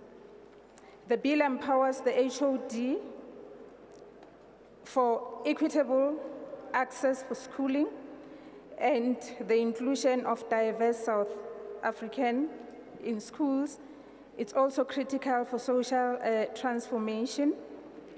SGB powers to determine the school's language policy are critical with the approval of the HOD to ensure inclusivity within school policies as stated in clause 5. The bill enhances the management of the undocumented um, learners to ensure such learners are assisted. As per clause 4, this requirement is critical also to protect learners' uh, uh, rights. The bill provides the school attendance the bill provides that school attendance is compulsory from grade R up to grade 16, which will improve learner preparation and resource support for grade R learners. With this one, I also want to make an Thank you, thank you. With that one, we're closing. Next. Okay. Uh, Good afternoon, everybody. Uh, My name is Oprekwati. I'm from Zone 1 in an area called Orange Farm. Uh, As NASCOP Soweto region, we are saying we cannot afford to not to support this bill as it advances the transformation agenda of our education in South Africa and that of a black child in general. However, we support it with amendment. Uh, number one, um, is that of uh, language policy, uh, section 6 of 84. Our minor problem is there, is when you are saying uh, language policies can be, lim- it's limited to one or two. Uh, our view is that that gives an advantage to an Afrikaans-speaking people. Hence, at some point, actually, they've monopolized that, where you will find uh, schools or universities that are taught by Afrikaans, because they are using that one or two. So we are saying, please look at that, because uh, it reverses the gains that we have gained after 1984 we view that as a segregation by its forms. So we are saying that must be looked at. Uh, the last one is section 21 of 84. Uh, the one that talks of uh, giving powers to the HOD in terms of procurement of the LTSM. We are- saying that you are creating a problem Because already, if you ask yourself, who is the HOD at the level of the school? Then you are saying you are giving powers to a certain individual to procure. As you are saying. Hlalo, please, we're already having a problem with that regard in our schools. So, Suyongeza, Mhlegas, I submit. Thank you. Um, eh, Meneer. Meneer, did, at the beginning, what did you say? Did you say you support or not support? As National Skill School of Governing Bodies in Greater, Ojwa- in Greater Soweto, we support the bill. Thank, thank you very much. I wanted you to clarify because I thought you said it will be wrong not to support. So I wanted you to, s- to clarify. Thank you very much. Next. Eh, dumelang. Eh, ya le mona ke Sello Motsiri Kgarudi, social justice activist, also moruti ko Fora, United Reformed Church. I partially support BELA. Eh, ntlheng tse mmalwa. Ya pele, ha re fumana di makeisheneng a rona, re re bie le mo ho thweng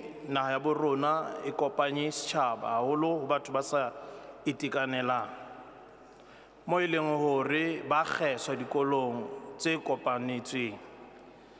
Mo e leng hore ba tshewa ke matitjhere ke kopa hore mmuso o shebane le taba eo. Discrimination against persons with disability. E nngwe hape ya bobedi we need ba basweu le bona ba kene dikolo ko makeisheneng. Ba kgone ho experienca the challenges tseo batho ba batsho bao e leng hore ba iphumana ba le kare ho tsona. Re hloka ba basweu ba tle ba tlo ruta dikolong tsa batho batsho. E se ka ba fela rona batho batsho re yang dikolong tsa bona. Mme ho shejwe le taba hape ya ho bene le a content code of conduct e leng hore hod wa hlokomela hore all these documents tsa code of conduct dikolong ha di thunthetse bill of rights. And also le qltc ke lemohile hore hangata ka hare ho dikolo tsa rona ha re na baruti ha re na di-social worker di-psychologist. Re kopa hore mmuso o shebane le taba ya hore o create di-post tseno ka hare ho dikolo ho tlisa botsitso ba botho ka hare ho setjhaba. Mme ya bojwala re hata ka maoto. Ha re batle hobaneng ha re batle ho ruta setjhaba se e leng hore le ko sekolong jwanong ba se ba tawa and e nngwe ke taba ya corporal punishment. Nna lapeng ngwana ka tlamela tsebe hore ke ngwana nna ke ntate wa hae. Ga wa tlameha hore e be vice versa nna ke fetoe ngwana and then yena e be motswadi wa ka. Eno ke re corporal punishment e kgutle ko dikolong gobane ke ka hoo bana ba rona ko dikolong ba nyatsang matitšhere le teng ke sa lebale gore ge kgaleme le matitšhere a senang boitshwaro bo botle a teng a leng jwalo e leng hore a hlokofatsa bana mme ke re i partially support the BELA thank you Thank you. Uh, next, o ska lebala o buella le tšhomi tsa gago mo lene. Hello? O ska lebala o buella le tšhomi tsa gago kere. Yes. Good afternoon. My name is Dubalo Ngobo, and I am 12 years old. I object clause 37 and I request that the bill be scrapped, scrapped and more research be made that will enable freedom to home education. I have been homeschooled all my life and I believe that my parents are my best teachers. God instructed my parents to homeschool me and I gave, and gave them a scripture, Isaiah 54 verse 13. All your children shall be taught by the Lord, and, shall, and, and great shall be the peace of your children. So far, I can say I have experienced peace in my homeschooling. Why? I get to learn at my own pace, I get to learn according to my learning style and interest. My learning is not limited to only academics, but includes my spiritual growth and, prac and practical life skills. I would like to mention that because of homeschooling, I learned to, I learned to read and write at the age of three. I could write my name and surname at age three because my mom taught me to read and write small words. Homeschooling has allowed me to explore my interests of, of history, horse riding, singing, netball, and sketching. I can do all these because I'm not subjected to formal school programs. Homeschooling has kept me free from bullying and negative pressure, which has helped me to build a good self esteem and a love for learning. My experience with socializing has been good. I have made good friends in the homeschooling community, and we share the same experiences with home education. Because of homeschooling, I do not find it difficult to have conversations with people that are more mature than me. My mom and dad have made time for me with my education, and they have been very supportive with me. People used to ask me why I do homeschooling. I never had the answer, but now I do. The, the school system teaches children to memorize information that they'll forget when they graduate. But as a homeschooler, I have been, I am taught according to my interests. Then the information that I learn, I'll be able to apply in the future. My eldest sister has finished matric with a bachelor's degree, and if my parents could achieve that with her, then I believe that I am in safe hands. I trust my parents with my education and not and I don't trust a stranger with my education. Thank you for listening.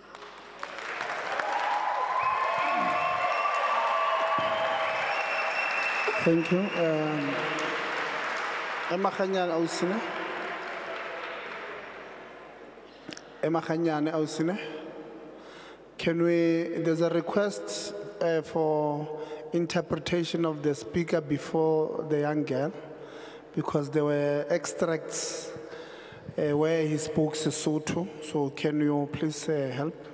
Yes, uh, yeah, the, the Reverend said his name is uh, Reverend uh, Matsiri, and he's from the church that is called Fora. So he said he supports the bill, and the problem that um, uh, he thought about when considering this bill is the problems in the townships. There's uh, children who are disabled. Those children, they are very much uh, ridiculed. They are also facing discrimination. So the uh, authorities need to take care of that or also consider that as they are processing with the bill. We also need uh, white people to uh, come to our schools also to teach us. Not all the time that our children, they go to their schools and, do not, and they do not come to our schools so that also uh, we can have them in our schools. On the other hand, what I've uh, realized is that in our schools, we do not have psychologists, we don't have uh, social workers and the uh, uh, pastors as well, of which, uh, if that could also be uh, taken into consideration, it will be of great pleasure. The third point that he mentioned is that the, when it comes to alcohol, the clause pertaining alcohol, by all means, he said they rejected, they will not accept such kind of a clause. And then also the matter pertaining the uh, corporal punishment, he said in his, house, in, in his household, uh, the child needs to know that he is the father and the child is the child, so it mustn't be vice versa. The child needs to respect and listen to the elders or uh, his or her parents. And also, lastly, he mentioned that we also have to uh, reprimand the teachers who are taking advantage of the children in our schools. Thank you. No, thank you. He said he partially supports uh, the bill. Uh, next. Itumeleng Matole from Ward 35. I support the BELA bill. Mo, mo maiking, yeah. They could not hear your name. Please start afresh. Itumeleng Matole, Ward 35. I support the BELA bill,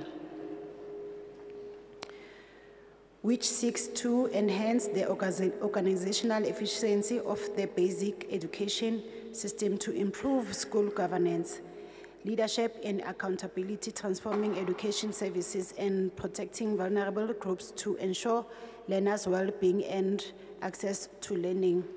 The legacy of co- of colonial- colonialism and apartheid has entrenched sp- sp- spatial inequalities and poverty, creating systemic exclusion and requiring Parliament to continuously arm legislation to respond to the changing, to the changing conditions.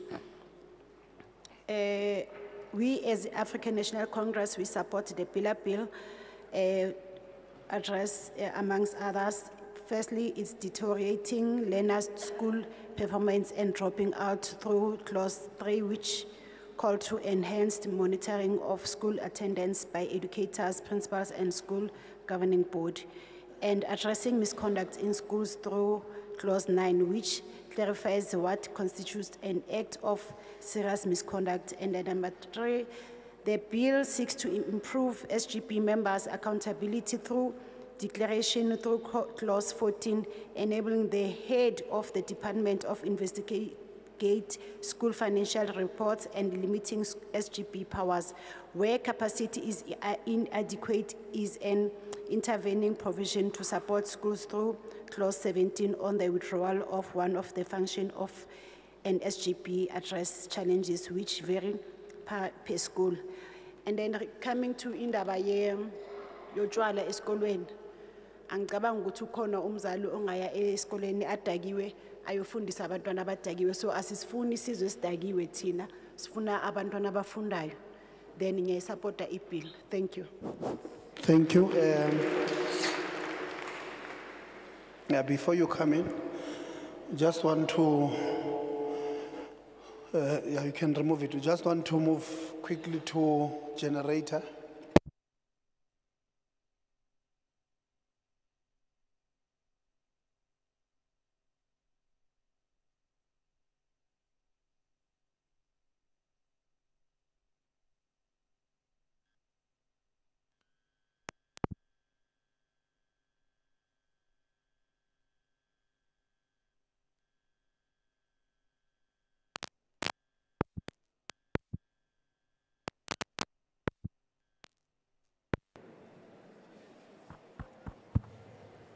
Uh, we're back.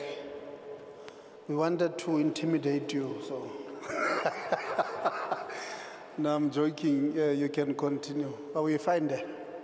Yeah, you can continue.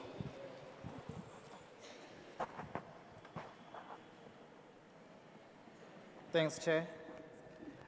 My name is John City, representing SADTU.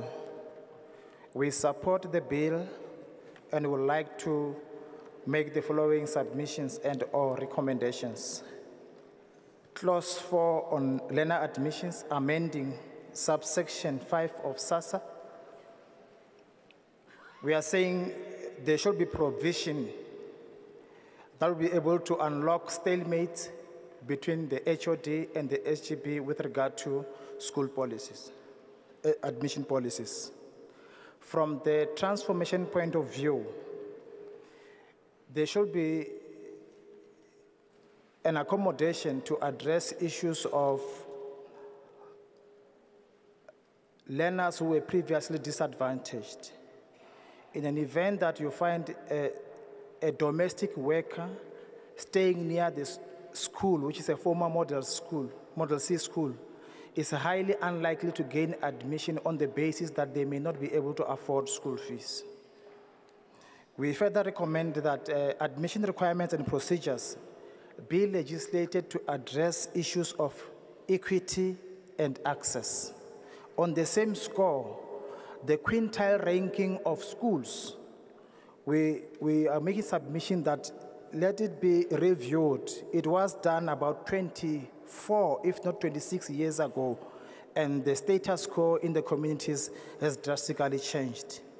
On clause 6, amending section 6A of SASA, we have got the following questions. Does the minister not have powers to appoint advisors? Is there a need to legislate the appointment of agencies? We recommend that the process of appointments be transparent. We also want to say let's guard against making education a commodity. We may not have to privatize education because to date, we are sitting here with suffering from the damages incurred by colonial education because somebody decided the form of education that we must have. On clause eight, the sale of alcohol on school premises, amending section eight A of SASA, Chair, we are of the view that there should be complete prohibition of any dangerous objects, including alcohol and any other illegal drugs on school premises. Therefore, we submit that this clause be removed. Lastly, Chair, we are making a submission, as you have made this call that you must, you would like, would like to hear the, the, the people. Please create a platform wherein you must hear the people on the ground after having passed legislation. A platform when you revisit norms and standards for school infrastructure, norms and standards for school funding. We are sitting in a dilapidated school.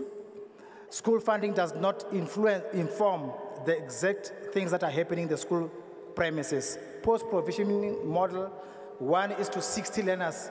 That is practically what's happening now.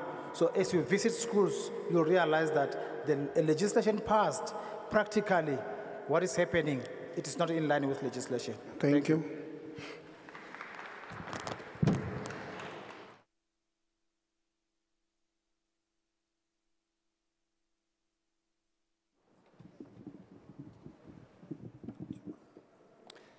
Good afternoon, uh, honourable members. My name is Gerdus Himan. I represent my family. I reject the bill in totality and specifically also clause 37. The Word of God instructs families to raise their children in the training and admonition of the Lord, to teach them, to educate them diligently according to the Word of God. When you walk by the way, when you lie down, and when you rise up, all of the day, in other words. This God given task is precious and it is most sacred and rightly falls under the parental authority of the fifth commandment honor your father and your mother. God has given this authority to parents, not the state. Mothers give birth to children, not the state. Parents are ultimately responsible for the education of their children. The Lord Jesus will hold us parents accountable. And he will also hold accountable anyone who hinders children coming to him and anyone who interferes with this God given task. It should not be the responsibility of the state to regulate education. Homeschooling allows for Christian freedom of conscience. Again, such freedom of conscience is something the state may not regulate. All areas of life belong under the authority of Christ, and parents are obliged to teach their children and integrate a Christian viewed worldview into all subjects. Homeschoolers can assess the needs of each child and adapt the approach uniquely to each child. It has been proven that homeschoolers frequently graduate earlier than their peers who go to school, precisely because they do not follow the norms of the group. Homeschooling uh, allows for better individual care. A classroom full of 30 to 50 people cannot be compared to a household where children are individually instructed with love and care. A Christian home focuses on God honoring mastery, not merely passing subjects. The assessment of homeschooled children are also continuous and individualized, according to the model that the Lord Jesus used with his own disciples, whom he knew intimately and whom he instructed intimately. And it's the same model that many homeschoolers follow. Homeschooling protects children from bullies and abuses of fellow children and incompetent teachers. It is also a practical safety concern for, for many children have died in pit toilets at school or have been sexually abused while their parents were not present. The best interest of a child is surely with the parents and belongs in the sacredness of the home. A bureaucratic gov government body far removed from the intimate realities and needs of the child is not the solution. Oh, thank you, thank you. Sorry. Okay.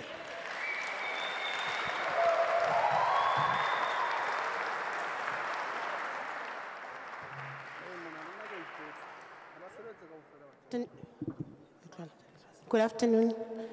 Um, my name is Audrey Matuna. I'm from Ward 36 and I represent the ANC and I'm in the ANC Women's League. I'm in the branch executive committee in my ward. Uh, and I'm happy to be here and thank, thank you very much for the opportunity. I partially agree with the bill. Um, the reason I, I partially agree is that uh, some of the things like um, the HODs, I want to protect the HODs because they have too much work on their plate, on their hands, sorry. And every time uh, there's school visits and all that, most of the time you'll find that they're having a backlog, outstanding uh, submissions because of like too much paperwork and running around the school checking all faces. So in terms of uh, school finances, we have and uh, we have uh, treasurers from the H, uh, from the SGB.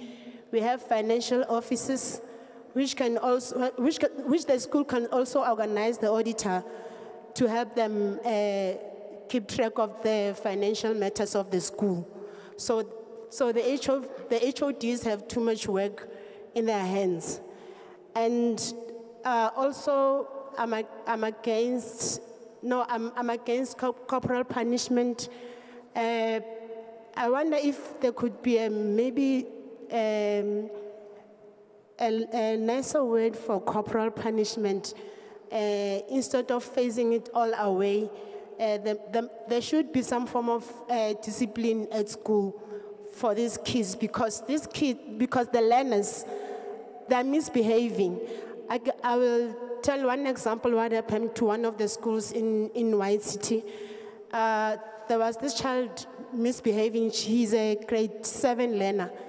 He was misbehaving so bad that uh, every time he was called to the office. Thank so you.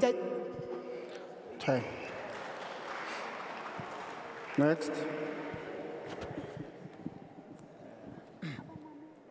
Uh, good afternoon, everyone.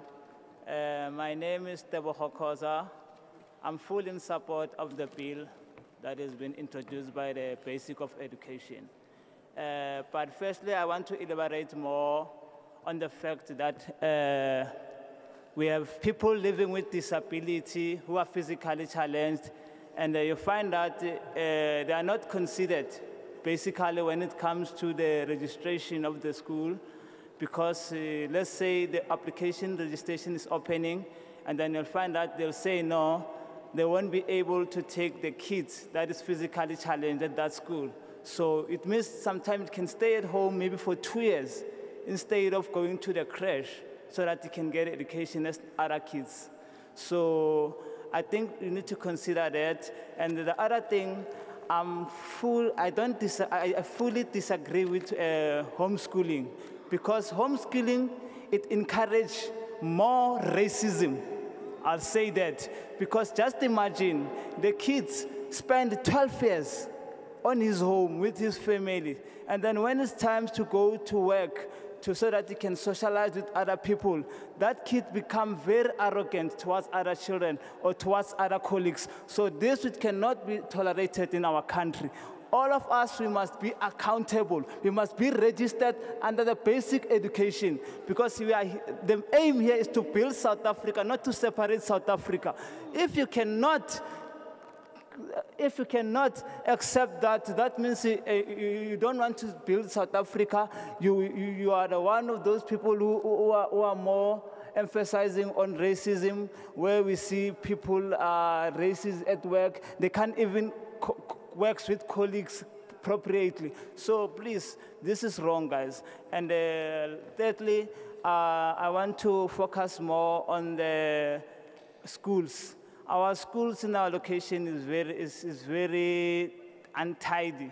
So we like the um, education to consider every time to come to our schools. They should not come to our schools only when there's a funeral, when a kid has been stabbed. We want to see them always there. And uh, the visibility of the police, they are not there at the schools. That's the truth.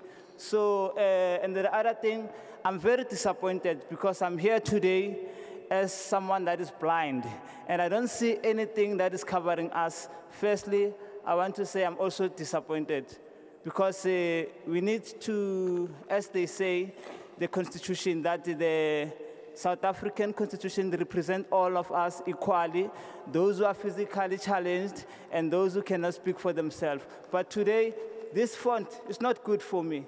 I'm supposed to get A3 font so that I can be able to read what is written here. So. No, thank you.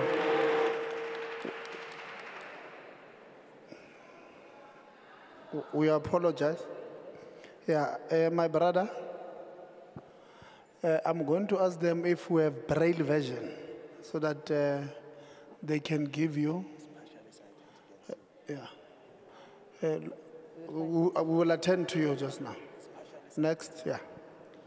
Um, thank you very much. My name is Tulofelo Rakhutu, a member of the African National Congress, Ward 60. I support the bill and I would like to make the following recommendation or rather submissions. Um, I would like to recommend that grade RR be made compulsory as this places children in more secured and regulated environment. The bill says it must be grade R, so I'm proposing that they make grade R and grade RR. I also would like to recommend that we absorb the grade R and the grade RR practitioners and afford them the same privileges and same benefit as all teachers. I would also like to make the recommendation that uh, we take SGBs on continuous training as they will be handling public funds.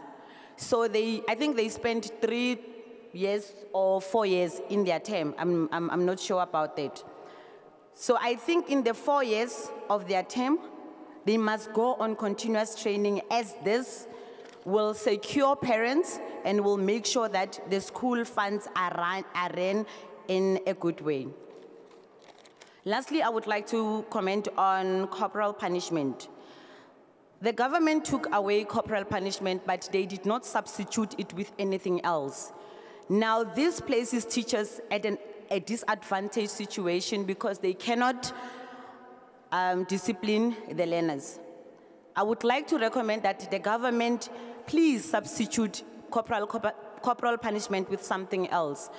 As we all know, the society that we live in does not allow for learners to be out of school premises. So the government only said if a learner is misbehaving, they must be suspended from school. So if you suspend a learner from school, you are actually putting them at a disadvantage because now they're going to be in the street and they're exposed to rape, abuse, and all sorts of things. So I want our government to sit down and think properly about this, but I support the bill. Thank you very much.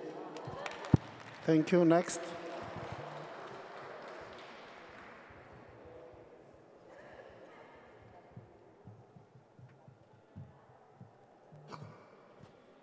Uh, Zulu, you don't want uh, translation to. Oh, okay. that was on a lighter note. Continue. Uh, first and foremost, uh, would- my name is Tambachira Mudau. Uh, I, am coming here to represent uh, Sipima Parliamentary Caucus, uh, which is in Protea Glen and is, is, is for zone four. It's for zone four, ANC. I come from Ward 12, Chiawelo, personally so. Uh, I'm here to support our deployees that we deployed in Parliament, uh, who happen now to be memorable members or honorable members.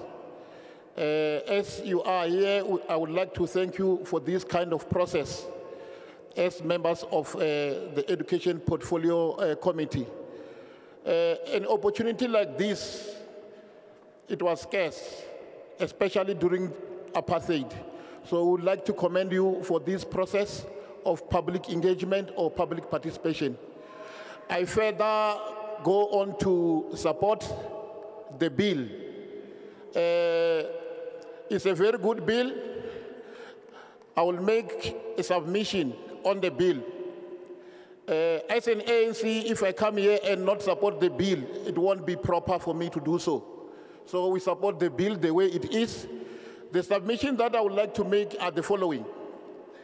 On the issue of uh, SGB members, especially those who are entering, who are, gonna be, who gonna be members, who are members of SGB, my submission is as follows. There are situations whereby you find SGB members who are not active, who are not even aware on issues that has to do with aid governance.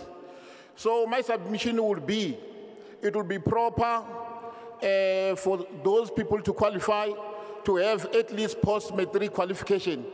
Not to say I will be sidelining others, but for the sake of school development within our communities. Uh, number two, I will also want to contribute on the issue of, of uh, language policy. There are instances where me members of community or children, they are rejected on the basis of language. Especially this happened in so-called former Model C schools or in areas where it's predominated by Afrikaans.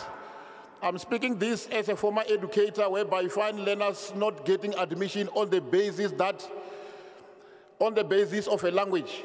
So on that one, to me, is excluding learners to be part and parcel of or to join the schools in question. Thank you very much.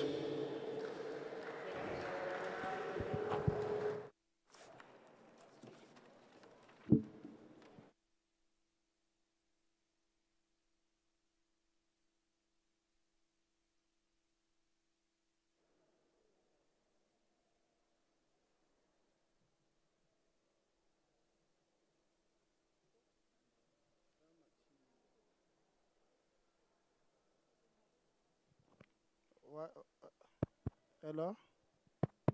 Hello? You don't like this mic? Oh, okay. No, it's fine. Yeah. Okay. I'm Ilse van Willer. I am a very concerned citizen. I reject the billable in its entirety, but would like to address a specific point. My concern is that while bullying and sexual assault and rape are increasingly common in schools, even in primary schools, as can be seen from the Human Rights Watch on sexual violence in South African schools. It is clear that legal enforcement is not practicable, despite 2021 legislation banning teachers convicted of sexual assault from teaching for life. SACE disciplinary proceedings addressed only 12% of reported sexual misconduct cases last year. Of these, 19 led to convictions, yet only four were struck off the roll, only four teachers were struck off the roll indefinitely.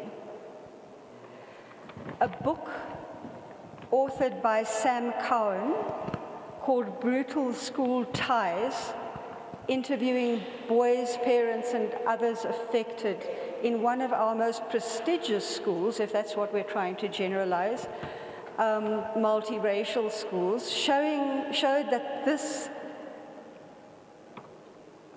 the um, exposure during 2009 and then in a saga that went on from 2016 to 2020 of extreme brutality and sexual assault within a particular school was just the tip of an iceberg, which showed a culture of violence and sexual assault, making a 23 year sentence for one man really just a scapegoating.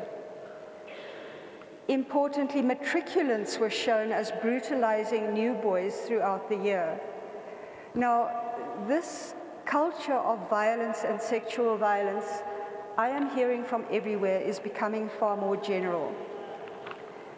Importantly, um, this culture of violence of, is kept silent by the threat of brutal retaliation and absolute shame at sexual victimization, a silence which apparently extends right up the line of authority. Silence prevents enforcement. Worse, when you outlaw initiation, which this bill does, thank you, thank you. Next.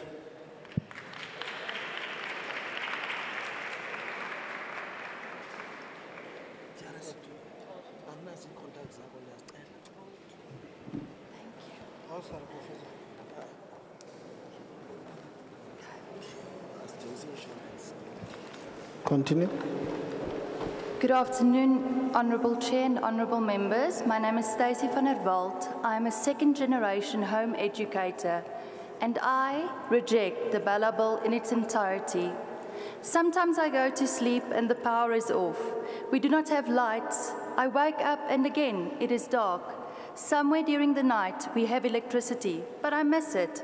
Now there is still no power. I wrote this speech in the dark by the light of my laptop. I get frustrated because we do not always have power, but I am encouraged because that doesn't make us powerless. Three years after homeschooling was legalized in South Africa, my mother started home educating my sister and I. She was a single woman and had to work in between two. I participated in my first protest as a 13 year old child. My small family and I made posters which read, No to the CSE, no to learning material which would rob the children of this country of their purity. That was more than 20 years ago. Now the stats on CSE are in, and they are showing that, ironically, by teaching kids how not to get pregnant, schools were actually showing kids how to get pregnant. I understand that global organizations like the UN place pressure on countries like ours to conform and push agendas through curricula. When we allow that, schools go from being places where kids come to learn to indoctrination camps. The South African government needs to say no to aid if the price we will have to pay is the innocence of our children. When the DBE imposed CSE and scripted lesson plans on schools, homeschooling went from being an alternative means to educate our children to an obligation. Sorry. Oh, sorry an extension and outflow of our faith. Religious freedom is still a protected constitutional human right as enshrined in our Bill of Rights, and we lay claim to that right. The BELA Bill is big on holding citizens accountable, but who is holding the government accountable? Perhaps they should spend less time figuring how, out how long they want to send parents to jail for for not registering and more time on building schools and providing kids with basic resources. And teachers, teachers should be invested in and given the tools they need to help their learners succeed. They should be empowered by curriculum they use. CAPS is just not cutting it. There are so many resources that we, as the homeschooling community, have discovered, and the best Thank ones you. are. Thank you.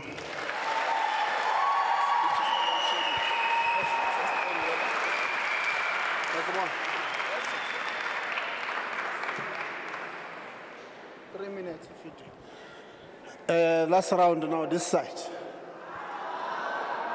I did say that uh, those I did not point, there's a table there at the back with forms. Uh, as on belief, go and uh, uh, fill them. Uh, number one, they are rendered. Number two, number three, number four, number five, number six, number seven, number eight, number nine, number 10, recent graduate, Number 11, number 12, let's go.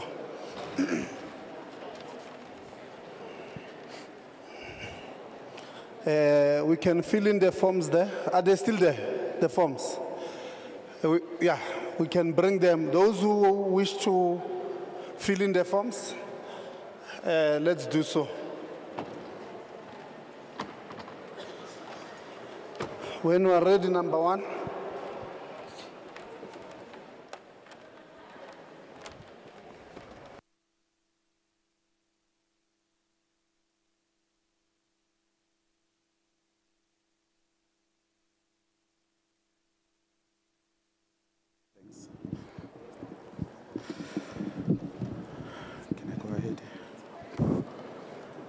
Good afternoon. Uh, my name is Patrick Zulu. This afternoon, I'm presenting like the Teddy Bear Clinic and the Kensington Residents and Ratepay- Ratepayers Association, and also the South African Alliance, South African Alcohol Policy Alliance. We object like some certain sections like of the bill, but not in its entirety. Um, I'll focus in this afternoon. I would like just to focus like on, on, on the issue of alcohol. We understand that the government is not intending like to give alcohol like to, to our children, but it, it merely wants like to use it as a form as you know of fundraising, um, like sell it to the adults, like when there are events and functions at schools. However, there are already problems in schools. We know that learners and adults are consuming alcohol, and this part of the bill will actually worsen the situation. It will make things worse. Having alcohol in school, it will normalize the use of alcohol, um, like in schools. We can make, we can, we can also make a reference like about Nyobeni Tavern in the Eastern Cape. Yes, uh, the kids were not, you know, like in the school premises, but the questions can be, what were the children doing like in a tavern? So we can see that actually um, when alcohol is normalized, children will abuse it. We don't want to further normalize like the use of, of school, um, or, of alcohol by children in our schools. In many communities, children are already exposed to, like, to the use of alcohol. We believe that schools should be alcohol safe. No alcohol at, at all, like it should be at schools. Maybe the, the last question that I can raise to all of us here is it really correct to expect schools to fundraise through the sale of alcohol? Certainly, no. Um, the government can find like some alternative ways to actually like raise funds where like the funds like needs to be raised. In closure, we, advo- we advocate we advocate for safer schools. We say no alcohols in our schools. Thank you.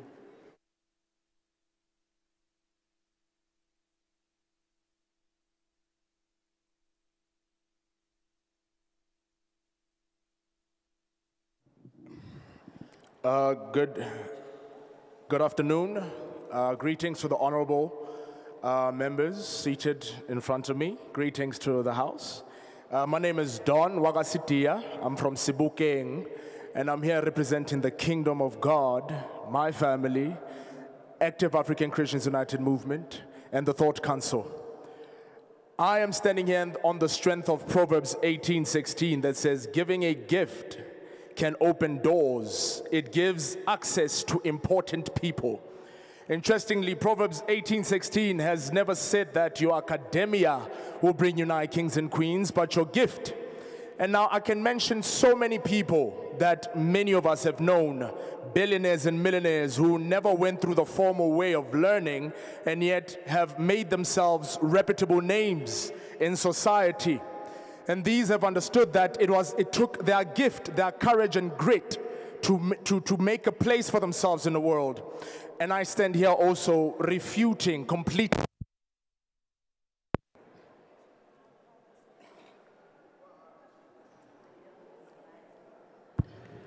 Uh, we apologize for that technical glitch. Uh, we hope it's not uh, intervention. Uh, Yeah, no, we, we live. Wabo? Wabona matata. Will I have more time? No, no, I have paused your time. I, I, I've paused your time. I'm sure I have extra time now. The devil is a liar. We also understand as believers that this world is governed by Satan and that some of the institutions are governed by Satan and also the turning off of power right now may be an, a work of Satan. But we also know that the kingdom of God suffers violence and the violent will take it by force. And it doesn't matter what decisions are made here. We will insist on certain things because though Christians believe that they should comply to governance, and yes, we do believe that, but we also understand that we are seated far above all principalities and powers.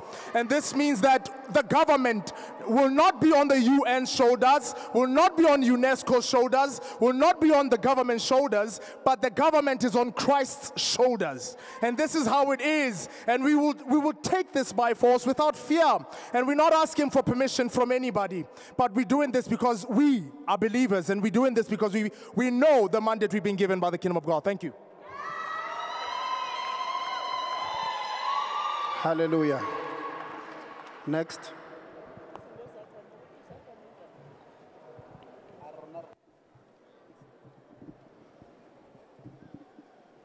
Good afternoon, everyone. I'd like to greet the portfolio committee seated in front of me and everybody in the house. My name is Dihedile Motsepe, and I'm a homeschooling mother um, of a 12 year, uh, a 13 year old, and an 8 year old um, girls. I reject the bill completely, and I'd like to focus specifically on clause 37. Homeschooling is a global concept that has been there for uh, many years and not unique to our context of a racially divided country.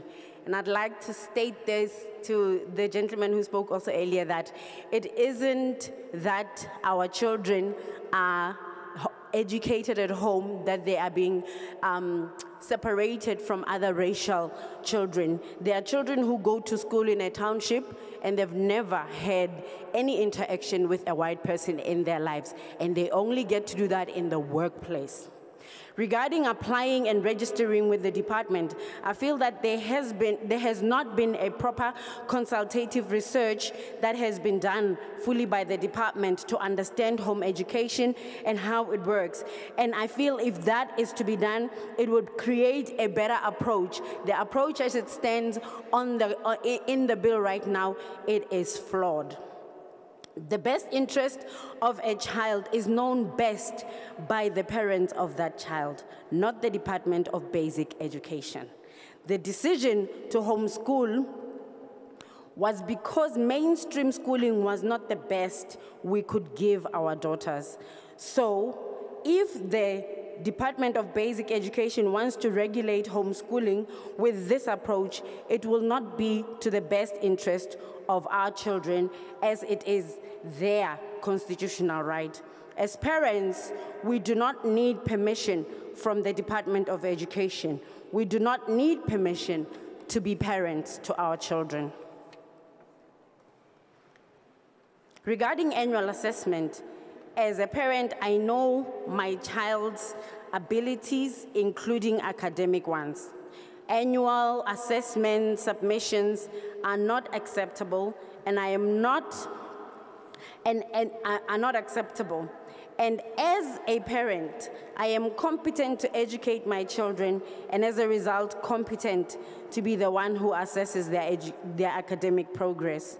The choice of curriculum is also the right of our family, the right of our, our own right as parents to give our children the very best and not the government. Thank you. Thank you. Next.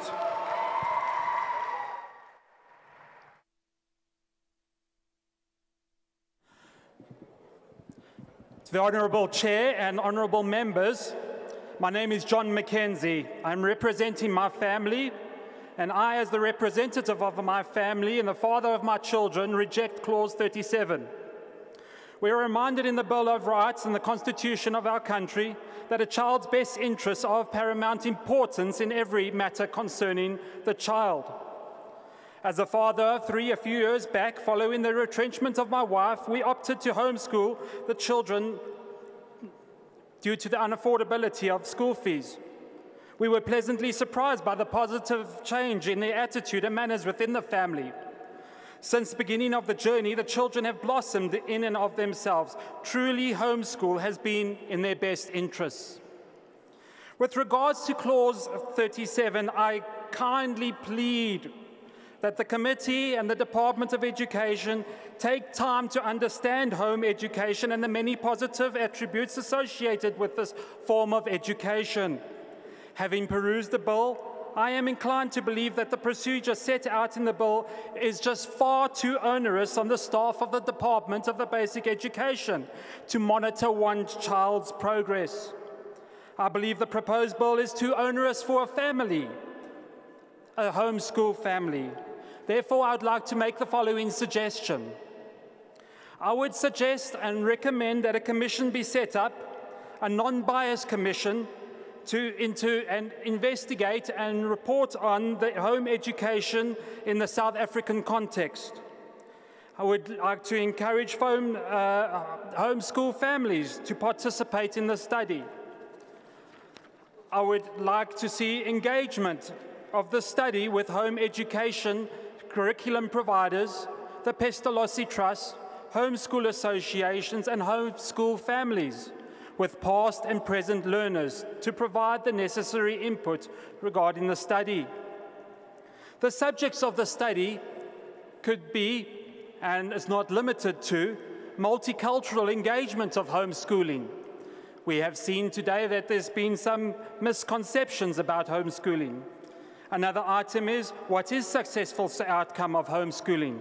Success is subjective and may mean something totally different to different people. Was the success based on CAPS or other curriculum?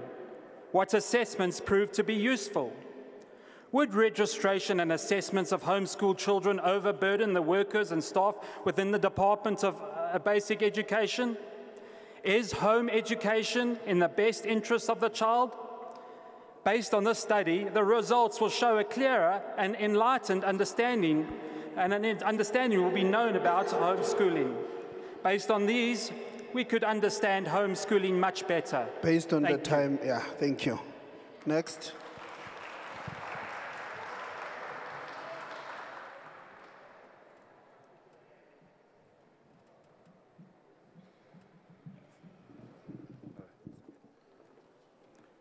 No, thanks, Chair.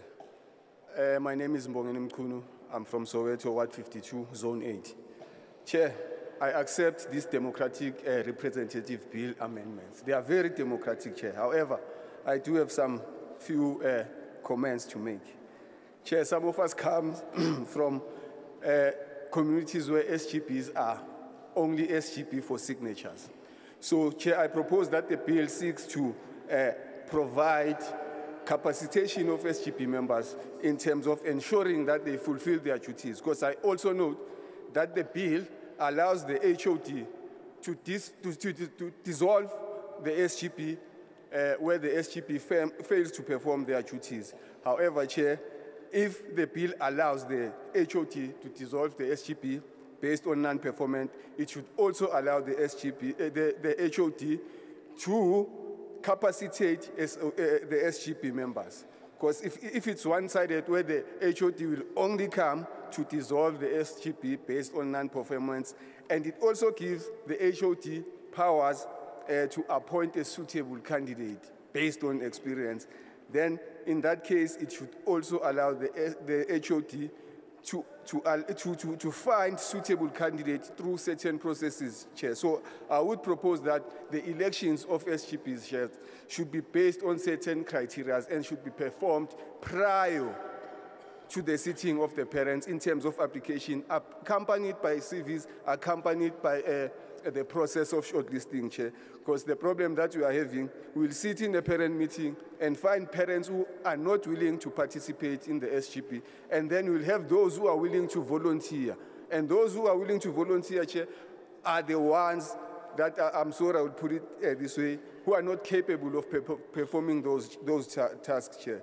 So that's, that's my submission in terms of capacitating of SGBs. Then on recusal of SGB members and any- other member of the panel with regards to selection, procurement, and recruitment in the schools, Chair, I propose that can the, the bill be specific in terms of uh, the mechanism that can be used in terms of identifying uh, possible uh, conflict of interest. Because I see no situation whereby one willingly declares to say I have an interest or I have a family member who has applied in this one, only to, to, to, to, to allow the process to be fair. So maybe the bill uh, chair can provide further mechanism in identifying possible uh, conflict of interest in some of the processes. I think I'll stop there. But Chair, again, we support these uh, democratic amendments to the bill. Thank you. Thank you. Next.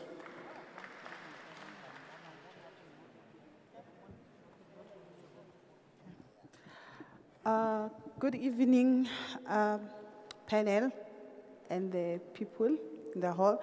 My name is Mama Kubega. I am the educator and I'm a district official in my district in the Vaal. And I'm a member of NAPTOSA, a master's student in linguistics for African languages. Uh, I support the BELA Bill that is made. However, I have some comments to add. The first comment is with regard to the grade R, uh, making it compulsory. Yes, we appreciate that the grade R is going to be compulsory. However, we request that uh, we strengthen in ensuring that the practitioners are well trained because we know that grade R uh, grade R's there are grade R's in formal schools and there are grade R's also in the preschools. And we are having a challenge there in the preschools because Ugogo at home just come and say, I can teach. And then they teach those children. And then we find it at all when those children arrive at grade one. So, and then again, we request that the people who are monitoring the curriculum then in those districts, as you are going to increase, because I know the numbers are going to increase for those grade R learners, we need job creation. One person cannot stand in one district with 170 preschools as well as 98 primary schools with grade R and be able to monitor them in a year. That's not good enough for that person. He or she can't do justice. And then as for the language policy, uh, we request that for African languages particularly, resources be increased. When I say resources, I mean that uh, development of African language resources, not translation or reversioning from other languages, but development is very important. Thank you very much. Thank you. Next.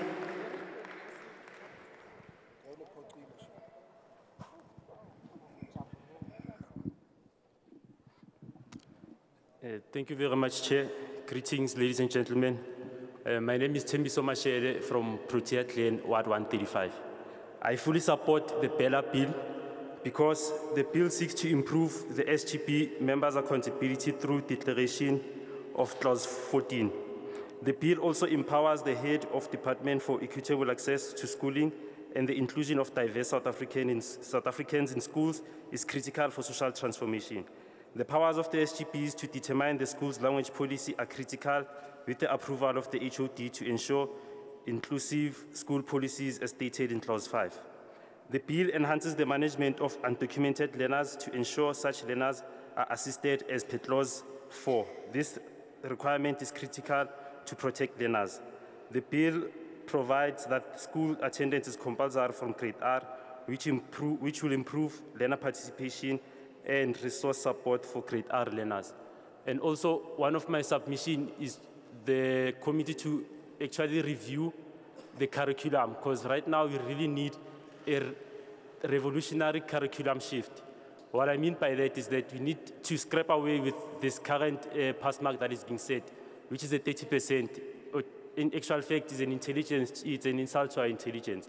So that uh, review on the curriculum policy and the pass mark is really important.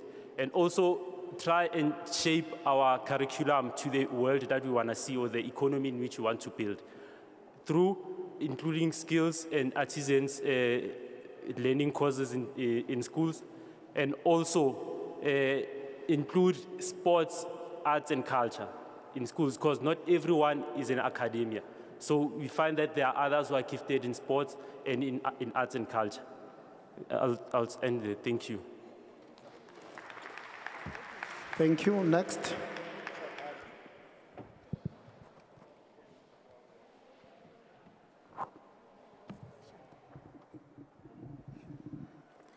Thank you, Chairperson, uh, and the committee. My name is Lulu Malisa Pulwane. Uh, I'm coming from Ward 135. I'm the chairperson of the ANC Women's League in my branch. So I'm here, I'm representing the subcommittee of Johannesburg, Science, Technology, Ed- Education and Health. Uh, Chairperson, we as the subcommittee, we, say, we say yes to this bill.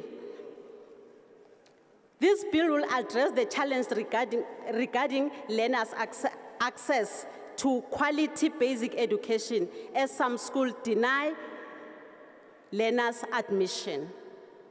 And we are saying yes to this bill, that bill that will address the uncertainty about the home education legislation through clause 37, ensuring all learners are registered and their uh, interests are protected by legislation and the department is so critical. We also want to say yes to this bill that will seek to enhance the management of undocumented learners to ensure such learners are assisted as per clause 4. This requirement is critical also to protect learners.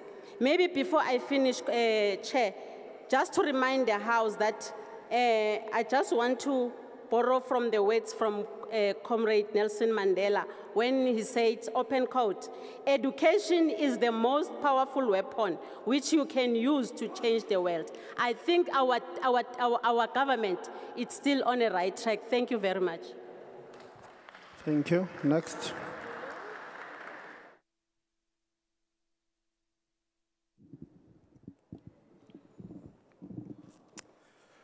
Good evening, all. Thanks for the opportunity.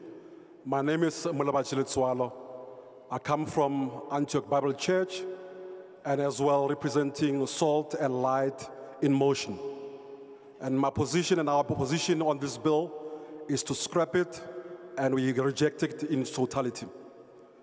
There are a number of reasons why, but because of time, I'm just going to give you just a few. When one looks into section three, there's the, the just cause. In this amendment, it should include homeschooling as a just cause for not being compulsory to attend South African schooling system. In this way, righteous parents teaching their children at home will be protected from the wrong prosecution of up to 12 months imprisonment. It seems to be the reader of the bill that this bill is an attack to homeschooling in general and by not aiding and allowing homeschooling.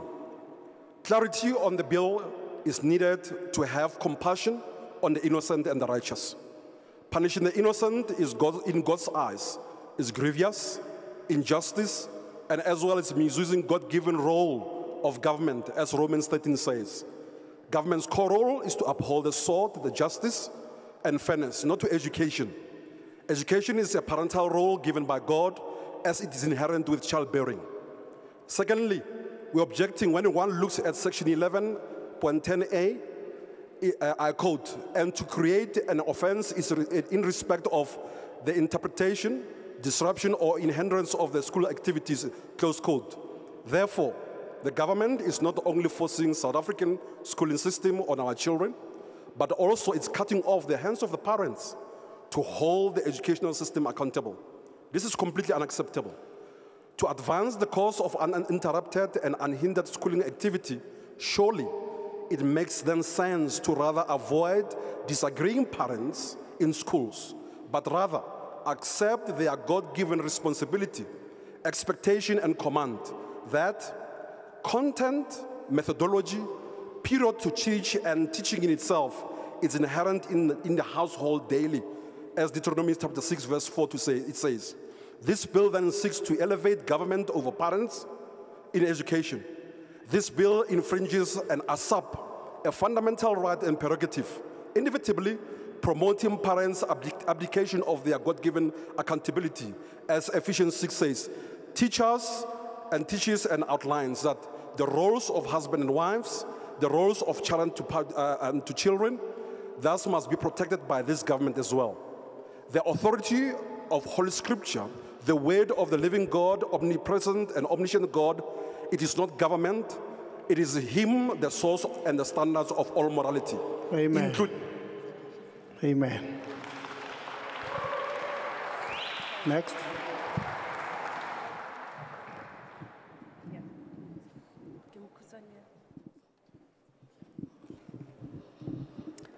I greet you all in the wonderful name of Jesus Christ our Lord. Thank you, Chairperson, for this opportunity. And I'd like to thank my counselor for affording me this opportunity. My name is Lebogang Ratlala from Dobsonville, from Ward 47. Um, I'm here representing, I would like to say, the nation, because there's a, I, there's a cry out there. Um, firstly, I'd like to speak about our learners. Our learners are burdened our learners are burdened, they are carrying a lot on their shoulders. That is why they are not coping at their schools. Um, not forgetting to say, I partially support the bill. I partially support the bill in terms of, yes, there should be a penalty for parents who do not want or who deprive their kids from attending school or who deprive their kids the education that they deserve. But then the sad part is the parents are never present. We have absent present most of the time. Who, which parent are you going to penalize? Because we have child-headed families. Who takes care of those? Unfortunately, in our schools, we have educators who I would unfortunately say they are not equipped enough to realize the challenges that our kids are faced with. Our kids are going through a lot, and our educators are putting our, our kids through a lot by name calling them, by body shaming them, and the corporal punishment. If it was in the past, I would say may it come back because the educators in the past they were passionate with their job. Unfortunately, now an educator it's easy for them to say, I get paid at the end of the month. Whatever you do, that's your problem. The educators in the past, they cared about the future. But now we have a problem whereby the, the ones that we have now, they only care about the check. So, in our schools, yes, we have policies. Let's say, for example, there's an um, uniform policy. We expect learners to dress properly.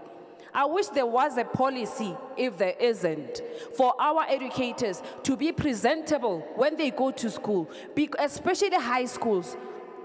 They, they are educating learners who are of age that they will be enticed if a female teacher stands before them. Can you encourage our educators to dress properly? We cannot ha- have an educator to be standing in front of, of our little ones wearing revealing clothes. That one I close. And I have a concern when it comes to our language, ya Setswana. Dibuka Setswana, I've observed from, I think from grade R to grade four, if I'm not mistaken, from grade R to grade, Setswana. It's not proper Setswana. So how are our kids going to be able to present themselves in their own language, yet it's not the proper language that they are being taught in? Please look into that. Look into that language. I hope it's thirdly. Um, eh, Khatiking, bo teacher, ha ba ka the language, the manner in which they speak to our learners. Thank you.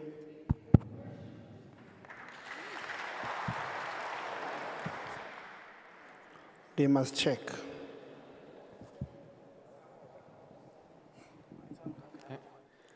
My name is Kieran Prigger. I am 21 years old. I'm with Riverstone Village 192.488 NPO, and I reject the BELA. The Constitution of the Republic of South Africa says that a child's best interests are of paramount importance in every matter concerning the child. The BELA does not represent the be- child's best interests. The BELA attempts to solve the issue of dropouts and non-attendees by coercion and threatening parents of children with jail time. This is a flawed approach. Parents are not the issue. School in its current form is. UNESCO says that dropouts are as a result of multiple issues, mainly not coping with the lessons.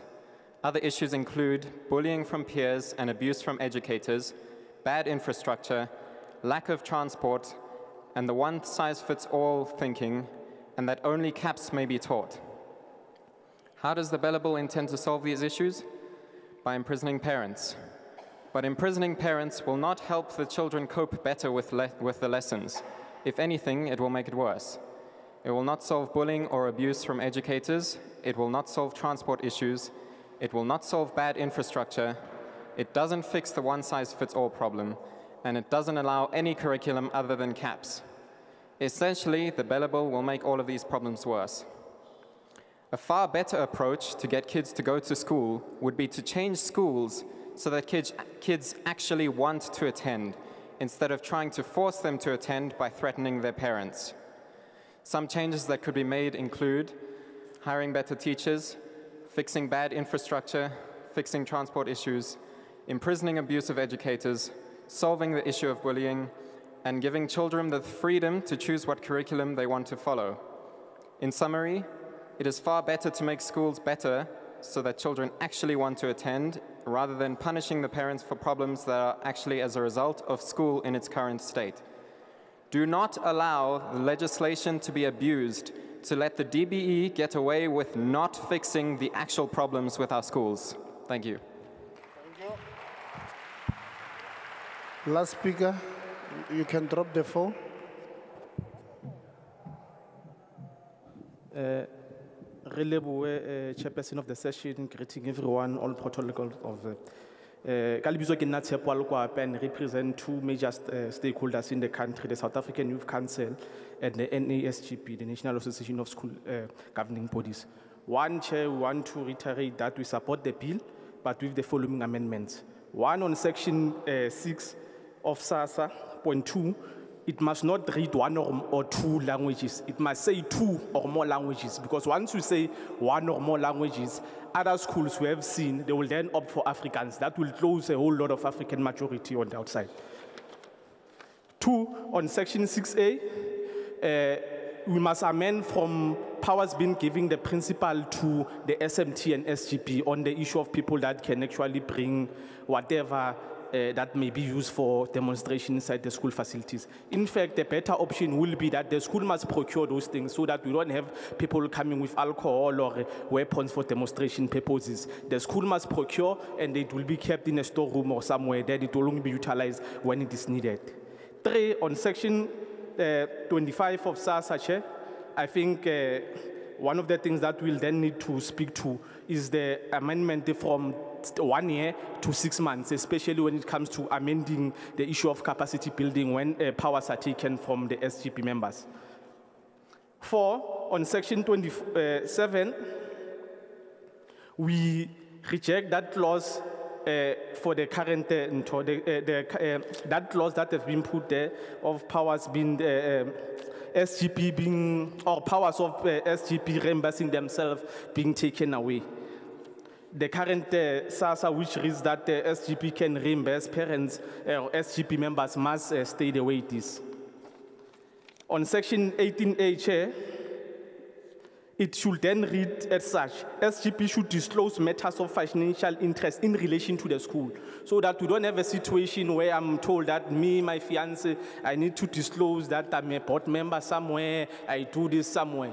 Those things are not linked to the functioning of the school. Can the limitations be, uh, whatever that I'm doing should be limited, uh, uh, the disclosement must be limited to what I'm doing at the school. On, okay, section 27, I've spoken about it.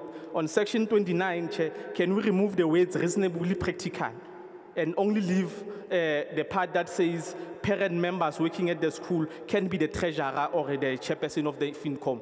So that it is clear that uh, it is not a choice of somebody that the treasurer of the school must be somebody else. It must state clearly that it needs to be a parent of the child at the school. On section 37, Chair, Okay. Section 37, we are quite doing well on it. On section 38, A, point number three, I think the uh, budget processes are spot on. On section 38, uh, subsection 2, we reject the amendment that says uh, payments must be made to state employees. By state employees will then mean people like teachers. Instead, we can have a better option that SGB members can be given a stipend or something of that sort. So that we don't have teachers being reimbursed by the SGB, but also we want to make an amendment that says SGB members must not uh, be reimbursed for tra- uh, transport uh, costs that will they've incurred when coming to those SGB meetings. Thank On you very much.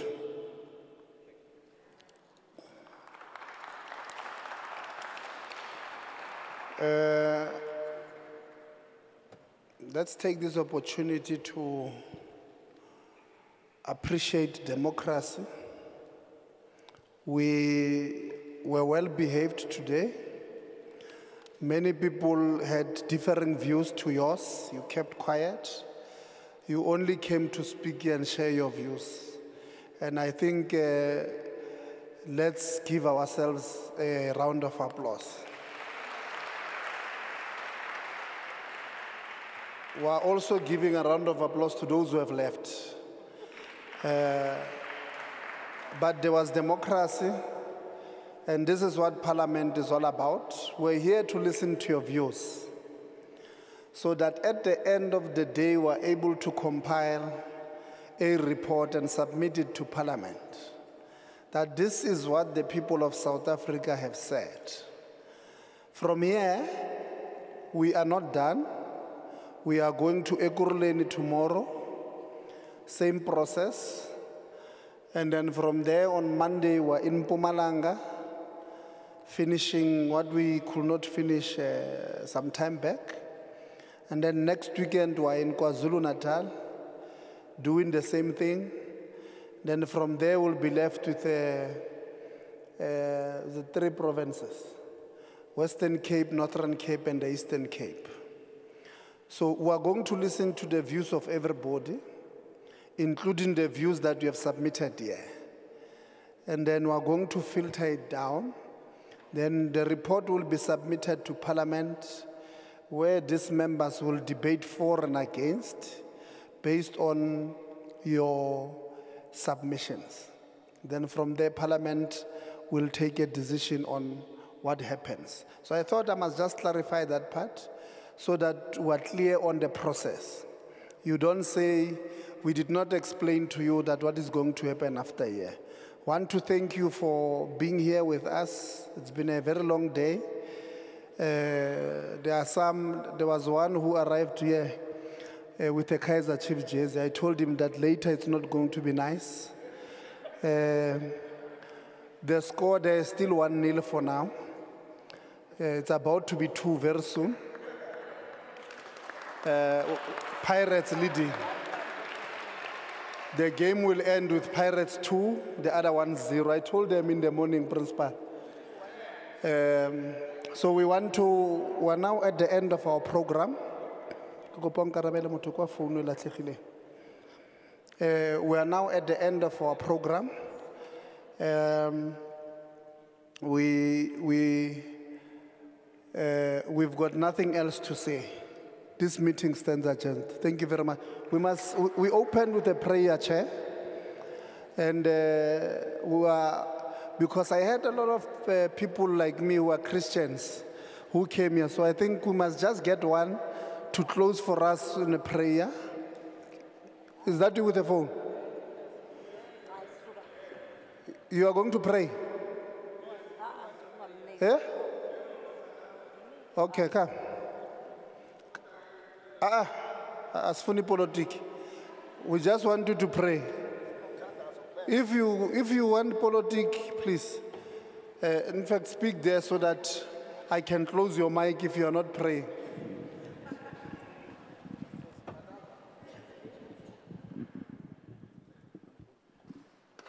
Eh kuwena mdali odala omkhulu nabokhokho nogogo bethu siyabonga ukuthi usihlanganisile namhlanje. Bese sicela ukuthi ke kuwena mdali lesizwe simnyama nesizwe sabo bonke abakhona kulelizwe lethu eMzantsi Afrika. Nisilondoloze nisikhumbuze amasiko sinhloniphe. Siyabonga. Thokoza. Thank you very much. Travel safely.